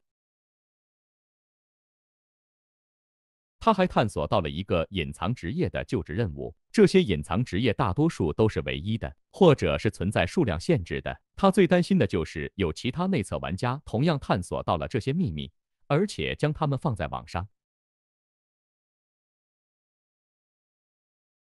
不过现在看来，他的担心完全是多余的。每一名试图在这款次世代全球性网游中大展拳脚的玩家都是自私的，没人会随意暴露自己的底牌。总算是熬到了开服那天，魏文东调整了个舒服的姿势，戴着头盔平躺在了床上，默念了开机的启动指令。那是一种灵魂飘向另一个世界的释放感。伴随着意识短暂的中断，当他再次睁开眼时，已经出现在了那个灰色立方体中。迫不及待地呼出了菜单栏，魏文东惊喜地发现，神级大陆的图标已经点亮了。是登录许可，如未来人科技官方给出的解释一样，在人物创建完毕后，他在菜单中找到了录像按钮的悬浮光标。紧接着，他又确认了登出游戏的图标。嗯，很好，登出游戏的标志也是亮着的。在进入游戏前，他还想过。要是出现了电影中的剧情，进入游戏就被关在里面出不来了，该怎么办？不过现在看来，这种担心完全是多余的。虽然是开放世界，但新手村还是以副本形式出现的，这样也方便了新手们查阅攻略和交流心得体验，以快速上手。然而，纵使如此，这编号零零零零一的新手村内也是人山人海。放望去，黑压压的一片。无视了那一长串的组队请求，魏文东熟练地打开了地图，在村中央设定了坐标，向那边快步走了过去。与其他在新手村到处乱晃、满地图跑、到处观光的菜鸟不同，他们这些内测玩家已经体验过了这种开放式虚拟世界的新鲜感。他们在第一时间走向了村公所的方向，找到村长，领取了职业生涯中第一个新手任务：猎杀十只魔族蟾蜍，获得魔厨杀手的新手称号，以及三个银币和一根续魂蜡烛。不过，在新手村的中央，他却是看见了一个奇怪的玩家，明明站在村长的旁边，却没有领任务，也没有和村长说话。只是摸着下巴念叨着，像是这村公所的房子是不是小了点？街道果然还是太窄了，新手引导员的裙子不够短之类让人感到莫名其妙的话。突然，魏文东注意到了村长者脸上一脸不耐烦的表情，顿时恍然大悟。莫非这是隐藏任务？没过一会儿，那个奇怪的玩家和村长随便聊了几句，然后便走掉了。看来是接了什么任务。打定主意，魏文东也是有样学样的走上前去，也模仿着那名疑似内测玩家的样子，在村公所的门口装模作样的指指点点了一番。村长的眼神虽然不屑，却是无动于衷。那眼神仿佛在说：“图样，图森破。”见状，魏文东一咬牙，批评的声音也是渐渐高了起来。而问的问题也是愈渐刁钻了起来，比如这门的风水不对，这窗的采光不好，这村长的能力只怕不怎么行。村长的脸也是像脸谱一样，开始不屑的一笑，再然后是看向了一边无视，最后渐渐的冷了下来。就在魏文东快要放弃了的时候，结果这村长却是跳了起来，指着魏文东的鼻子骂道。I'm angry。这这居然还会说英语。然而村长并没有什么隐藏任务交给他。不只是如此，让魏文东欲哭无泪的是，无论他再怎么求这个村长给他新手任务，这个村长都不再理会他了。没了那根蜡烛，这新手任务的后续可就全都做不了了啊！NPC 还会耍脾气，这游戏也未免太智能了吧？智能的让人蛋疼，看来他确实生气了。第五百九十一章报道手软。啊 t！摘下头盔，江晨打了个喷嚏，揉了揉鼻子，嘀咕了句：“谁在骂我？”刚才他登录了神级大陆，亲自体验了下那款由未来人科技设计的虚拟实境网游。在高中、大学时代，江晨与大多数学生一样，也算是个半个网瘾少年。因为没女朋友，没课的时候，没少和室友一起开黑打游戏。那时他就曾幻想过，如果他这辈子有幸见到小说中描绘的那种虚拟实境网游。那部网游会是个什么样子？他也曾幻想过自己就如小说主角那样，偶遇某个特殊 NPC，转职全服唯一隐藏职业，吊打高富帅，迎娶白富美，走上人生赢家的道路。不过很快他便意识到了这只是幻想，毕竟无论是高富帅还是白富美，似乎都不需要在游戏中寻找存在感，除非是特别寂寞的那种。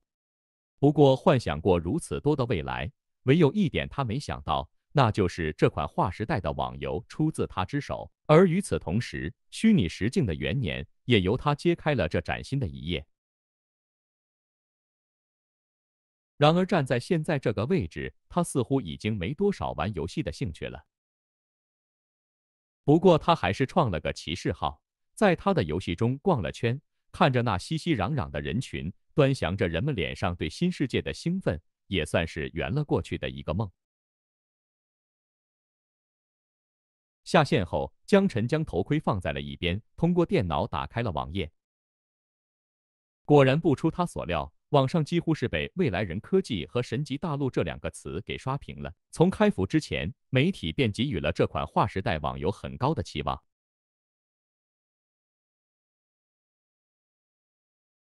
而今天开服首日的火爆，并没有给他带来更多的惊讶，只算是兑现了他向媒体描绘的神话，只算是让这顶戴在未来人科技头上的王冠实至名归。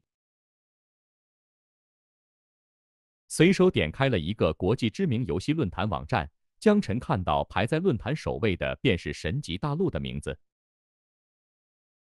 上帝，我从未见过如此逼真的游戏。再见，G 胖，Steam 已经从我的硬盘移除了。我想，我大概有一段时间不会对那些主机、PC 上的小游戏产生兴趣了。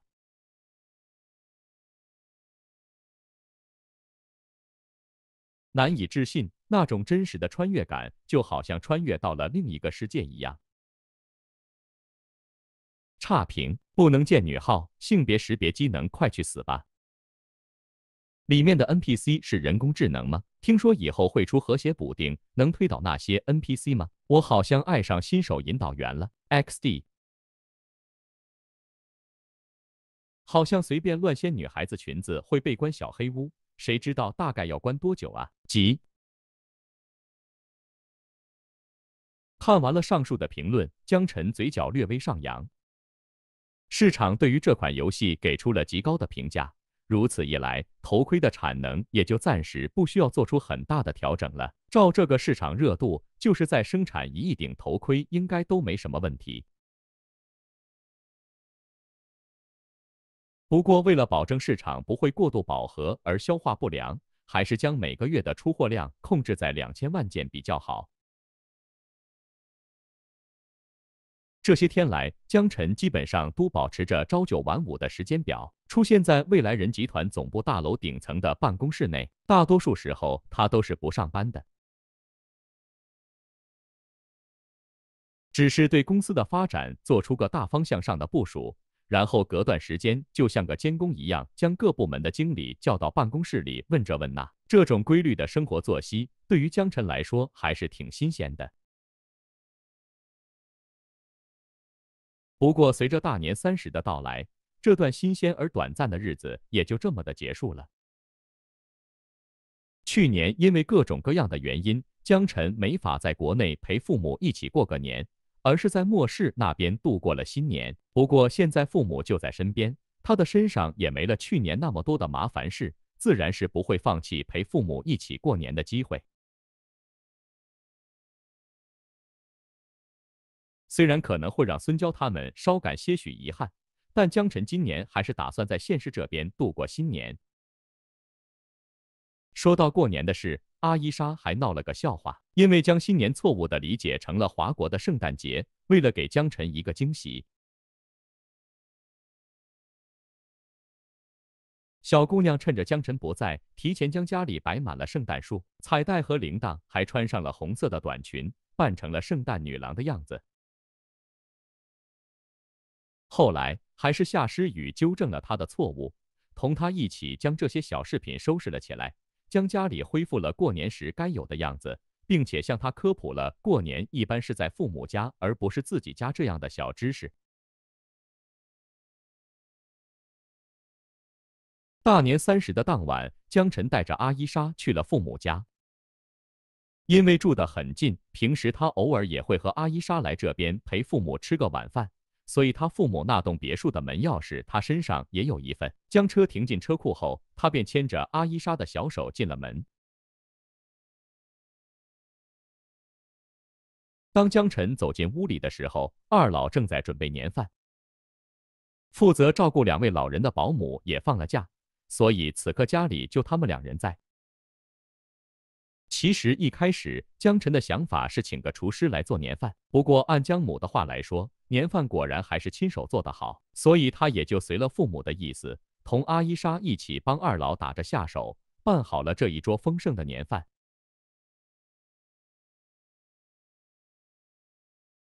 在新国这边生活什么都好，就是亲戚朋友都少了些，没有爆竹声，永远不会下雪。至于往年少不了的春晚，这边还是有的，在新国也能收看到华国的电视台。只不过这届和去年一样，歌功颂德的春晚依旧是槽点满满。然而谁也没有在意春晚的内容，毕竟在这个时刻，重要的不是春晚在播什么，而是和谁在一起看。当年饭进行到了后半段的时候，门口响起了敲门声。江晨拉开门后，意外的看见夏诗雨正双手提着一包贺礼。略显拘谨的站在门口，与江晨的视线对上，他立刻有些微妙的移开了视线，脸颊上那抹浅浅的红云，也不知道是淡妆的腮红，还是庆祝新年的喜悦。是是妈叫我来的拜年。站在门口，他小声说道：“是老夏家的闺女啊，哈哈，客气什么，快进来吧。”江晨还没来得及开口。他老爸的大嗓门便响了起来。难得在这异国他乡碰上老乡，自打夏诗雨他们家刚一搬过来，两家人便格外的亲近，经常互相串门儿。夏家的老头和江建国更是一对钓友，天气好的时候，两人经常乘着游艇一起出海。也正是因此，江晨一家的饭桌上每天都少不了那熟悉的海鲜味儿。偶尔，江晨也会带两条鱼去莫氏那边和孙娇他们一起尝尝海味儿。江母很热情地将夏诗雨拉进了饭桌上，并频频向他的碗里夹菜。虽然他一再表示自己吃过了，但架不住江母的热情，还是吃了几口。对于老爸那暧昧的眼神，江晨苦笑着，装作没有看见。上次年会上的那个吻，似乎给夏诗雨造成了很大的冲击，以至于这些天来，他对她的态度一直都有些微妙。虽然谈不上躲着她，但总是让江晨感觉他有些不知道该如何面对自己。不过，在这新年的氛围中，那抹青涩的尴尬似乎很快便消散在了喜庆的氛围中。年饭一直磨磨蹭蹭的吃到了十二点。喝了点小酒的江建国早已经躺在沙发边上呼呼大睡了。乘着夏诗雨去洗手间的空档，江母偷偷将江晨拉到了一边，看着儿子的目光带上了些许审问的意味儿。我怎么感觉你和那个夏诗雨之间不对劲啊？要不你和我支个准儿，到底谁才是咱家未来的儿媳妇？你在外面赚多少钱，妈不管，你啥时候让我抱上孙子啊？面对母亲的逼问，江晨支支吾吾了半天，不知道该如何回答这个复杂的问题。最后还是善解人意的阿依莎替他解了围。对于他来说，这个问题是真的不好回答。且不说现实这边的不确定因素，末世那边还有几个呢？但有一点可以肯定的是，如果妈真想抱孙子的话，指不定得抱到手软。第五百九十二章病毒疫苗。在新年的这几天里，江晨过得非常悠闲。虽然一直以来他也没怎么真正意义上的忙过。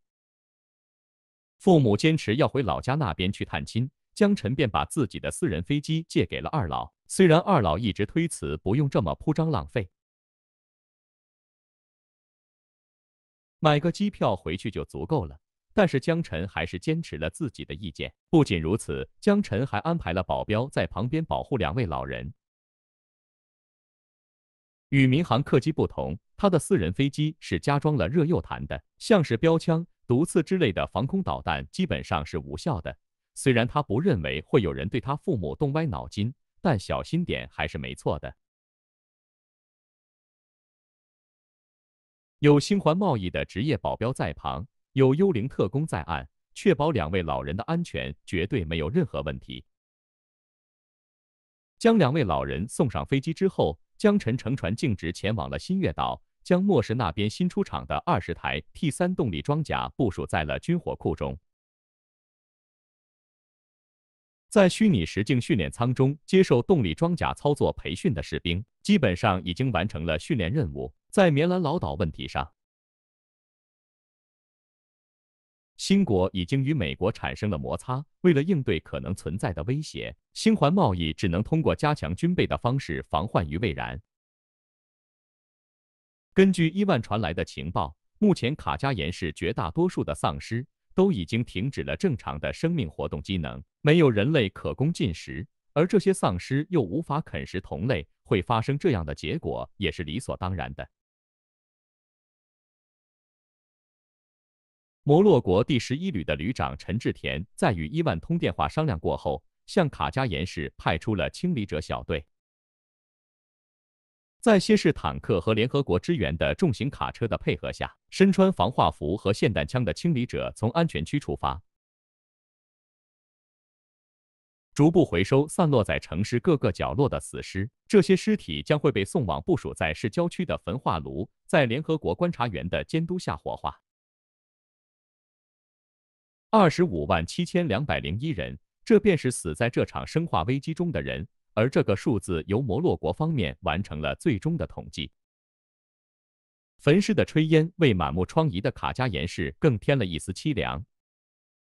有人将这凄凉的一幕定格在了画上，生命的脆弱在那一缕青烟中被勾勒得淋漓尽致，而生者的背影更是衬托了此情此景的凄凉。这幅画最终被摆在国际画展上展出，令观者无不驻足默然。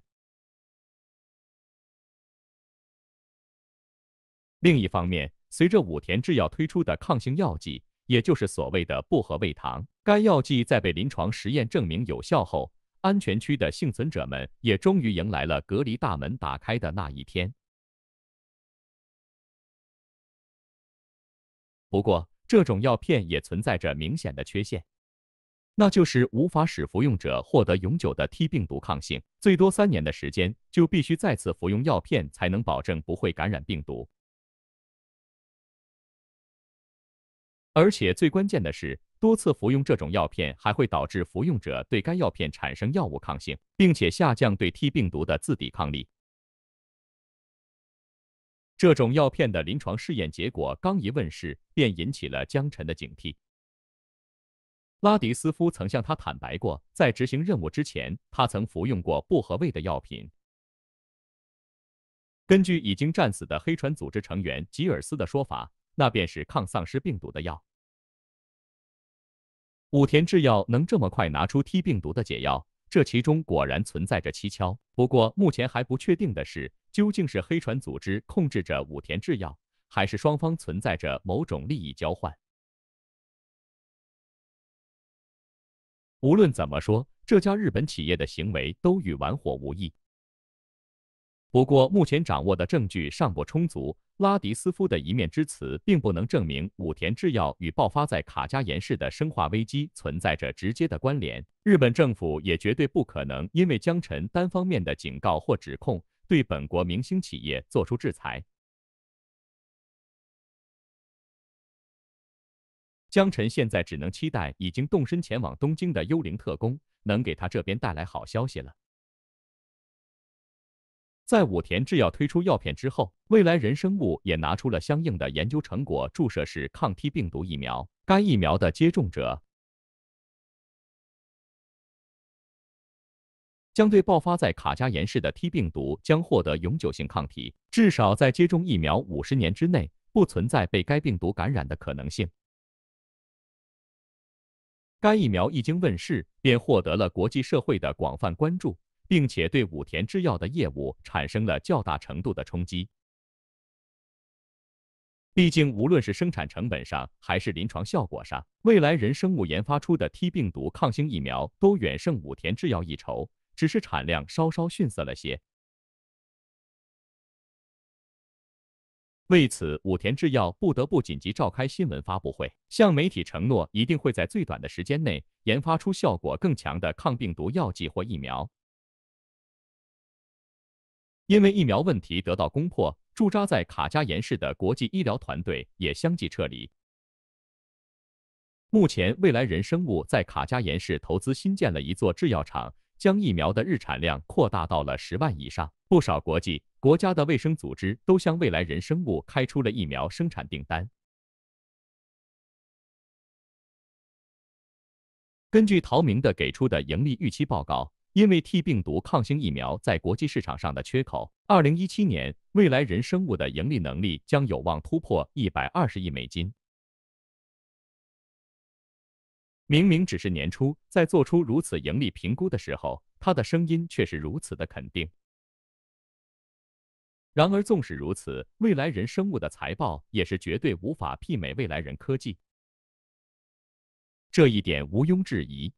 截止二月初。神级大陆已经走上正轨，媒体的反响也可谓是广复赞誉。根据未来人科技新任 CEO 宁华健的报告来看，目前神级大陆已经在全球拥有1.1亿活跃用户。坐拥如此庞大的用户群，即便游戏本身免费，也无需为盈利的事发愁。未来人科技在新纪元手游中积累了大量的运营经验，而这些经验其中有不少值得借鉴的地方。也被项目组运用到神级大陆这款虚拟实境网游中，比如拍卖行系统、时装系统等等，在不影响游戏性的情况下，最大程度的拓展了盈利渠道。不过，随着全球开服的开始，还是有不少内测时没有注意到的小问题，也被运营部逐一发现，在莫氏那边技术员的努力下得到了完善。比如，有的人因为太过沉迷，一整天都泡在虚拟世界中，完全忘记了现实世界的白天和黑夜。虽说幻影头盔不会对用户的身体造成损害。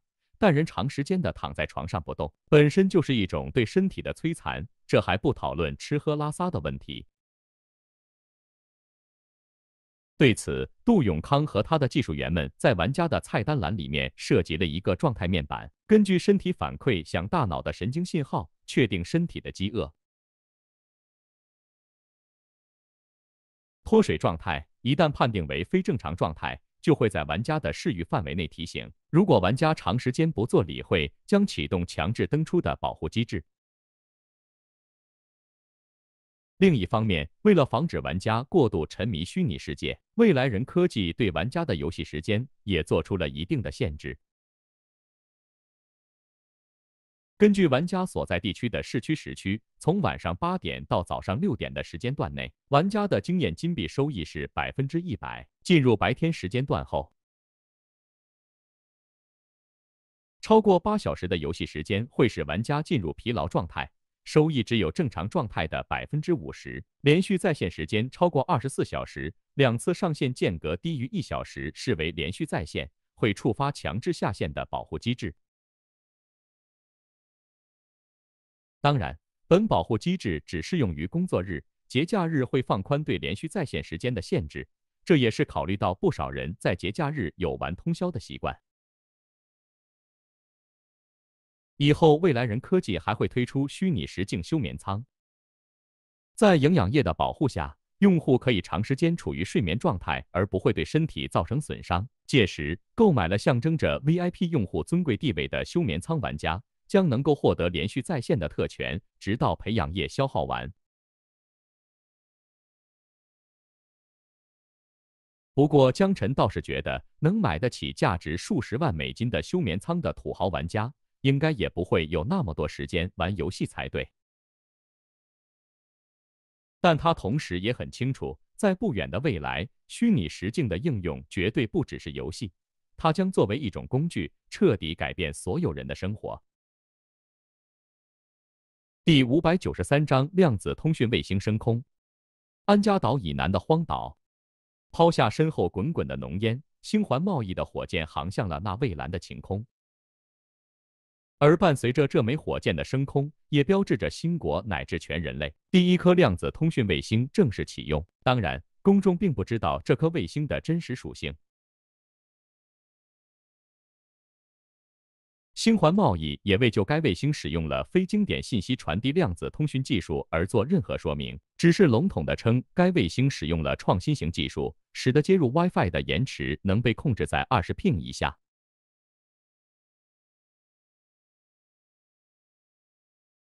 该卫星将为新国全境提供免费的 WiFi 服务，作为公民社会福利的一部分，在提高新国民众对星环贸易队的评价的同时。也大幅度提高了帕努群岛的旅游评级。另外，由于卫星的覆盖范围较广，且服务接口存在较大的闲置，目前星环贸易的航天科技中心正在与澳大利亚最大的电信运营商 Telstra 洽谈合作事宜，向澳大利亚的东部地区提供有偿的 WiFi 服务。真是没想到，我现在又站在这个鬼地方看你们玩火箭。联合国国际航空组织的观察员亨利此刻正戴着墨镜站在火箭发射场外，百无聊赖地看着那空荡荡的发射架。明明是二月份，但科罗岛的空气中已经带上了夏至的味道。而这份炎热，在这座靠近赤道的岛屿上显得尤为明显。见周围没有媒体，亨利把西服脱了下来，勾在了胳膊上。一年二十四次发射计划，你要是嫌钱多的话，不妨捐点给红十字。我本人当然也在做慈善，至于红十字，我的闲钱还没多到那种程度。江晨揶揄道。红十字会在华国名声不好，在国际上也不是什么秘密了。任何舶来品，无论是先进的商品还是思想理念，在本土化的进程上，多少都会出现一些或好或坏的变异。所以，对于江晨的揶揄，每月都会拿出一部分工资做好事的新教徒亨利，只是哼了个鼻音，没有在这个问题上多说。每次登上这座小岛，我都有种被文明社会给流放了的错觉。望着火箭升空，望着烟柱消散，亨利喃喃自语着说道：“你应该觉得幸运，因为这里是人类的起点，未来的宇宙中心。就这里。”亨利指了指脚下光秃秃的沙石粒，讽刺道：“除非人类的未来就是在海滩上晒咸鱼。”对于亨利心中的怨气，江晨倒是可以理解。毕竟，如果不是因为新国一整年的发射计划，他也不会被从繁华的华盛顿调到这里常住，每个月两次的对着那根烟柱发呆。不过，晒咸鱼这种说法，莫名的戳中了江晨的笑点。于是，江晨拍着他的肩膀，哈哈大笑道：“那你就当在西太平洋的夏威夷度假好了。”虽然这个假期可能会有点长，天天都享受着五星级酒店的款待，换做我是你，肯定不会抱怨这么多。亨利瞟了江晨一眼，转身向港口的方向走掉了。已经确认今天的发射计划与洲际导弹无关，他这个月的工作已经结束了一半，自然没有再待在这座岛上的必要。他现在只想赶快回到下榻的酒店。换身干净的衣服，再去酒吧喝两杯冰镇的啤酒。联合国给他开出的出差预算只够他住快捷，不过新环贸易这边确实没有亏待他，不但让他将的住宿安排在了未来人集团总部大楼，还包了他的三餐，甚至还给他开出了每个月五万美金的公交补贴。五万美元都够买辆不错的车了。对于江晨的笼络，亨利一开始还有些推辞，但后来也就坦然接受了。毕竟每个月都要写两份报告，对于他来说还是很累人的。至于星环贸易发生的那些卫星，他也就睁一只眼闭一只眼了，省去了关键部件检查的程序，直接在表格上填了常规型商业用途通讯卫星这种笼统的项目。反正，在他看来，就那么大点的方块，也不可能携带什么危险的战斗部件。而那火箭的构造也确实与洲际导弹无关。原本只是菲律宾对新国的发射计划颇有微词，自从棉兰老岛导弹危机之后，美国及其盟友也开始拿新国的火箭发射计划说三道四了。和平协议生效后的第一件事。美国就通过联合国向新国方面施压，要求星环贸易公布洲际导弹数量，并上报所有海底导弹井的数量。对此，江晨当然不会同意，并且提出对应条件：除非美国公布自己国内全部洲际导弹部署坐标，否则星环贸易方面也绝对不会公开关于海底导弹井任何情报。开玩笑，你当小爷我傻吗？什么都告诉你了，这游戏还怎么玩？后来，美国又提出新的交涉请求，要求新国方面提供有力证据，证明自己没有持有大规模杀伤性武器，比如 T 病毒的病原体。这个很难证明，除非让联合国的观察员把每颗弹头都拆开检查一遍。对此，新国的回应也很直接：病毒疫苗正是新国企业未来人生物研发。作为对抗 T 病毒的主要贡献者，新国拒绝美方不合逻辑的指控。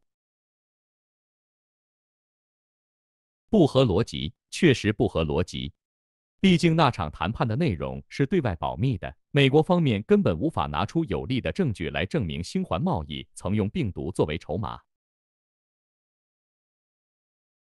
并且在谈判桌上威胁过他。可话又说回来了，即使是有证据，美国方面也绝对不会承认自在某种程度上选择了妥协，并出卖了菲律宾的利益。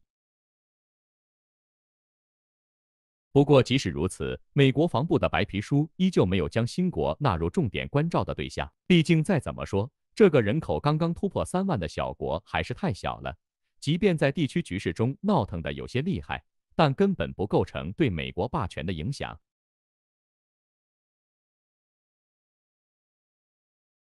美国真正担心的还是新国向华国靠拢。如果真的发生这样的事，他们苦心孤诣在南海建立的岛链就不复存在了。不过就目前来看，新国的似乎没有这方面的打算。虽然航天活动异常频繁，但其并没有隐瞒发射程序的举措，这一点也让美国防部放心了不少。不过放心归放心，对于拥有洲际导弹发射技术的新国。白宫方面还是保持了最基本的警惕。CIA 在科罗岛的活动频率明显有所上升，为了搜寻那根本不存在的大规模杀伤性武器，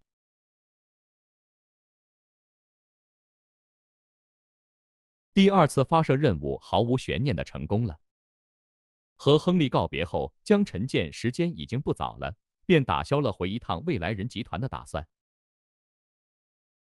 坐在回家的车上。阿伊莎向江晨汇报起安全局的工作情况。本月赴科罗岛旅游的美籍旅客中，已经确认两人为 CIA 探员，或至少受 CIA 雇佣。确认有间谍行为吗？暂时没有。阿伊莎摇了摇头。那就暂时盯着。比起 CIA 的人，其实我更关心东京那边的情况。对武田制药的调查有结果了吗？暂时还没有。阿伊莎有些遗憾地低下了头。在工作人员名单中，我们并没有发现田中义郁这个名字。是吗？看来他们的保密工作做得不错。望着车窗外飞逝的街景，江辰随口说道：“这只能说明两种可能，一种那就是武田制药与黑船组织无关，然而这时绝对不可能的；另一种情况则就有些危险了。”那就是武田制药与黑船组织的合作，有日本政府的参与。毕竟就保密措施而言，一个私人企业不计成本的做到了如此程度，实在是有些违和了。我会增派人手。不用。江晨摇了摇头，顿了顿，接着说道：“如果我没猜错的话，他们很快就会有新动作。”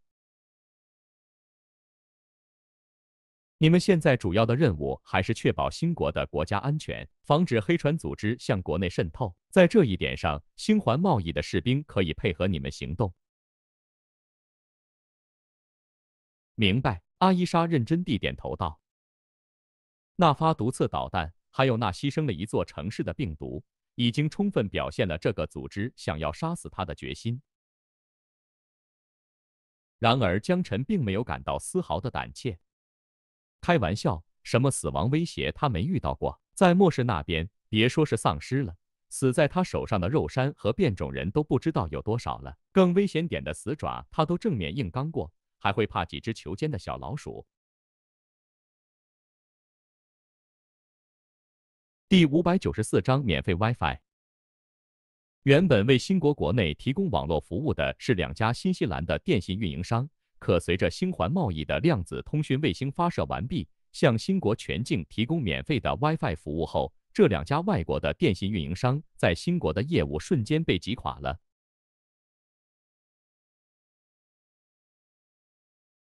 有免费的东西用，谁还会去用付费的？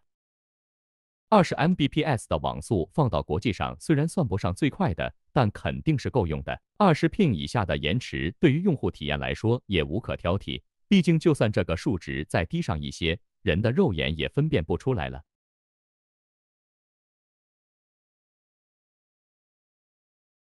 一颗量子通讯卫星的使用年限大概是五到十年，成本大概在一到二亿美金之间。星环贸易预计将向同步轨道发射共计三十六枚，算上火箭的发射成本，星环贸易平均每年在航天活动的预算将达到十五亿美金。因为末世那边资源稀缺，江晨也不希望将蒋林的时间浪费在生产这玩意儿上，所以便将量子通讯卫星的生产线整个转移到了现实。考虑到量子通讯技术必须严加保密。所以这条生产线也成了目前未来人集团中自动化最高的生产线，百分之八十五的生产程序都由无人机完成。这种设计虽然导致了生产线的成本翻倍，但却在一定程度上削减了生产卫星的人工成本。从长远的角度来看，这些投入还是值得的。但无论怎么说，涉及到太空的项目依旧非常的烧钱。或许等以后太空电梯建成了，情况才会好上一些。对于外国电信运营商撤出，江晨本着不能浪费的原则，以二点一亿美金的地板价收购了新西兰电信在新国的分公司，并接手了其全部接口设备和人才。业务重组后并入新环贸易网络项目部，为新国的互联网接口提供技术服务。因为数量问题，目前量子通讯卫星的功能还只是相当于一个大型路由器。虽然这台路由器因为其特殊性，可以通过量子纠缠效应观察上万公里外的弱电磁波信号，从而实现卫星与常规手机的互联网数据交换，但归根结底，这台路由器还是要与地面信号基站连接的。比如，新国的用户想要访问美国的网站，虽然通过卫星上的网，但数据还是得依托地面基站走一趟海底电缆。量子通讯卫星的革新之处在于，将传统的用户光纤或 WiFi 加光纤服务器数据传输模式。革新为用户卫星服务器模式，而其能够接受用户端上传数据的功能，则可视作是谷歌全球 WiFi 计划的升级版。等什么时候星环贸易的三十六枚卫星全部升空，WiFi 信号覆盖了整个地球，到了那时，才是海底电缆开始从历史舞台退场的时刻。抛开一切技术面不谈，或许星环贸易提供的廉价气象观测服务还没让新国的民众感受任何实惠。但免费 WiFi 计划一经推出，便获得了如潮的好评。无论你是在家里还是在海上打鱼，只要你还在新国境内，都能连接上 WiFi 信号。一开始，星环贸易宣布通过卫星向新国全境提供免费 WiFi 时，国外那些专家是不屑一顾的。然而，当他们发现星环贸易真做到了的时候，这些专家教授则是全都傻了眼。各大学和科研机构几乎打爆了星环贸易的电话。而对于外界的询问，星环贸易给出的答复则是非常官方：一。通讯并未超光速。二、具体信号传播途径涉及企业机密，不予以任何回应。不过说来也好笑，这项划时代的技术，首先吓坏的不是那些专家教授，而是数千公里外的某电信、联通、移不动。虽说卫星必须依托地面接口才能为用户提供 WiFi 服务，可这接口的位置不一定得在国内，放到地球上任何一个角落都行。也就是说，星环贸易只需要在新国保持一个较大的互联网接口，就能通过量子通讯卫星对任何被信号笼罩区域的用户提供 WiFi。而这些用户是通过新国的接口接入互联网，跟所处国家根本没有任何关系。对于某些人来说，这简直是个噩耗。免费 WiFi，全境覆盖，这简直是抢钱。CTV 等多家媒体连夜发声，质疑星环贸易的免费 WiFi 计划或将违反澳洲、新几内亚等周边邻国的法律。就连柳家想帮忙都帮不上，电信行业牵扯到太多的利益链条，就算是柳家也不可能独自面对这些反对声音。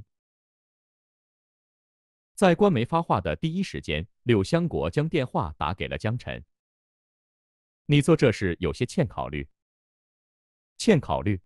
接到电话的时候，江晨还有些莫名其妙，他不记得自己最近有在华国展开任何业务的计划。难道是宁华健那小子犯了什么事？当听完柳相国的话，他发现完全不是那么回事，于是哭笑不得的解释道：“免费 WiFi 只会在新国推行，是作为新环贸易对新国国民的福利。”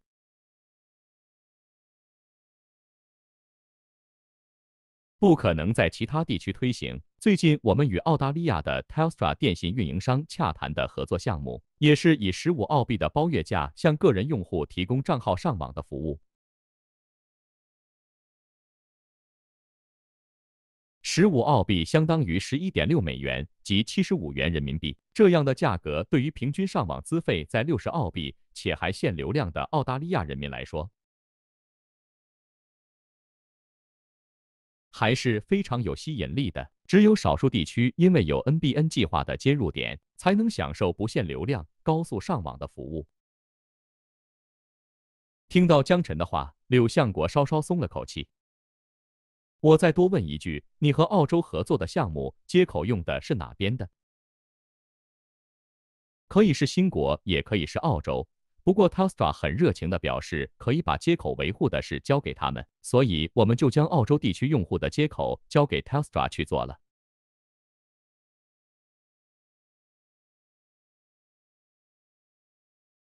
毕竟维护网络接口也是一笔不小的开支。靠在了办公椅上，江晨习惯性的右手转着笔，左手握着手机，向柳叔解释道：“说起来，他现在还是有些纳闷儿。”星环贸易从来没有在华国展开任何业务，唯一的两个海外业务，除了摩洛哥与菲律宾的内战之外，也就最近与澳洲的 Telstra 在 WiFi 业务上的合作了。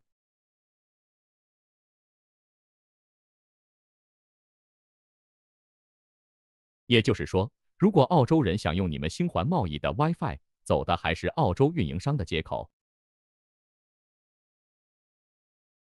说起来也挺好笑。柳相国和江晨都不怎么懂这些专业知识，两个人互相讨论这些问题，怎么看都有些不懂装懂的味道。理论上说，是的。江晨勉强点头道：“虽然他很想给这老头子补充一句，这并非必须，但他转念寻思了一下，还是打消了这个念头。”听到江晨肯定的说法，柳相国笑了笑。原来如此，那我就放心了。不过你这 WiFi 在国外搞一搞也就行了，你懂我的意思。你不想免费上网吗？江晨表情古怪的问道。你认为柳家缺那点网费吗？柳相国哈哈笑道。江晨愣了愣，了然了这老爷子的所指，随即也跟着笑了起来。说的也是。与柳叔寒暄了一会儿，他便挂断了电话。有未来人集团每年十几个亿的养着，柳家确实不需要为家族的账目操太多心。只要未来人集团不做出什么太过出格的事，以他柳家的能量，还是能挡得下来的。所以这笔钱他们还能拿很久很久。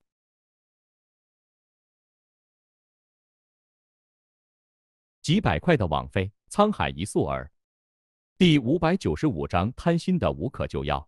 挂了柳相国的电话，江晨见差不多也到午饭时间了，于是便将手边的事放在了一边，推开门向电梯的方向走去。未来人大厦地上部分一共一百一十层，其中有五层是餐饮空间，中餐西餐一应俱全，由国未来人集团出资，即知名餐饮企业承包，为整个大厦内六千余名员工提供餐饮服务。未来人集团很有钱，不只是体现在董事长的账户上，同时也体现在每一名员工的工作生活以及账户中。江晨从来不会亏待自己的员工，每年未来人集团的奖金都丰厚到令人发指的地步。低廉的科研成本和无与伦比的市场竞争力，为未来人集团带来了广阔的盈利空间。对于公司的员工，江晨所要求的仅仅是他们拥有接受新知识的领悟力，以及最关键的归属感与忠诚。江晨的办公室位于上层办公空间，也就是整栋大厦的最顶层。若是在公司内用餐，他通常都会去位于一百层的餐厅，一边俯瞰着这座因他而改变的小岛，一边用餐。他总觉得胃口会特别好。八成熟的澳洲炭烤牛排，一份意面，土豆泥加荷包蛋，还有一碗香浓的鸡茸蘑菇汤。靠左侧窗边的位置是他的特等席，因为江晨总是坐在这个位置，公司内的员工都很默契地为董事长留了出来。尊敬会产生距离感。虽然江晨的表现足够亲民，甚至可以说是毫无官僚做派的架子，但员工们依旧习惯性的在工作和生活间留出了这样的距离。这一点就体现在每一位见到江晨的员工都会热情的打招呼，在休息时间也很乐意和江晨聊上两句，但吃饭的时候一般都不会有人坐在他的对面。如果餐厅内不是很挤，甚至不会有人坐在他的附近。一方面是怕冒昧的打扰了他，另一方面则是不确定他是否需要。当然。也可能是因为恐高，毕竟这是一百层楼的窗边。江晨将这种现象戏称为“王霸之气”，不过他本人并不在意，毕竟他是个喜欢清静的人。今天的牛排不错，阿伊莎不在，真是可惜了。切下一块牛排放进嘴里嚼了下，江晨满意的点了点头。阿伊莎对于牛肉情有独钟。不过今天她在新月岛那边处理幽灵特工的相关事务，所以没有出现在未来人大厦内。就在江晨一边百看不厌的欣赏着窗外景色，一边向嘴里送着美味时，高跟鞋的声音在他的耳边渐渐靠近。很快，那人便端着餐盘坐到了他的对面。看到那张亮丽而清冷的面孔，江晨的叉子在嘴边停顿了两秒。但很快便恢复了常态，冲他笑了笑。今天在这吃，我一直都在这吃，好吗？将餐盘再摆到了桌上，夏诗雨很随意的说道：“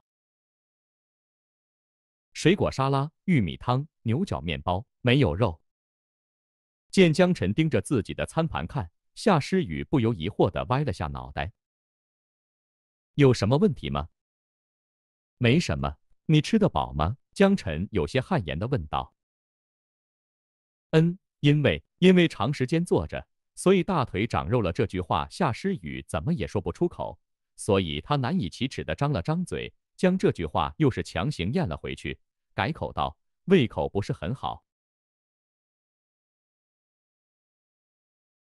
多注意身体，别感冒了哦。”一边咀嚼着，江晨一边叮嘱道：“都瘦成这样了。”还不多吃点，真是让人担心。刮台风的时候会不会被吹走？并不知道江晨此刻的所想，一口咬碎了小西红柿。夏诗雨小声应道：“嗯。”自从上次年会上的那个吻后，两人很久都没有这么一起边吃边聊了。不过前段时间的那次年饭，虽然什么都没做，但却是很神奇的拉近了两人之间对的距离。深入接触之后，就会发现脸上总是冷冰冰的夏诗雨，意外的是个很好相处的人。有时候江晨也觉得，就保持现在的关系也挺不错的。无论是工作上还是生活上，两人都能无话不谈的商量。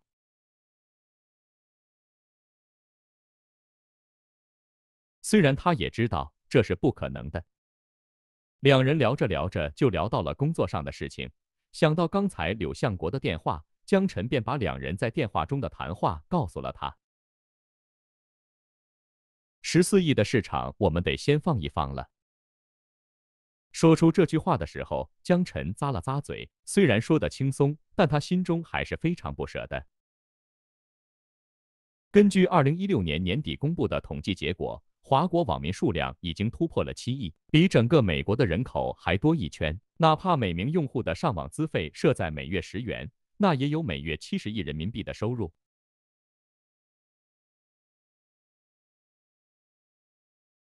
每年少说也有一百二十九亿美元的收入。假设为七亿用户提供 WiFi 服务需要七台大型量子通讯卫星，每年的维护成本大概在七亿，扣除税等其他一切成本开支，净收入突破五十亿美元，绰绰有余。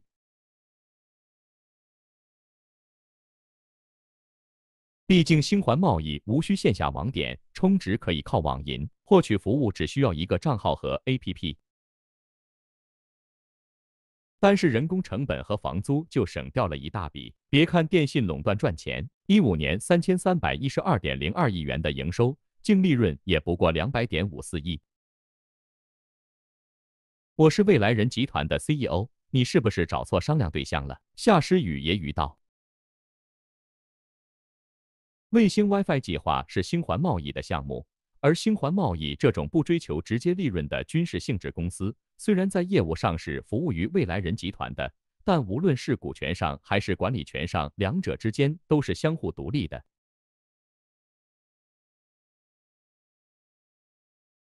有什么关系？反正卫星 WiFi 计划的软件维护服务是由未来人科技提供的，而且我想听听你的意见。”江晨说道。国内势力错综复杂，我的建议是保持谨慎，尽量少去触碰那些利益链条。夏诗雨沉吟了片刻，谨慎的提议道：“以避免对我们集团的其他业务造成影响。”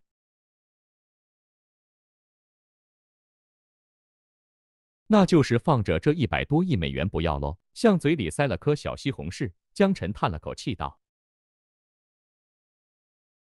当然不是。”夏诗雨的红唇勾勒了一抹自信的弧度。如果星环贸易的 WiFi 覆盖了全球，彻底架空了海底电缆提供的互联网服务，他们还能拒绝你吗？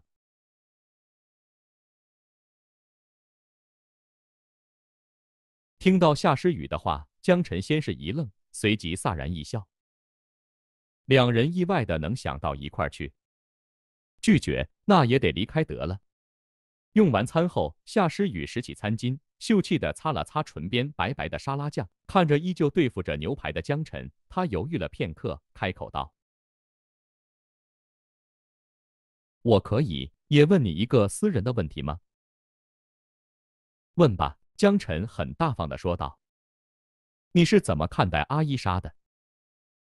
江晨的叉子停住了，有些后悔刚才答应的这么爽快了。这是工作上的问题吗？现在是午休时间。闭上眼睛，江晨思索了片刻后，轻声说出了夏诗雨绝对不会愿意听到对的话。重要的人，眼中闪过一抹黯然。夏诗雨微微低垂了视线。那你怎么看我？看着他的脸，江晨认真的说道：“重要的人。”那黑色的瞳孔中，惊喜与羞怒两种截然不同的色彩交错而过。不知道该如何面对这样的回答，夏诗雨轻咬着下唇，起身，默默地端起了已经吃完了的盘子。在路过江晨旁边时，他狠狠地踩了他一脚。不理会江晨演技浮夸的惨叫声，他快步走掉了。用餐巾纸擦了擦皮鞋上的灰渍，江晨表情古怪地望着那窈窕的背影，最终叹了口气。有时候他自己都觉得自己简直是贪心的无可救药。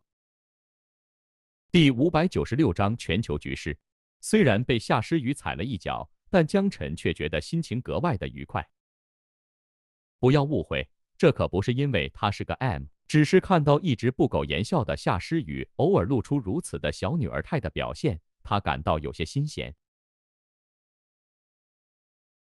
回到了办公室，江晨心情大好的从秘书手中接过了整理好的文件，开始了今天下午的工作。未来人集团的产业已经逐步拓展到了全球。身为对公司发展做出大方向规划的董事长，读书看报关注全球局势也是江晨的必修课之一。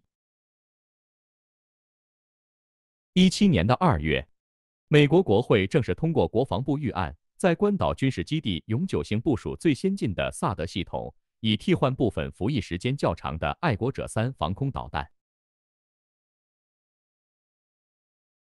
较于名号响亮的爱国者反导拦截系统，萨德的性能更加全面，特别是萨德的拦截高度达到了四十到一百五十千米，即大气层的高层和外大气层的底层，这已经覆盖了射程三千五百千米以内弹道导弹的飞行中段及洲际弹道导弹的飞行末段，从而实现大气层外导弹拦截。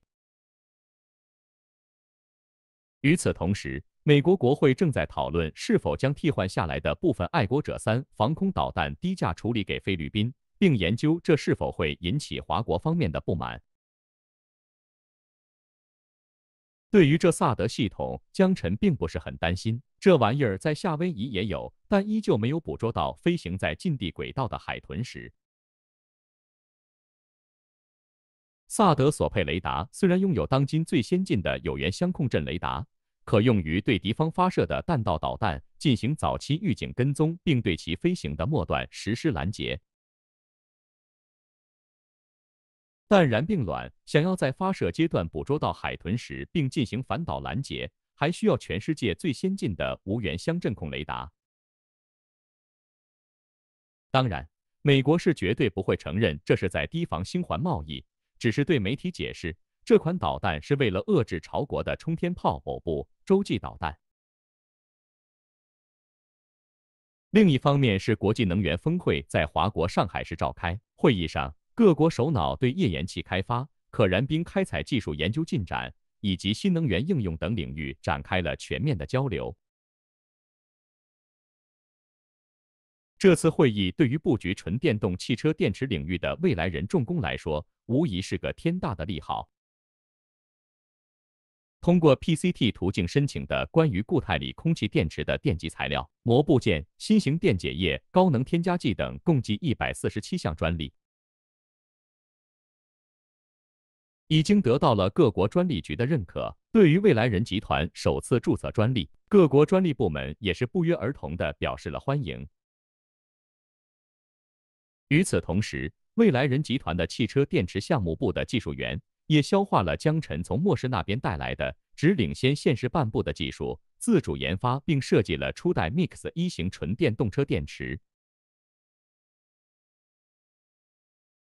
而这款 Mix 系列的尺寸，也将在未来的十数年内作为所有先进纯电动汽车的标准而存在。目前，Mix 一型电池已经在新几内亚建厂生产，而获得了江辰投资的卢尔卡汽车公司也拿到了第一批电池的订单，并推出了新款纯电动汽车，率先登陆了法国汽车市场。在获得了法国新能源项目基金补贴的同时，以六万欧元的价格赢得了中低档消费者的青睐。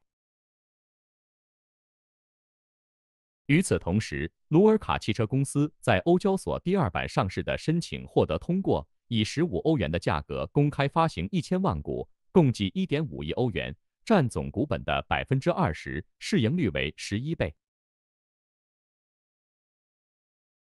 由此，卢尔卡汽车公司第一大股东江晨的持股比例也由百分之八十变更为百分之六十四。在上市当日，卢尔卡公司的股价便由十五欧元最高涨至十八点三欧元，最终稳定在十七欧元附近。江晨在慕尼黑车展上以一亿美元融资收购的卢尔卡汽车公司股份，因为上市变成了七点六亿美元。不过这只是个开始，等卢尔卡汽车走法国，走向欧洲乃至世界，这家汽车公司市值突破百亿是迟早的事。毕竟，纯电动汽车才是未来。燃油汽车就像蒸汽机车一样，注定走进博物馆，在历史的车轮面前，这点毋庸置疑。最后是来自欧洲方面的消息。从一六年初的巴黎剧院，再到比利时车站，再到年末的德国慕尼黑，恐怖主义之火在彻底点燃欧洲民众恐慌的同时，也点燃了不可遏制的民族主义之火。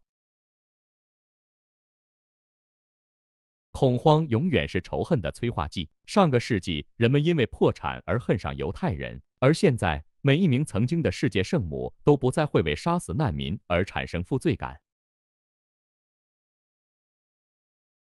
首先是德国更激进的新选择党上台，党首克里特佩特里担任新首相，宣布德国不再是全世界的难民营。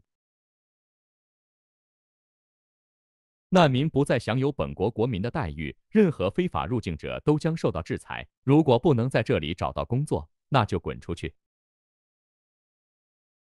对于恐怖分子，恢复死刑，全国反恐部队扩军，一切反恐行动直接击毙。克里特的疯狂举措引来了人权组织和圣母的非议，但却获得了绝大多数德国人，尤其是慕尼黑人的支持。接着是法国，那里是罗斯柴尔德家族的大本营。再然后是比利时，紧接着英国也顺势响应。虽然不似新选择党那般激进，但却也不遑多让。这是否解决了问题？可能没有，甚至可能将问题变得更糟糕。但讽刺的是，困扰欧洲已久的难民问题和欧盟分家危机却是得到了完美的解决。同理念的政府之间永远能做到最大程度的理解。曾经在欧盟这张桌子上，十数张嘴为了一个问题争吵不休，闹得快要分家。现在虽然依旧是十数张嘴，但坐着的人却摆着相差无几的脸。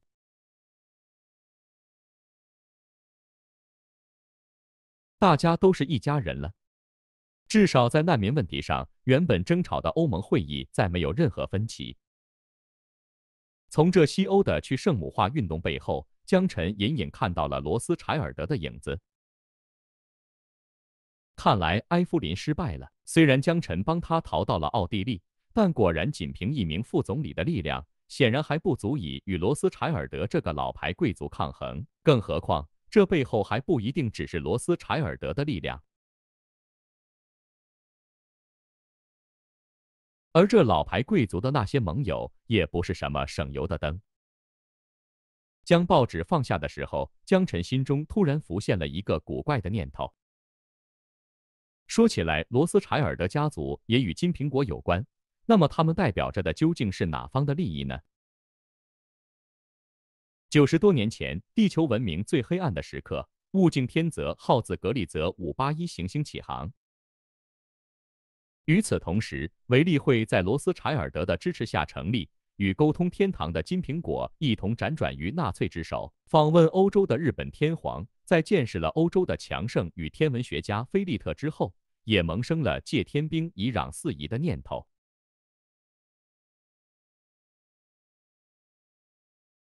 所有的一切都与二十点五光年之外纠缠。就如一只蜘蛛结出了一张看不见的蛛网，迷蒙住了历史的一角。江晨有种说不出的预感，他距离真相已经很近了，甚至已经站在了真相的门口。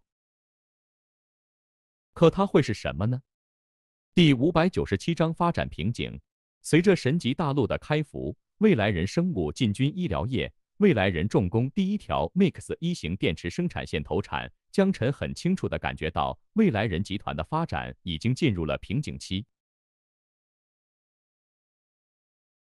任何企业在向大集团演变的时候，或多或少都会面临类似的局面，而原因可能来自很多方面，比如反垄断调查，比如因对现状的自满而忽视技术更新，最终失去市场竞争力。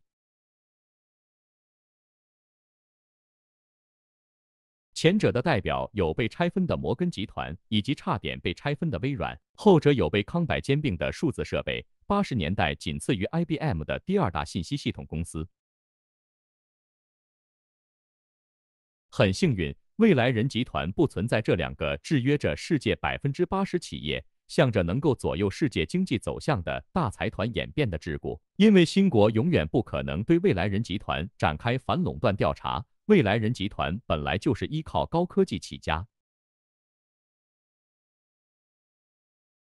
但这瓶颈依旧存在。而导致瓶颈出现的最关键的因素便是人手不够用了。一直以来，未来人集团的人才来源都输依靠国际猎头市场以及各地区分公司的招聘，但这些来自国际猎头市场的人才流动性都非常高，且安全性也很难确定，少数能确认底细的才能委以重任。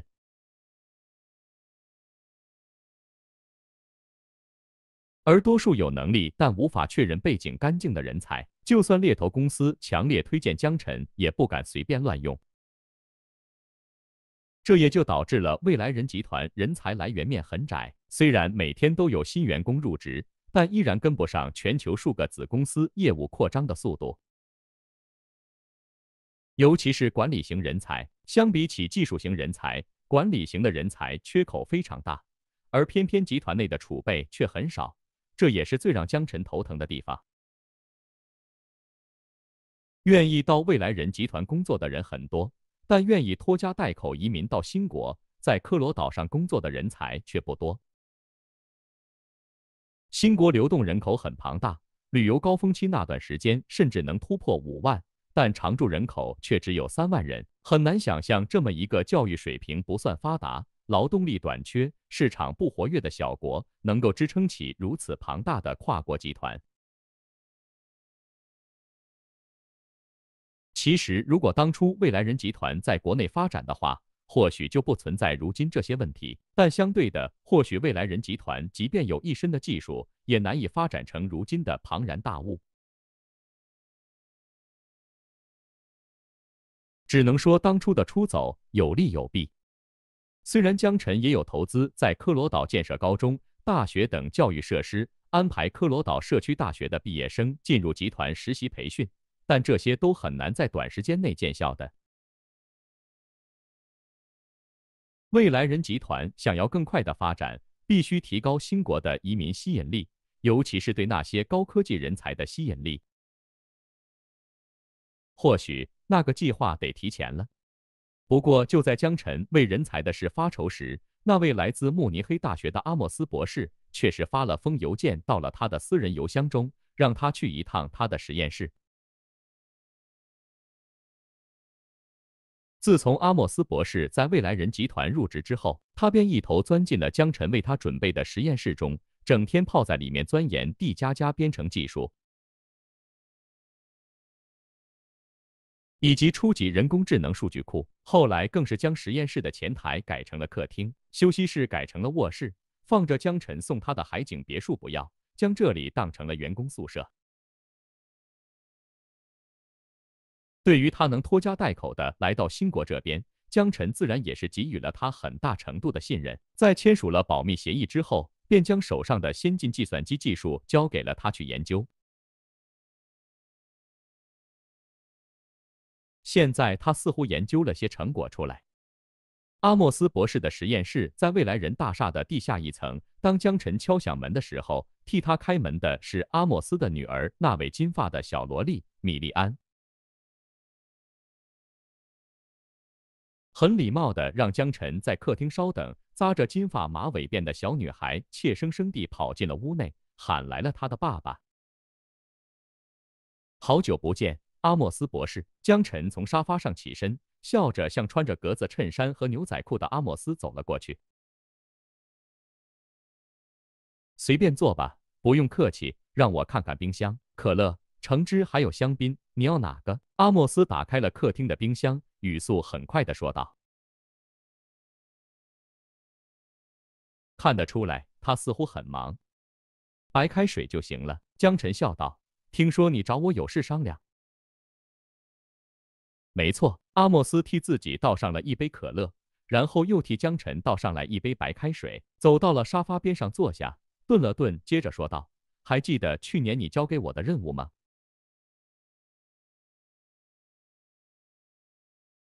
那个编程语言我已经基本掌握了，简直是太不可思议了！发明这种编程语言的人简直是天才。还有那个初级人工智能数据库，可以让我见见他们的设计者吗？”听到阿莫斯的话，江晨不由做了个无奈的表情。怎么每个人的反应都差不多？生物学博士詹书杰也好，告航天的克尔温那家伙也好，这些各领域专家在见到他拿出的新技术时，第一句话基本都是想见见设计者。抱歉，因为各种各样的原因，暂时无法为你引荐这两项技术的设计者。不过最慢也就几年的时间，你或许有机会见到他们。对于江晨的解释，阿莫斯倒是表现得非常理解，没像詹书杰和克尔温反应的那样强烈。保密协议吗？我理解，毕竟这两项技术的商业价值巨大，尤其是人工智能，不不只是商业价值，如果运用在军事领域，已经在运用了哦。打断了阿莫斯的话，江晨笑着说道：“不过还希望你能够对外保密。”尴尬的看着江晨，但阿莫斯还是说完了心中的担忧。那将是一场对全人类的灾难。你的观点和霍金很类似，而我也很认同你的观点。江晨向后靠在了沙发上，端起水杯抿了口，润了润嗓子，接着说道：“但需要补充的是，不加以约束的人工智能才会成为人类的灾难。不说这些了。”你找我来的目的肯定不是为了和我谈论技术安全的吧？阿莫斯点了点头。当然，您知道的，我是信息技术和机械工程的双学位博士，主要的研究领域在机器人和人工智能这两块。说着，这位博士对着怯生生地靠在客厅门边上，偷偷看着客厅内的米莉安，招了招手。小萝莉很乖巧的明白了爸爸的意思，甩过松鼠尾巴似的金色马尾辫，消失在了门口。不一会儿，他便端着爸爸的笔记本电脑走进了客厅。这是我设计的机器人以及配套的系统程序。将笔记本摆在茶几上，打开。阿莫斯习惯性的戴上了插在领口的防辐射眼镜时，握着鼠标点开了桌面上机器人图标的程序，然后将电脑转向了江晨这边。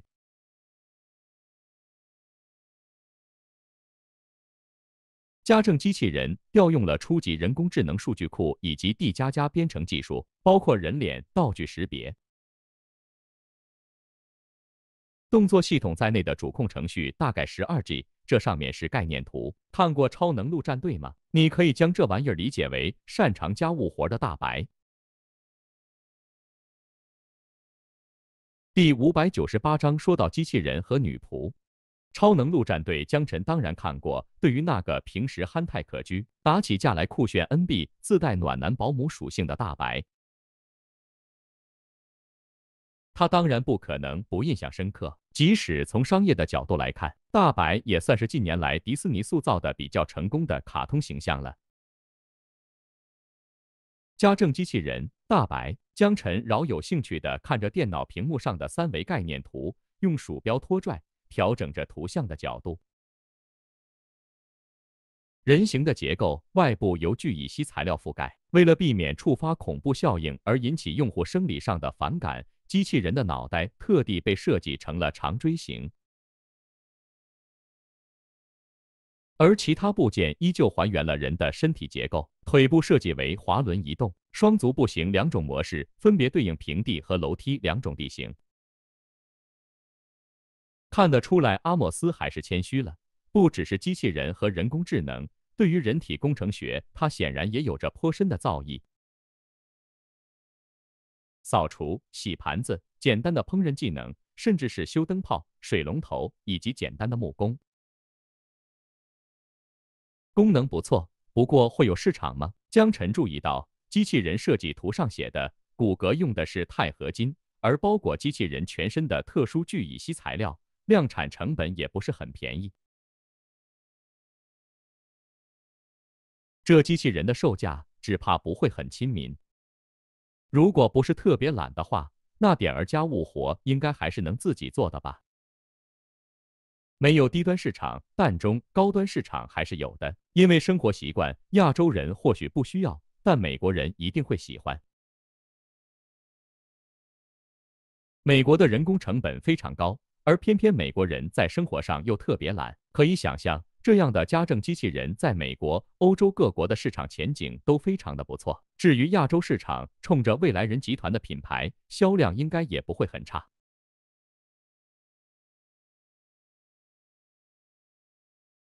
对这个停留在概念图阶段的机器人，江晨是越看越觉得满意。不只是对这个机器人，对阿莫斯本人，他也是非常的满意。严格意义上来讲，这将是现实自主研发的第一款近未来产品。这位来自慕尼黑的博士，果然没有辜负他的期望，不但以初学者的身份消化了来自末世的计算机技术，而且还设计出了这种有趣的玩意儿。这款产品我很满意，不过初级人工智能数据库和 D 加加编程语言。我知道这些都是企业机密。这台家政型机器人可以算作指未来人集团的财产。我唯一的要求就是在这款机器人的开发者中署上我的名字。阿莫斯立刻说道。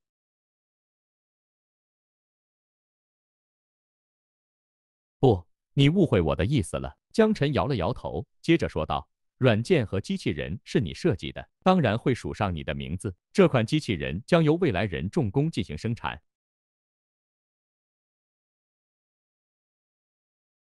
而生产线方面，我希望你能一并设计了。未来人集团将以数据库授权和两亿美金投资该项目，占该项目的八成股份。你觉得如何？阿莫斯愣住了，他实在没想到江晨会如此的大方。这款家政型机器人，他从很早以前就开始研究了，但因为技术上的瓶颈，一直以来他都无法将系统程序占用内存。控制在主控芯片能够负载的范围内，要么削减机器人功能，要么重新设计内存更大、CPU 性能更强的主控芯片。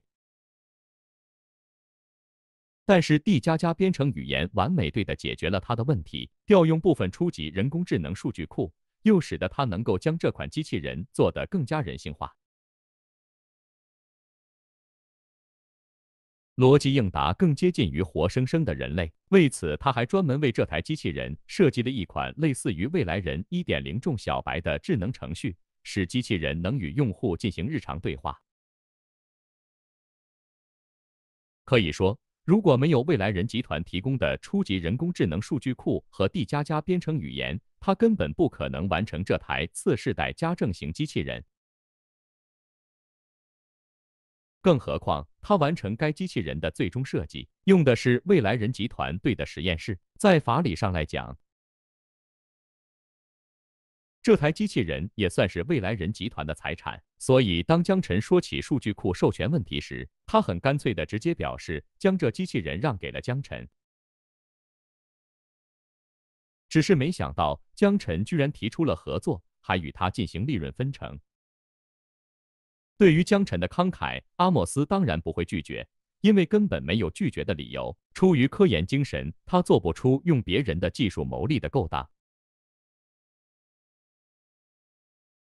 哪怕这项技术没有申请专利，只是未来人集团的企业机密，但这并不意味着他不喜欢钱这东西。当然，对江晨做出这样的举措，他还是非常感激的，毕竟这其中凝聚了他无数心血。要说他没有一点舍不得，那是绝对不可能的。未来人集团出资出技术授权，他还能占两成利润而不承担任何风险，这毫无疑问是慷慨到了极点。至于设计生产线，对于他这个天才来说，根本不算什么难事。关于这台家政型机器人生产合作细节，我希望你能参考几条意见。不过在此之前，可以请令愿回避下吗？江晨笑着看了眼站在客厅门口的小姑娘。阿莫斯点了点头，吩咐女儿将客厅的门关上，再次看向了江晨。是什么不方便让外人听到的事吗？你可以放心，我家米莉安很懂事。不方便让外人听到是没错，可与其说是因为这个，倒不如说是因为有些难以启齿。江晨压低了声音，身子前倾凑到了阿莫斯旁边，强压下心中的尴尬，开口说道：“说到人工智能、机器人、女仆这三个关键词，你就没想到成人玩具上吗？怎么可能会想到？”想不到才比较奇怪吧？结果两人差点吵起来。有统计数据表明，华国十五年整体成人用品市场需求超过五百亿，从零六年到一六年，行业复合增长率达到百分之三十，在所有冷门暴利行业中位列第一。至于全球市场规模有多庞大，暂时没有可靠数据可以估测。但无论从哪个角度来想，这都不会是个小数字。注意，这是在讨论市场规模。仅仅是家政型机器人还是太浪费了。明明有人工智能，明明聚乙烯材质能模仿人类皮肤触感，为什么不再在现有机器人的基础上，更进一步设计出满足单身汪们更多需求的产品？既会家务，又会煮饭，还会暖床，绝不任性。这样的女男朋友上哪找去？仅拥有家务能力的全年龄型家政机器人当然得有，但二幺八的高仿真家政机器人当然也不能少。只不过如此一来，阿莫斯的工作量得加大了。他虽然对人体工程学有研究。但对成人用品可是没半点造诣啊！而且面部表情模拟、引入初级人工智能数据库中关于性格以及情绪的条目、新姿势等等一系列新元素都需要设计进去。为了减轻他的工作负担，江晨提高了实验室的预算，并吩咐他组建个项目组，专门设这款还停留在概念阶段的高仿真机器人。另外，在离开实验室之前，江晨向他反复叮嘱了：芯片中的程序必须经过集团提供的封包软件进行加密处理。初级人工智能数据库是未来人集团领先世界的核心技术之一，哪怕不久后 D 加加编程语言会向现实开放，人工智能数据库也绝对不会放开的这么早，除非。未来人集团获得新的优势。处理完这些事后，江晨回了一趟末世，带着阿莫斯设计的软件找到了杜永康。这个程序的设计者计算机技术至少达到了 C 级。在对这程序测试了一会儿之后，杜永康捏着下巴勉强点头道：“如果在战前这家伙去你的公司应聘，你会雇佣吗？”江晨问道。捉摸不透元帅的意思，杜永康摸着下巴思索了片刻，谨慎着措辞说道：“能力考核只是应聘指标的一部分。我战前工作的游戏公司，更看重的是员工的创造力和工作热情。这种大学生毕业设计级别的作品，至少能证明他的大学没有白读。我的部门可能会要，但也可能不要。”闻言，江晨不由苦笑。这要是让原慕尼黑大学教授阿莫斯听到，自己费尽心思设计的程序，在杜永康看来只是大学生毕设的级别，不知道这位年轻的被称为天才的双学位博士会不会揪着他的脖子和他打一架？听说欧洲人无论是开会还是讨论学术问题，都有拳头交流的传统。可以把他弄到我们部门来吗？见江晨准备走了，杜永康立刻说道：“你不是说他的水平只有大学生毕设的水平吗？”江晨翻了个白眼问道：“就算是高中生也好，我们部门的人手真的不够了，至少有 C 级了，已经达标了。您可是答应过我们的，一有合适的人就调到我们部门。”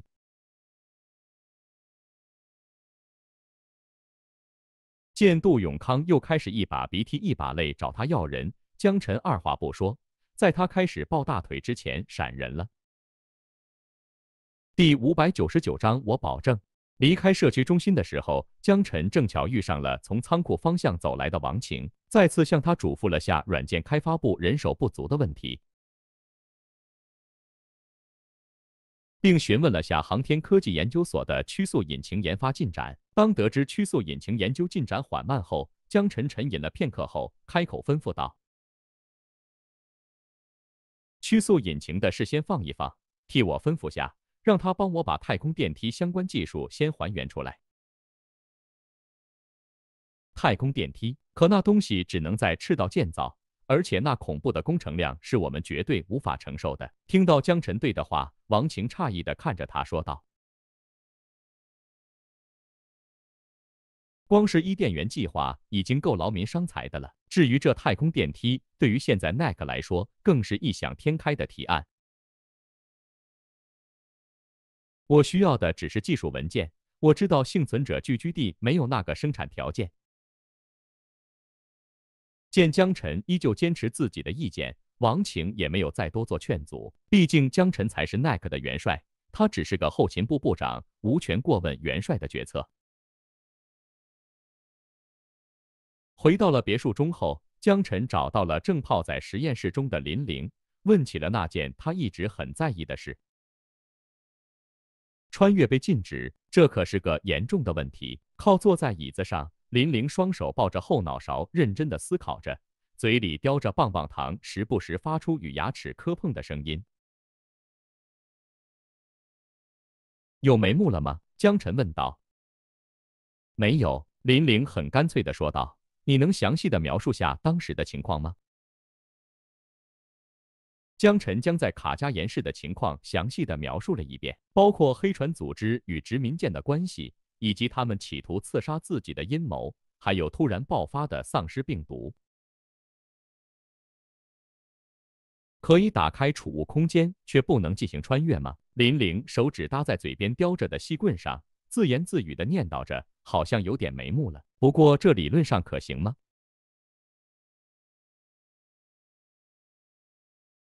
是什么？江晨立刻问道。林玲将棒棒糖拿了出来，叹了口气，走到了实验室墙边的白板旁，拿起了黑色记号笔。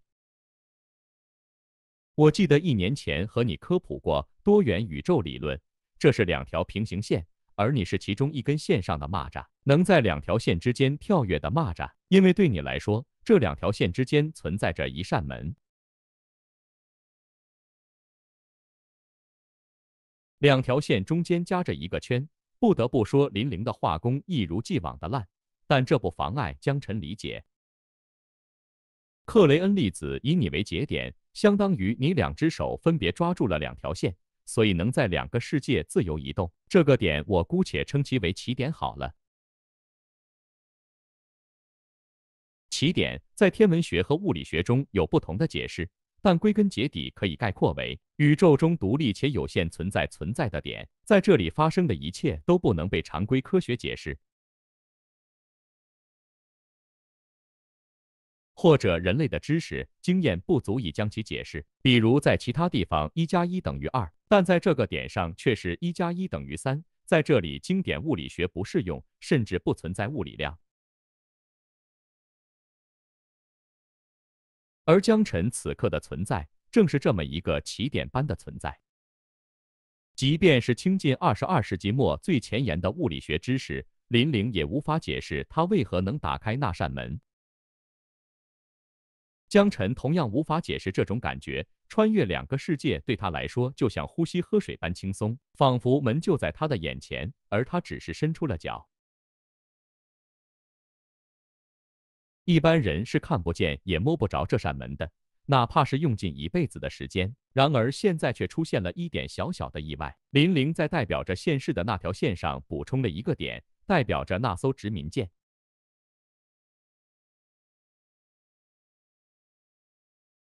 现在房间里多了一个不友好的邻居，他曾来自门的那边，经过数千年的研究或者说进化、修炼，总之他触摸到了门的边缘。总算看见了那扇他曾经穿过却不曾见过的门，但是林玲话锋一转，丢掉记号笔，手中的棒棒糖唰的指向了江晨。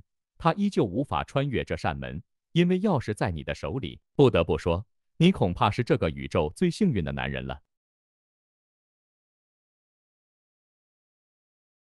幸运吗？江晨并不否认他的说法，但此刻却是高兴不起来。顿了顿，他接着说道：“他们能看到门，可这和我在那段时间无法穿越又有什么关联吗？”通过特殊手段干涉克雷恩粒子运动规律，在末世这边你应该已经发现了，那些虫子对克雷恩粒子的应用掌握的简直是炉火纯青，就包括我身体里的这位。林玲伸出手指敲了敲自己那贫乏的胸口，他发射的克雷恩粒子射线能让几乎所有电子设备崩溃。既然如此，他们能开发出克雷恩粒子的其他用法，我并不感到奇怪。通俗点讲，你邻居的肌肉比你强壮，虽然没有钥匙，他们开不了门，但却能在一段时间内用蛮力将门给拉住，不让你打开。还真是讨厌的邻居。储物空间呢？如果他们能看到门的话，为什么不把储物空间一起封锁了？江晨不解地问道。如果封锁了储物空间，在飞机上就能干掉他了。毕竟他得从储物空间中取出动力装甲或其他缓降物，直接就摔死在飞机上了。你的储物空间更像是一个圈，在两条平行线之间，独立在正宇宙之外，但又不在负宇宙之中。既然他们不在这个房间内，自然无法干涉。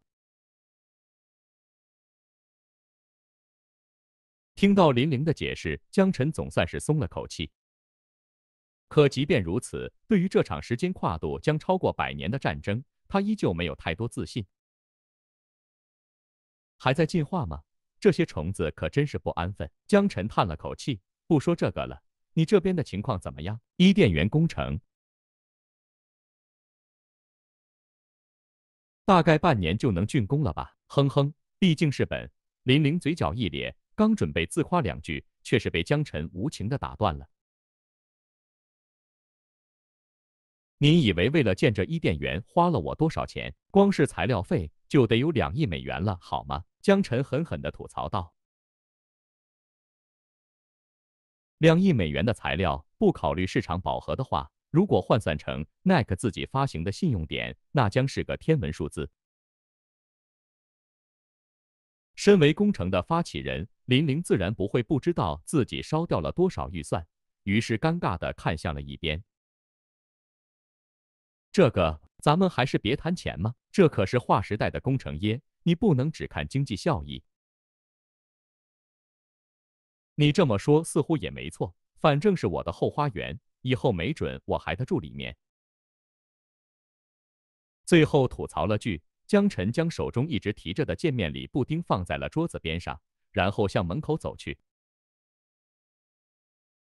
仿佛从他的脸上看出了什么。林玲抿着嘴，犹豫了片刻，在江晨将手搭在门把手上的时候，开了口：“不要气馁哦，即使是掌握了门的秘密，他们依旧害怕你。那么你身上一定存在着什么让他们感到恐惧的地方？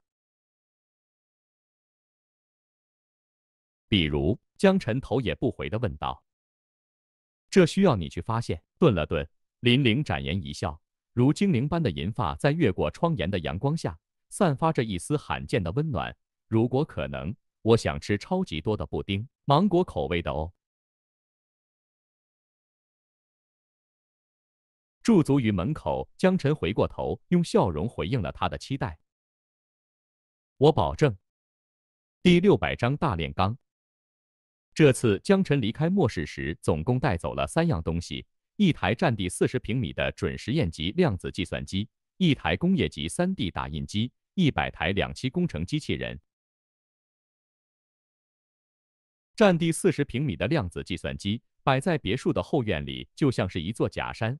如果不是江晨的储物空间已经发生了质的改变，这量子计算机还不一定搬得过去。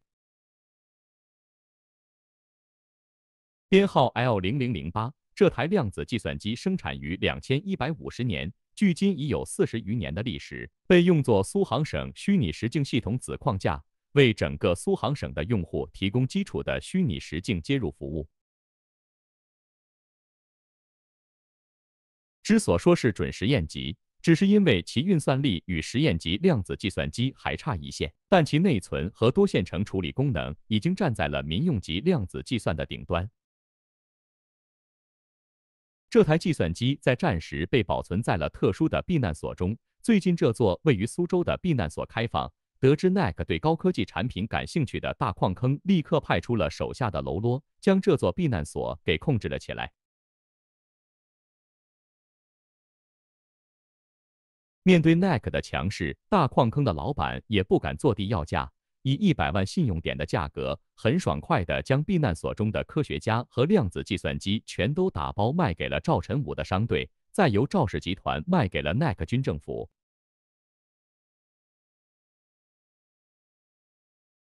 经过一个多星期的修理维护，这台老古董总算是能工作了。虚拟实境网游的运算量很恐怖。目前运行在未来人大厦最底层的量子计算机，单是附在神级大陆的运营就已经够呛了。为了构建虚拟实境网络，江晨需要的量子计算机数量将是一个天文数字。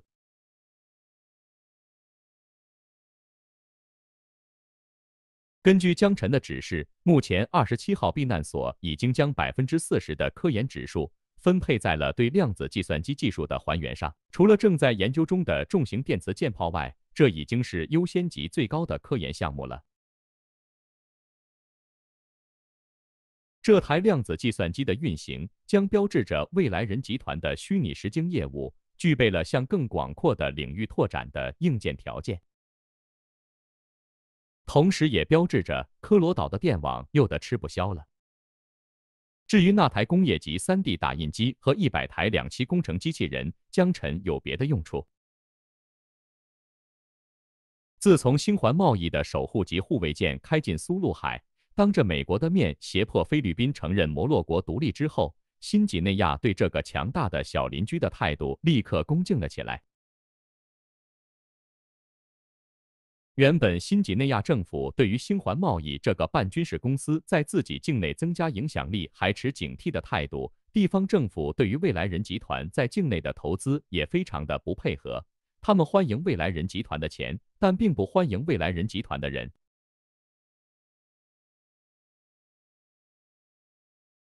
现在他们不敢不欢迎了。宗主国澳大利亚并不能给他们带来更多的安全感，就连美国也做出了让步的新国，究竟掌握着怎样的底牌？新几内亚总理不知道，所以他采取了保守的策略。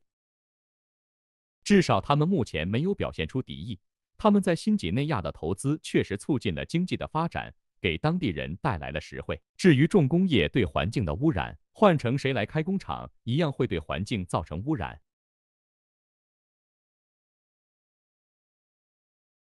至少在他们图谋不轨之前，别激怒这个无国界的独裁者。万一这次他们支持新几内亚丛林里的食人族建国呢？中午，江晨乘坐私人飞机抵达了新几内亚北部的瓦尼莫港，在这里见到了 BHP 矿业集团的董事长卢克·乔伊斯。一千千万吨铁矿石，两千万吨铝矿石，谢特，你确定没有多填了一个零？刚一见面，还没打招呼，卢克便逮着江晨问了起来。这只是第一批货。我记得我们的协议中总共有五千万吨。对于卢克眼神中的怀疑，江晨只是淡淡一笑，没有做任何解释。两人前段时间发生过一段不愉快的事情，BHP 集团向未来人集团派出商业间谍，试图窃取海底采矿技术，而江晨的幽灵特工干掉了他们雇佣的全部老鼠。不过站在这里，两人却是都不约而同没有提起那件事。就算造航母，也用不了这么多钢铁。航母？谁说我要造那玩意儿？江晨哈哈笑道。你究竟想干什么？卢克皱眉道。商业机密。面对卢克的追问，江晨神秘的说道。江晨那神秘的表情挠得卢克心里直痒痒。然而这东方人丝毫不打算透露任何情报，却也让他无可奈何。按照当初在罗斯柴尔德家晚宴上的约定，未来人矿业在深海采矿技术上做出让步，而 BHP 集团则以百分之八十的市场价向未来人集团供应最大五千万吨矿石。三千万吨矿石打八折，这已经接近 BHP 集团部分矿石生产的成本价了。虽然赚不到多少钱，让卢克有些肉痛，但想到那些积压已久的矿石库存，他也就释然了。总共三千万吨矿石被华国远洋集团的轮船和集装箱源源不断地拉进瓦尼莫港，送进新几内亚北部的钢铁厂。钢铁厂的锅炉昼夜不息地运作。铁厂的工人三班倒的在生产线上干得热火朝天，在未来人集团的高级工程师的指示下，将那成批的钢铁、铝材加工成指定的形状。早在上次江晨从德国回来那会儿，这些钢铁厂便陆续投资在建了。截止到上次新国副总统外交访问新几内亚。未来人矿业在新几内亚北部行省一共拥有十座大型钢铁厂，总共二点七万名新几内亚工人为未来人矿业工作。这简直快赶上新国的总人口了。以钢铁厂为核心的工业明显带动了瓦尼莫港的经济。未来人集团开出的加班费很高，在钢铁厂工作的新几内亚人成了最先富起来的那批，有钱了自然要得消费。饭店、超市、酒吧、商场，甚至是电影院，这些原来瓦尼莫港的平民们想都不敢想的设施，竟是如雨后春笋般的冒了出来。那些低矮的红砖土房被一座接着一座的推倒，换成了新环贸易城建的水泥房、公寓楼，甚至是别墅。这些土地都是瓦尼莫港市政府卖给新环贸易的。这些尝到了甜头的官员，恨不得将全市未开发的土地都拿给新环贸易的人去承包。至于中央政府对新环贸易的警惕，愈发严重的污染，谁在乎？新几内亚的城市在现代化之前，本来就是各个部落的原始统治，发展到现在，地方政府依旧拥有着高度的自治权。